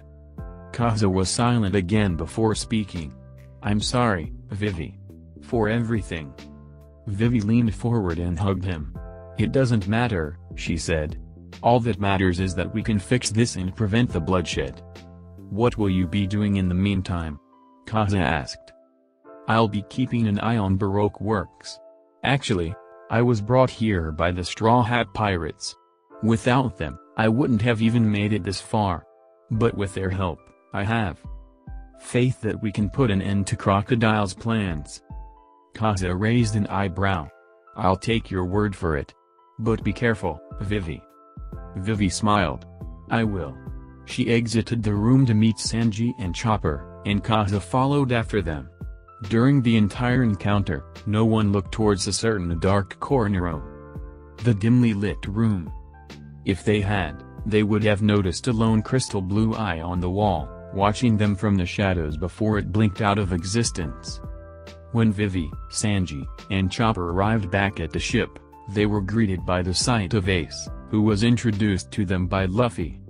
While Sanji and Vivi were shocked to find out that his brother was a commander of the Whitebeard Pirates, Chopper just stared at him in curiosity. Is Luffy's brother really famous? He asked Sanji. The chef blew out some smoke. Yay, you could say that, he responded. He's a living legend among pirates, a menace among marines, and an insurmountable goal to bounty hunters. He has a bounty of 550 million. Chopper's eyes widened. But that's over 10 times Luffy's. Is he that much stronger? Sanji shrugged. Beats me. They're both monsters. All it means is that Ace is more of a threat according to the world government. While he was vaguely aware of the attention he was getting, Ace was still preoccupied by the revelation that his long-lost brother was alive. As Sanji disappeared into the kitchen, Ace contemplated the many questions that had suddenly arisen. Luffy had told him that Sabo was with the Revolutionary Army. How had he ended up there? Well, Ace was sure. One thing. The object of his search has just changed. Hey, Luffy. The rubberman looked up from the food he was eating. Yay? What's up Ace? I was going to ask you to join the Whitebeard Pirates, but I'm guessing that would be pointless. You guessed right, Luffy said, grinning. Well then, I have another proposition for you. How would you and your crew like to form an alliance with us? Several of the Straw Hats collectively gasped, and Luffy himself was intrigued by the suggestion. Will Old Man Whitebeard be okay with that? He asked. I'm sure he will, Ace said, not really stressing over it. But will you be? I know you're aiming to be Pirate King. It would be a bit of a strange agreement, but considering the circumstances, I think it could be a good idea. I agree, Luffy said. And I'm not really worried about our goals clashing. If Whitebeard wanted to be Pirate King, he'd most likely have found One Piece by now. Same with Shanks. Ace's brow furrowed. He'd never thought of it that way, but now that Luffy mentioned it so matter-of-factly, that made a lot of sense. Dot dot dot Did Pops even want to be king? Questions. For later. Well, in that case, take this, Ace said, handing Luffy a small sheet of paper, which he took. It's my Vivre card. If you ever need to find me, just follow it. Luffy noticed that there was also something written on it. A number. This is? The number to Pop's transponder snail. I'm going to call him later and explain that I'm going to be looking for Sabo instead of Teach from here on. I'll also get his approval for the Alliance, and fill him in on dot dot dot recent information. Luffy nodded. They had agreed that Ace would tell Whitebeard about his situation, but no one else. They could only imagine the headache it would cause if word reached the wrong people, so for now, it was on a need-to-know basis. Well then dot dot dot until we meet again, Luffy, Ace said as he hopped off the ship and into his devil fruit-operated boat. See you at the top. As Ace sped off, Nami's mind finally caught up with her. We're allies dot dot dot with the Whitebeard pirates. She mumbled. Guess so, said Zoro with a smirk. That's insane. Exclaimed Usopp. We must be the only allies they have in this part of the Grand Line. Are we, like, really important now? You're the crew of the future Pirate King Usopp, Luffy said confidently. We're already important. He turned to Vivi. So did you guys find any leads on the rebel army? Vivi gasped. After the excitement with Luffy's brother, she almost forgot to tell them about what happened. As she explained that she had met up with Koza and that he would be conducting negotiations with her father, Luffy and Zoro listened impassively. When she finished, Luffy just nodded. Sounds like it went smoothly then, Zoro said. I guess our next stop is Alubarna. We can supervise everything from there. Vivi nodded eagerly. She could hardly believe it. They had come so far, and finally, they were making progress. She quickly tied a note for her father to Karoo and instructed him to deliver it to him. As Karoo made his way across the desert, Sanji's voice came from inside the kitchen. Lunch is ready. As the straw hats filed into the ship, Luffy and Zoro stayed outside. Luffy spoke up. It won't be this easy, will it? He asked. Zoro grunted. No, it won't. Especially not while Robin's working with Crocodile. Luffy pouted. We should have just recruited her back in Sake Summit. Whiskey Peak. And I don't think that would have worked too well, Zoro said, causing Luffy to pout more. I know. But it's really weird to have her as an enemy. Not to mention annoying. He thought for a moment. What do you think Croc's next move will be? I'm not sure. But I wouldn't put anything past him. Luffy's thought process was suddenly interrupted by the growl of his stomach, and the two went inside to eat with the rest of the crew. After lunch, the Straw Hats set sail to the north up the Sandora River. Their plan was to drop anchor closer to Alubarna, as Vivi had suggested, before they crossed the desert on foot. In an underwater structure located in the center of Rainbase, Sir Crocodile of the Seven Royal Warlords sat in a comfortable-looking chair. You wouldn't be able to tell, however. From the infuriated scowl on his face as he stared at the transponder snail across from him. You're sure about this? He asked in a deceptively calm voice. Of course. I had a hunch to begin with, but I've just confirmed it for myself, said a melodic voice on the other end of the line. Crocodile was silent for a moment. Very well, he finally said. I suppose I'll excuse your absence from the meeting if you don't make it in time, seeing as it would have been a minor setback had I not gotten this information. You're ever so kind, Mr. Zero, the voice said. Crocodile grunted.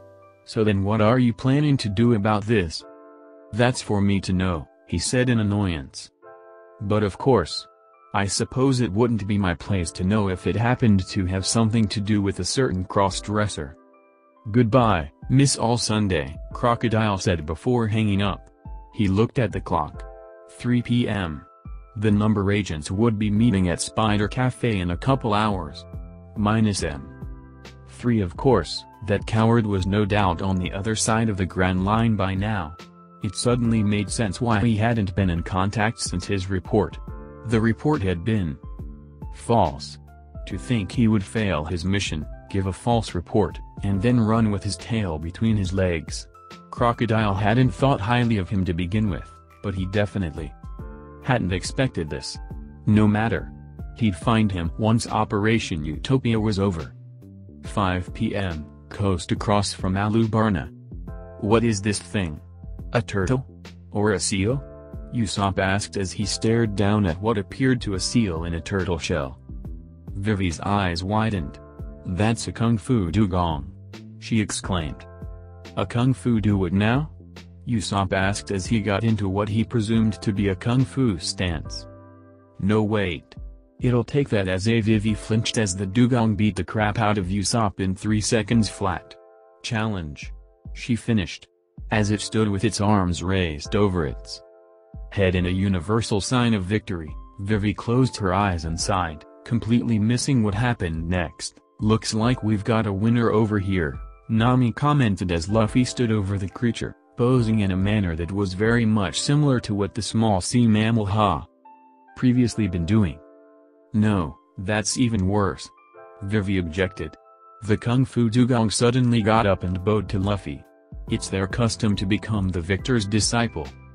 Quite abruptly, the shore became filled with a swarm of kung fu dugongs who were all seemingly intrigued by one of their own losing a fight. One briefly communicated with the original dugong before they all looked up at Luffy with stars in their eyes.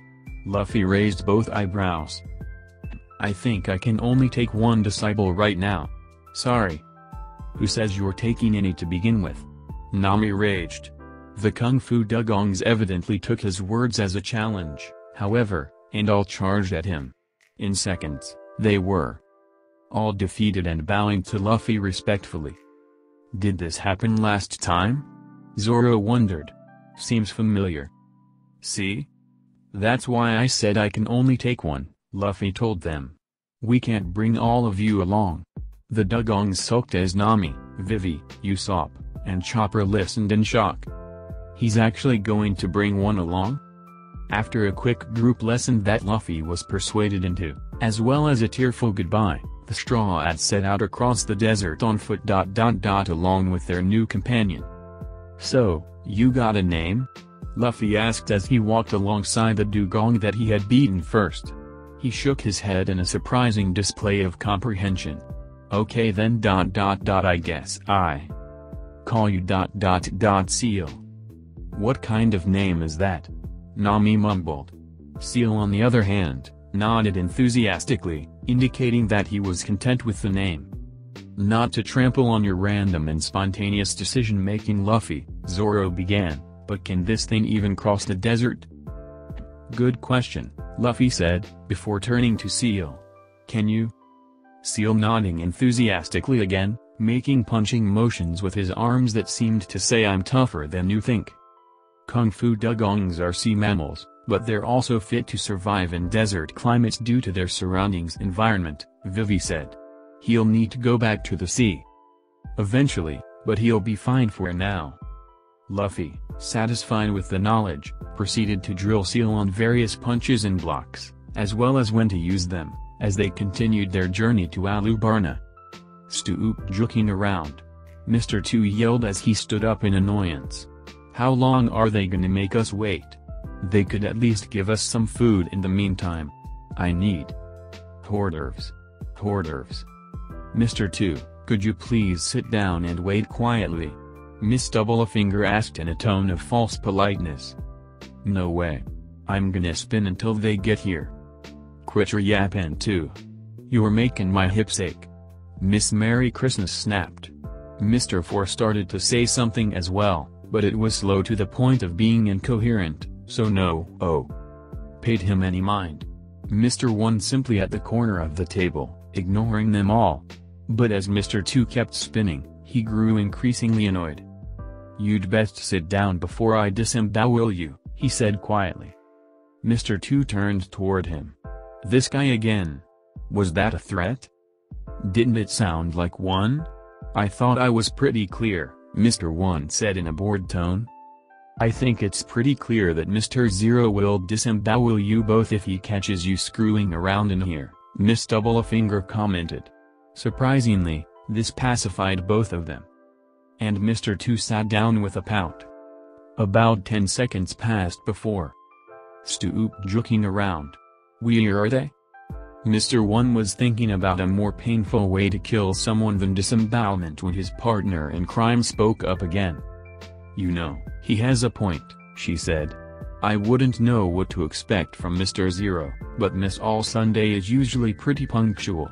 On top of that, the Mr. 3 and Mr. 5 pair never showed up either. I can't help but feel that we're out of the loop. I'm afraid none of them will be able to make it, said a deep voice from the end of the table. They all turned to the chair where the voice originated from in shock, none of them having noticed his arrival. Mr. One's eyes narrowed. When did he? A situation arose, and Miss All Sunday went to take care of it, the voice said. Unfortunately, she won't make it back in time for the meeting. As for the other four dot dot dot I'd advise you not to mention their names again. But no matter. dot The time is near. He turned around in his chair, revealing his face. For your final mission, Operation Utopia. The officer agents stared in shock. Mr. Two's jaw dropped. Crocodile? Oh good, so you know me, the man said smugly. Of course we know you, you're one of the seven warlords. Miss Doublefinger exclaimed. But why would you be? You're our boss, Mr. One said, more in surprise than disappointment. So we were following the orders of a government-sanctioned pirate all along? Mr. Two exclaimed. Any objections? Crocodile asked menacingly, immediately silencing them all. None here, Miss Doublefinger stated, sweating a bit. I'm just confused as to why a royal warlord would go out of his way to form a criminal organization. What I desire isn't wealth or fame, Crocodile replied. It's power. The officer agents listened intently. Seeing that he had their attention, Crocodile smirked.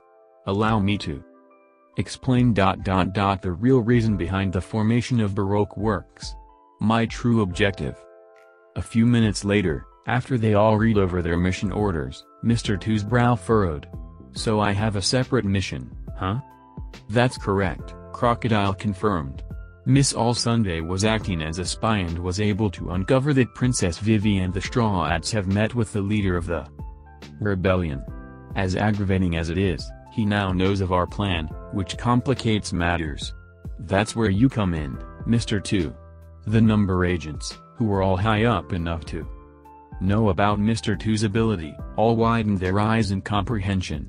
The rest of you, Crocodile continued, are to come with me to Alubarna during the start of the operation, T. Deal with any pestilence. Until then, Mr. Two, your role is key. Alright? You can count on me boss. Very well then. You are to leave Mr. Two was already rushing out the back door, doing spins the whole way. Immediately, Crocodile finished, sweat dropping. It's about time, Miss Double a Finger muttered. Mr. One grunted in agreement. How unexpected. I never imagined that you of all people would be Mr. Zero. The number agents, Crocodile included, all turned to the source of the voice. While most of them were surprised to see Mr. 3, seeing as he hadn't shown up at Spider's Cafe. Crocodile's eyes just narrowed in anger. Mr. 3. You have some nerve showing your face here. Mr. 3 said nothing under the heat of his glare as he continued walking forward. Thinking about the events that had led him to come here alone. 5 p.m., Spider's Cafe. There it is. The rendezvous point, Mr. 3 said quietly as he observed who he assumed to be Mr. 1 calmly walk towards Spider's cafe from a distance. He was concealed under a wax dome that was painted to be the color of a rock by Miss Golden Week. Mr. 2 and the Mr. 4 pair had already arrived, so the only one missing was strangely Miss Double Off Finger. Who should have arrived with Mr. 1. Not that it mattered. Okay, the plan is simple. Once they begin their journey to meet Mr. Zero, we follow behind them discreetly. With any luck. They'll lead us right to the boss. This plan is doomed to fail. Miss Valentine hissed from behind him. The woman was in obvious distress along with Mr. Five. She's right. Her partner agent agreed. There's no way we can be that stealthy as a group of four, and even if we somehow make it to the meeting place, the chances of Mr. Zero forgiving us are slim to none. At worst, we get killed by the Mr. One Bear. At best, we get killed by the boss. Mr. 5 paused to let that information sink in. Mr. 3 said nothing, so he continued. Listen, it isn't too late to turn back now. Even if he sends Mr. 1 to track us down, our chances of survival will still be much higher than if we walk into his base of operations and offer ourselves to him on a silver platter. Miss Golden Week was silent as she listened to the exchange. To be honest, she agreed with Mr. Five's logic. Mr. Three was being unreasonable. Irrational, almost.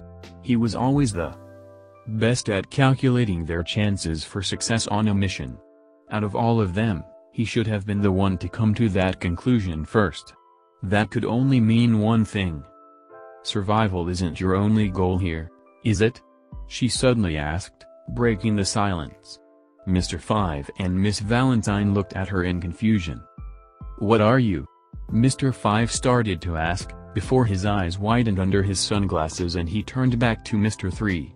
Are you serious? He asked numbly. His superior didn't even acknowledge the question, or turn to face him for that matter. You want to finish the mission, Miss Valentine whispered in horror. So what if I do? Mr. 3 finally answered in an annoyed tone. You've got to be shitting me. Mr. 5 almost shouted. He was having trouble keeping his voice under control now. We all saw how strong Straw Hat was. He wiped the floor with us all. Even if by some miracle you got your mission clearance, there's no way you can kill that guy. You'd risk all of us dying for the sake of your pride? Why would you risk your life for the damn mission? It's the only thing I would risk my life for. Mr. 3 snapped, effectively shutting him up. He turned around and matched Mr. 5's glare. I already told you guys that you don't have to come. You just followed me of your own accord. If all you're going to do is complain, then why are you still here? What am I? your babysitter. If you want to go, then go. You only slow me down anyway. Mr. Five was silent for a moment. Then, he got up. Let's go, Miss Valentine, he said. His partner agent didn't hesitate for more than a second before she rose to her feet as well. She shot Miss Golden Week an apologetic glance. We're slowing you down? It's ironic that you'd say that, Mr. Five said. I know you're not really that blind to the situation. The only one here in danger of being chased across the Grand Line. He turned back to the wax man in apathy. Is you, Mr. 3. Miss Valentine may be officer agents, but we're not high up enough to be a threat to the organization if left alive. Neither is Miss Golden Week for that matter. Even if she's your partner, she's not privy to most of the secrets that you've been privileged with. The three of us aren't worth the resources and time it would take to track us down. As long as we're with you, on the other hand. He trailed off as Mr. 3 narrowed his eyes. Do you know why we came with you? Mr. 5 asked suddenly. It's because Miss Golden Week asked us to. We were simply respecting the wishes of our fellow agent and superior. One that we actually like, I might add. This news finally evoked a reaction from Mr. 3, whose eyes widened as he turned to the girl in question. She averted her eyes from him, staring at the ground. No matter. We're leaving while we still have the chance, Mr. 5 concluded. I suggest you do the same, Miss Golden Week. With that, he and Miss Valentine left the dome and headed back the way they had come. Mr. 3 gritted his teeth. Go with them, he said to his partner agent. Her eyes widened. He's right. You're not the one in danger, he continued. This is my problem. So get the hell out of here. His voice was almost bitter. Miss Golden Week didn't move. But I treat that as an order. Her eyes glistened as she slowly got up and reluctantly left the dome as well. She turned back toward him on her way out. Good luck, she mumbled, before turning away and following behind the Mr. 5 pair. Mr. 3 was jolted out of his thoughts by the voice of Miss Doublefinger. How did you even find this place? The officer agent asked. We didn't even know where we were being taken until we arrived. I was tailing you all since Spider's Cafe. I hid in the back of the carriage, Mr. 3 explained, snapping back to reality. How clever of you, Crocodile said, his voice dripping with sarcasm. Now would you kindly explain why you're here and why I should refrain from gutting you? I came to request a second chance on my mission, Mr. 3 stated. A second chance? Crocodile repeated. What do you take me for? I always assumed you were content with my zero-tolerance policy for failure. Now that you've failed Demisio. For the first time, you expect to receive special treatment? It isn't that, Mr. 3 said quickly. It's just that considering the circumstances. The circumstances aren't going to help you here, said Crocodile, his voice raising a little. If you were going to come here groveling for forgiveness, then you shouldn't have given me that goddamned false mission report. If there's one thing I hate more than a failure, it's a coward. Mr. Three's eyes widened in shock and confusion. A false mission report? I'm afraid I don't know what you're... Stop making a jackass of yourself, Crocodile spoke in a low tone, standing up from his chair. If the growing tension wasn't enough to make the rest of the number agents flink, this single action was. Only Mr. One seemed to be keeping his cool through the encounter. You reported that you killed the Straw Hats in Princess Vivian Little Garden. Because you lied to cover your own ass, the Straw Hats were able to meet with the rebel army. He began walking toward the stuttering wax man. Now you have 10 seconds to enlighten me on why I should continue to humor your little request. Why you must be mistaken. I didn't even use my transponder snail once on Little Garden. I didn't give any report. Mr. 3 defended.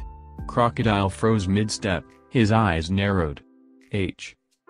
Continued to stare at Mr. 3, as if searching his face for any sign of deception, an act that unnerved the wax man to no end. Eventually, his scowl lightened and then disappeared. Replaced by a chilling smile. Wait dot dot dot what? Mr. 3 rubbed his eyes to make sure he was seeing right as Crocodile burst into laughter. Clever bastard, the Sandman muttered. I'll kill you, make no mistake. It barely registered in Mr. Three's mind that Crocodile wasn't even talking to him anymore before he was yanked off the ground by a disembodied hand. In any other situation, he would have had enough clarity of mind to notice the sand trailing behind the lone appendage.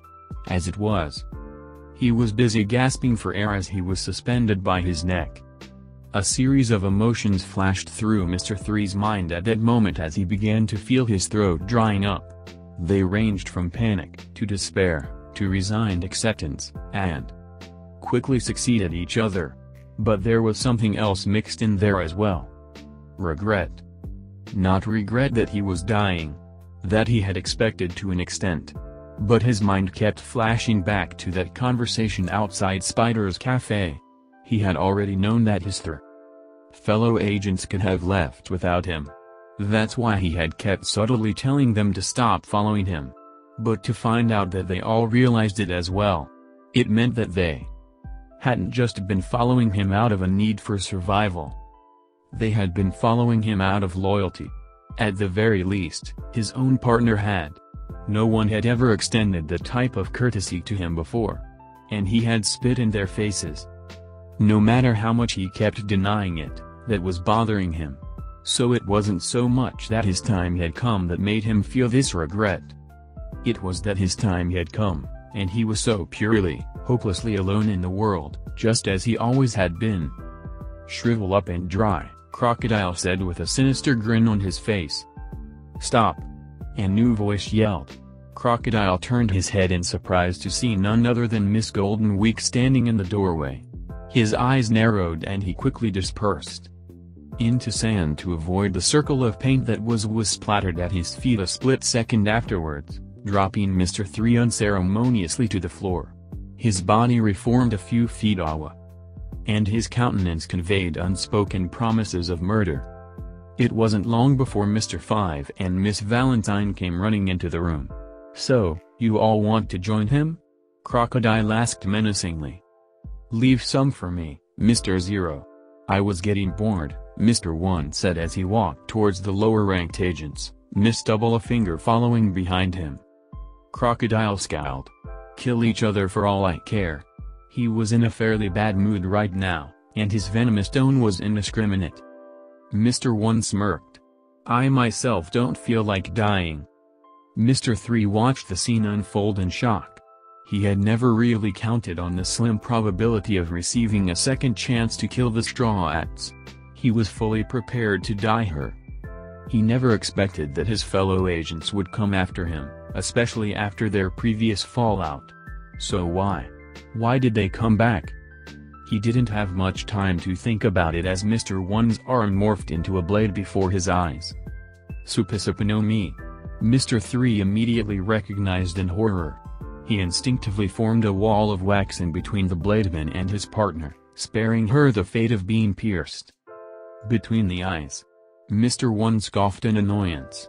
He turned toward Mr. 3 but was interrupted as Mr. 5 charged towards him. His explosive fist met Mr. 1 dead on, and the blademan was sent hurtling back by the force of the blow.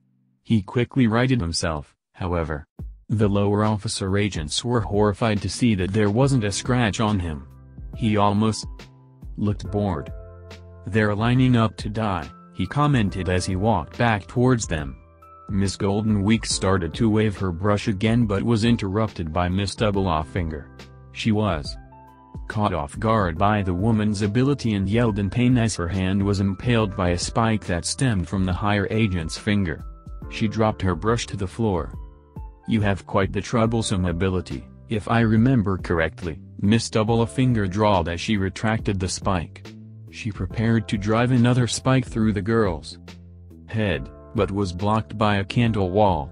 Another one simultaneously sprung up in between Mr. 1 and Mr. 5, who was also saved the fate of being impaled by the durable materia. Mr. 1 grunted as his steel arms rebounded off the wax. Miss Valentine made the next move, jumping high above Miss Double a Finger's speed and maximizing her weight.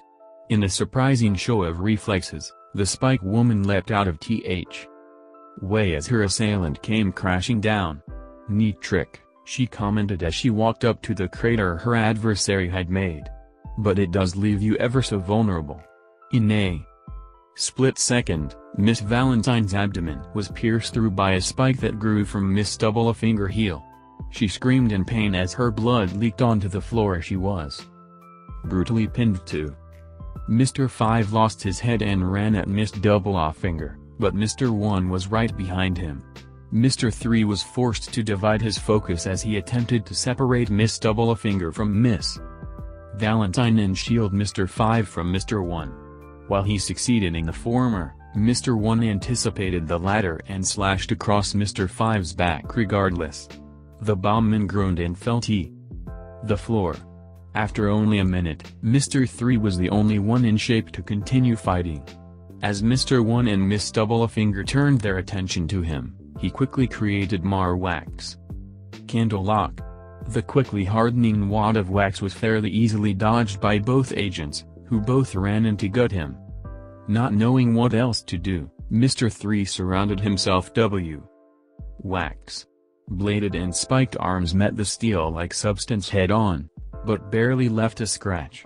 While Miss Double-A-Finger was beyond annoyed, Mr. 1 gave War a frightening grin. I think you overestimate the power of that wax of yours, Mr. 3, the blademan said. Suddenly, Mr. 3 could hear what sounded like a buzzsaw coming from the other side of the wall he made.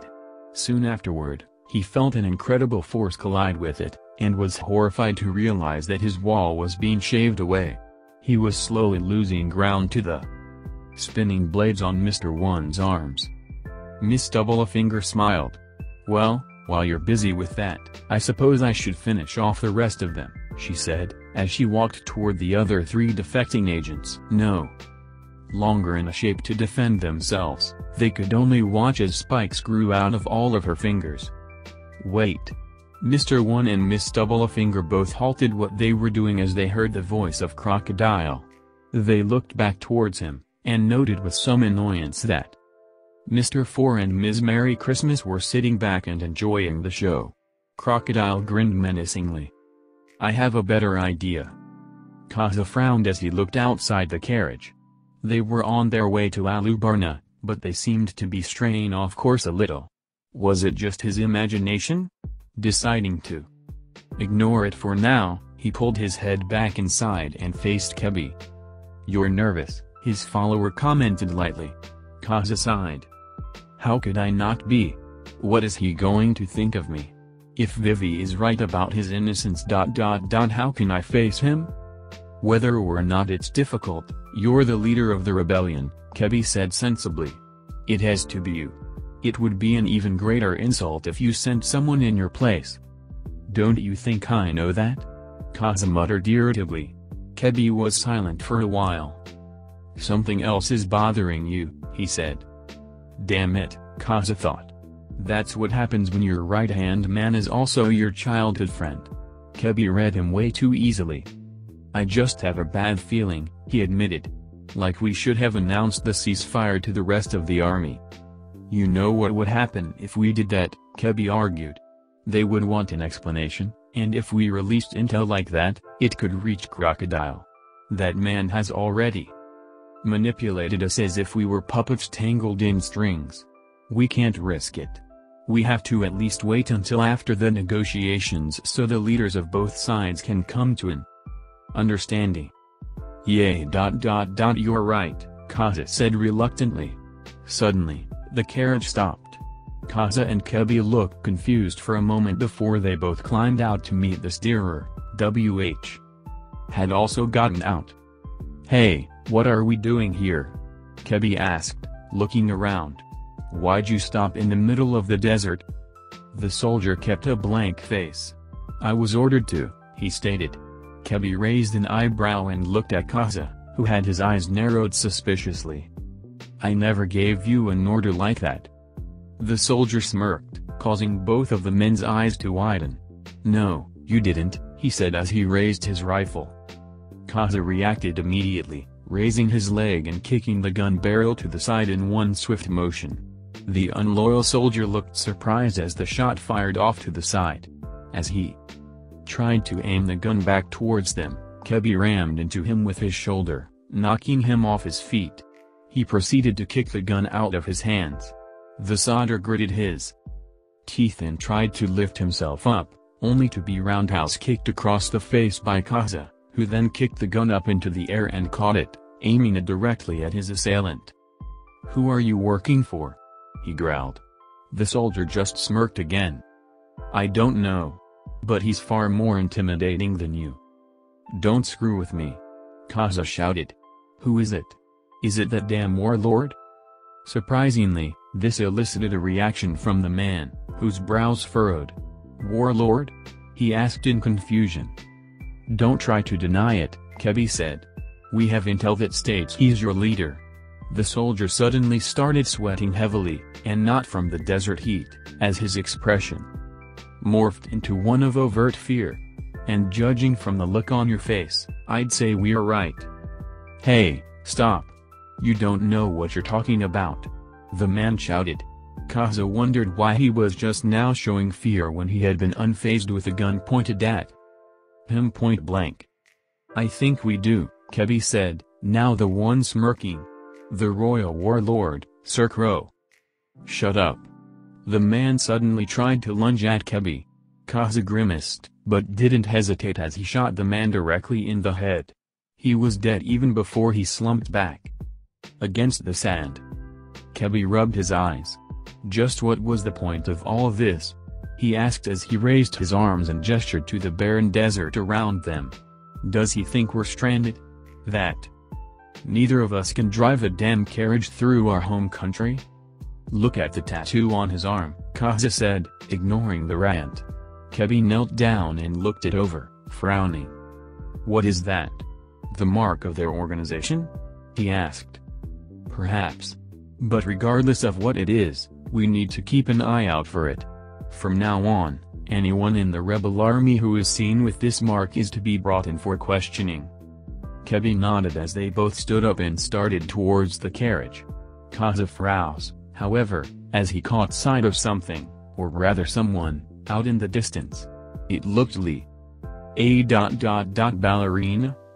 I apostrophe M dot dot dot ha dot dot dot gna dot dot dot ha dot dot dot ha dot dot dot die.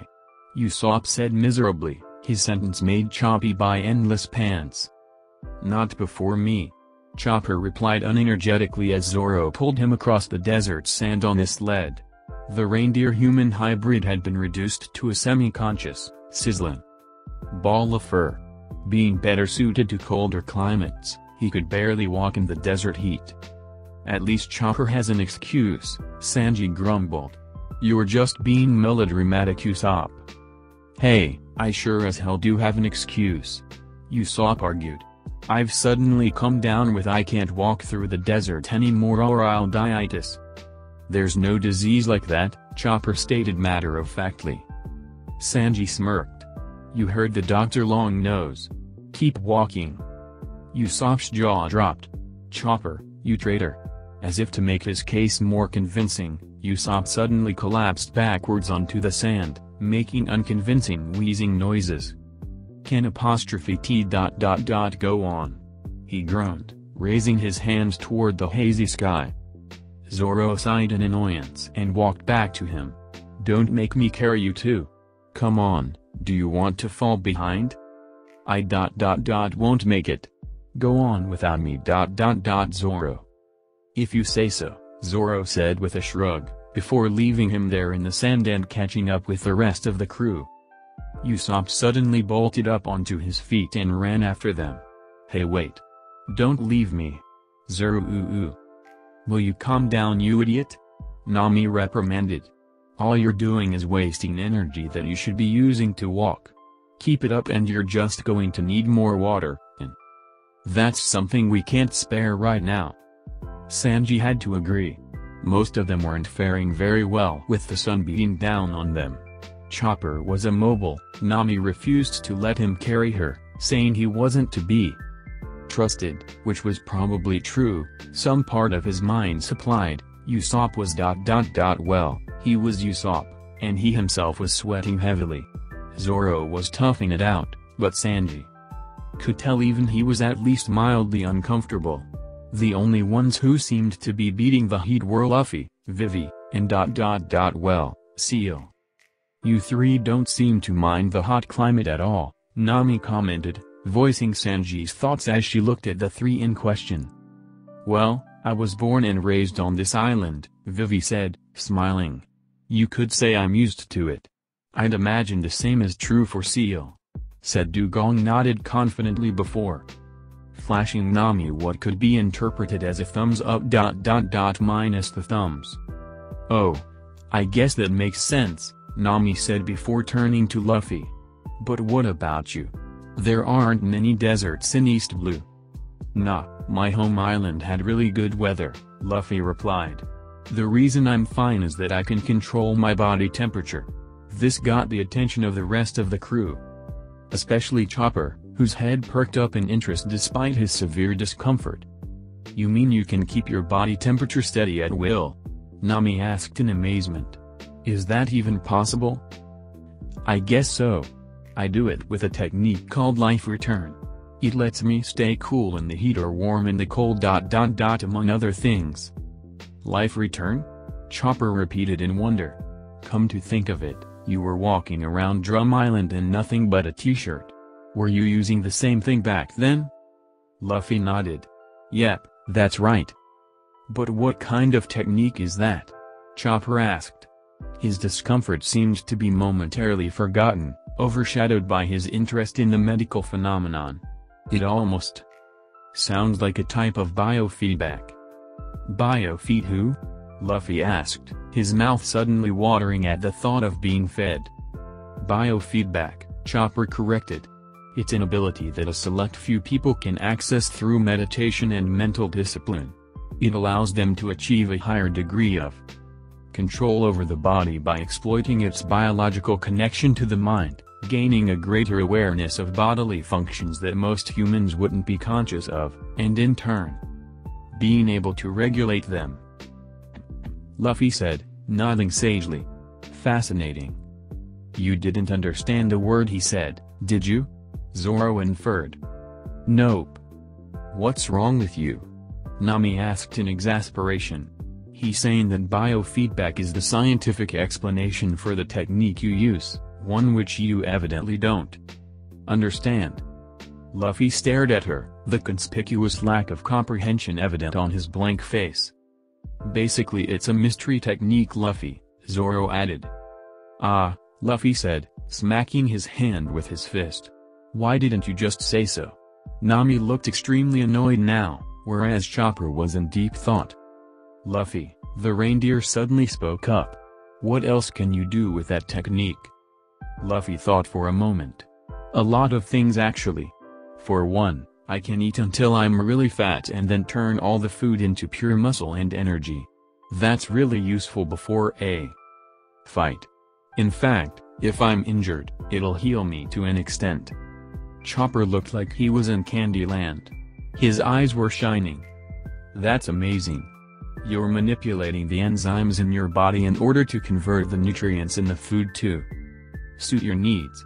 From the sound of it, you can even speed up digestion. How did you learn to do that? Luffy scratched his head. I just sort of dot dot dot did it one day, he admitted. Come to think of it, when was the first time he did that? Was it in Impel Down? No, maybe Sabaody?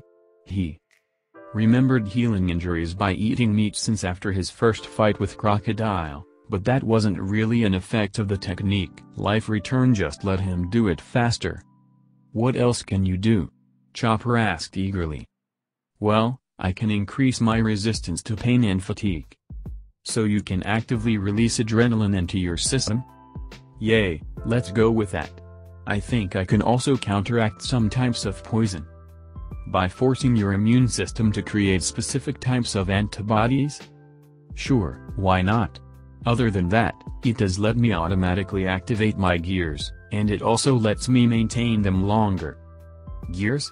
Sanji interrupted. What are those? They're ways that I can enhance my fighting style by taking advantage of my rubber body. Like this. Steam suddenly started rising from his body, which took on a red tint. Chopper's jaw dropped as he sat up. Luffy. You're showing signs of a dramatic increase in heart rate. He said in a panicked tone. Luffy just nodded as he continued smiling. Yep, that's Gear Second. It increases my strength and speed. The crew looked on in amazement.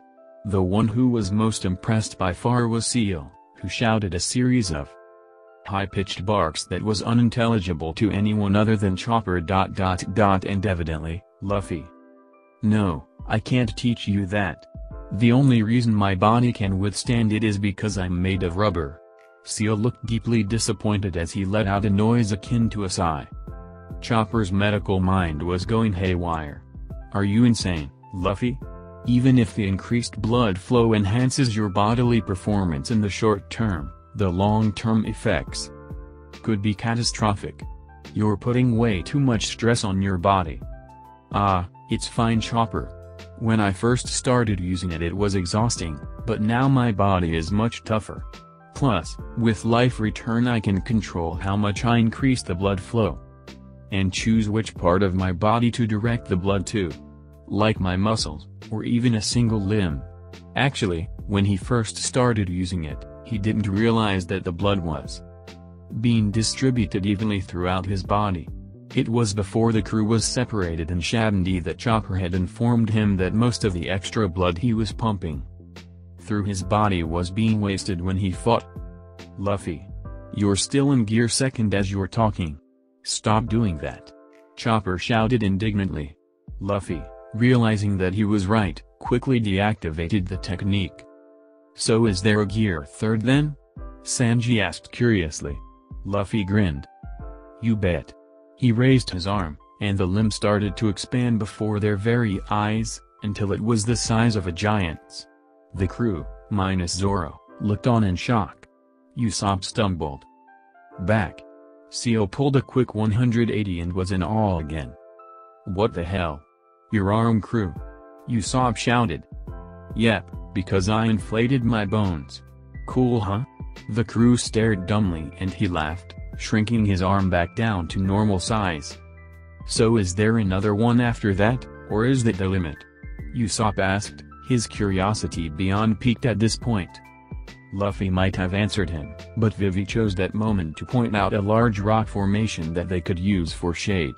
The crew immediately rushed over to the rock. Usopp forgetting his own question entirely. Man, it really is hot out here, Nami complained. I wish we had something to ride. Like a camel maybe. Not all of us would fit on a camel though, Vivi pointed out. You're right, Nami admitted. A camel that only gave rides to us girls would be nice. Vivi's brow furrowed. What kind of camel is that? Nami shrugged. Is the plan in motion, Miss All Sunday? Crocodile asked. His tone contained a hint of impatience. It is, his partner agent replied. Mr. 2 has reported that his infiltration was successful. Good. Then our rebel friend should be arriving any minute now, Crocodile stated, turning around in his chair to face her. Make sure they're comfortable with our other guests. We're moving ahead of schedule. Tomorrow, we move into Alubarna. Miss All Sunday's features were carefully blank as she nodded. Yes sir.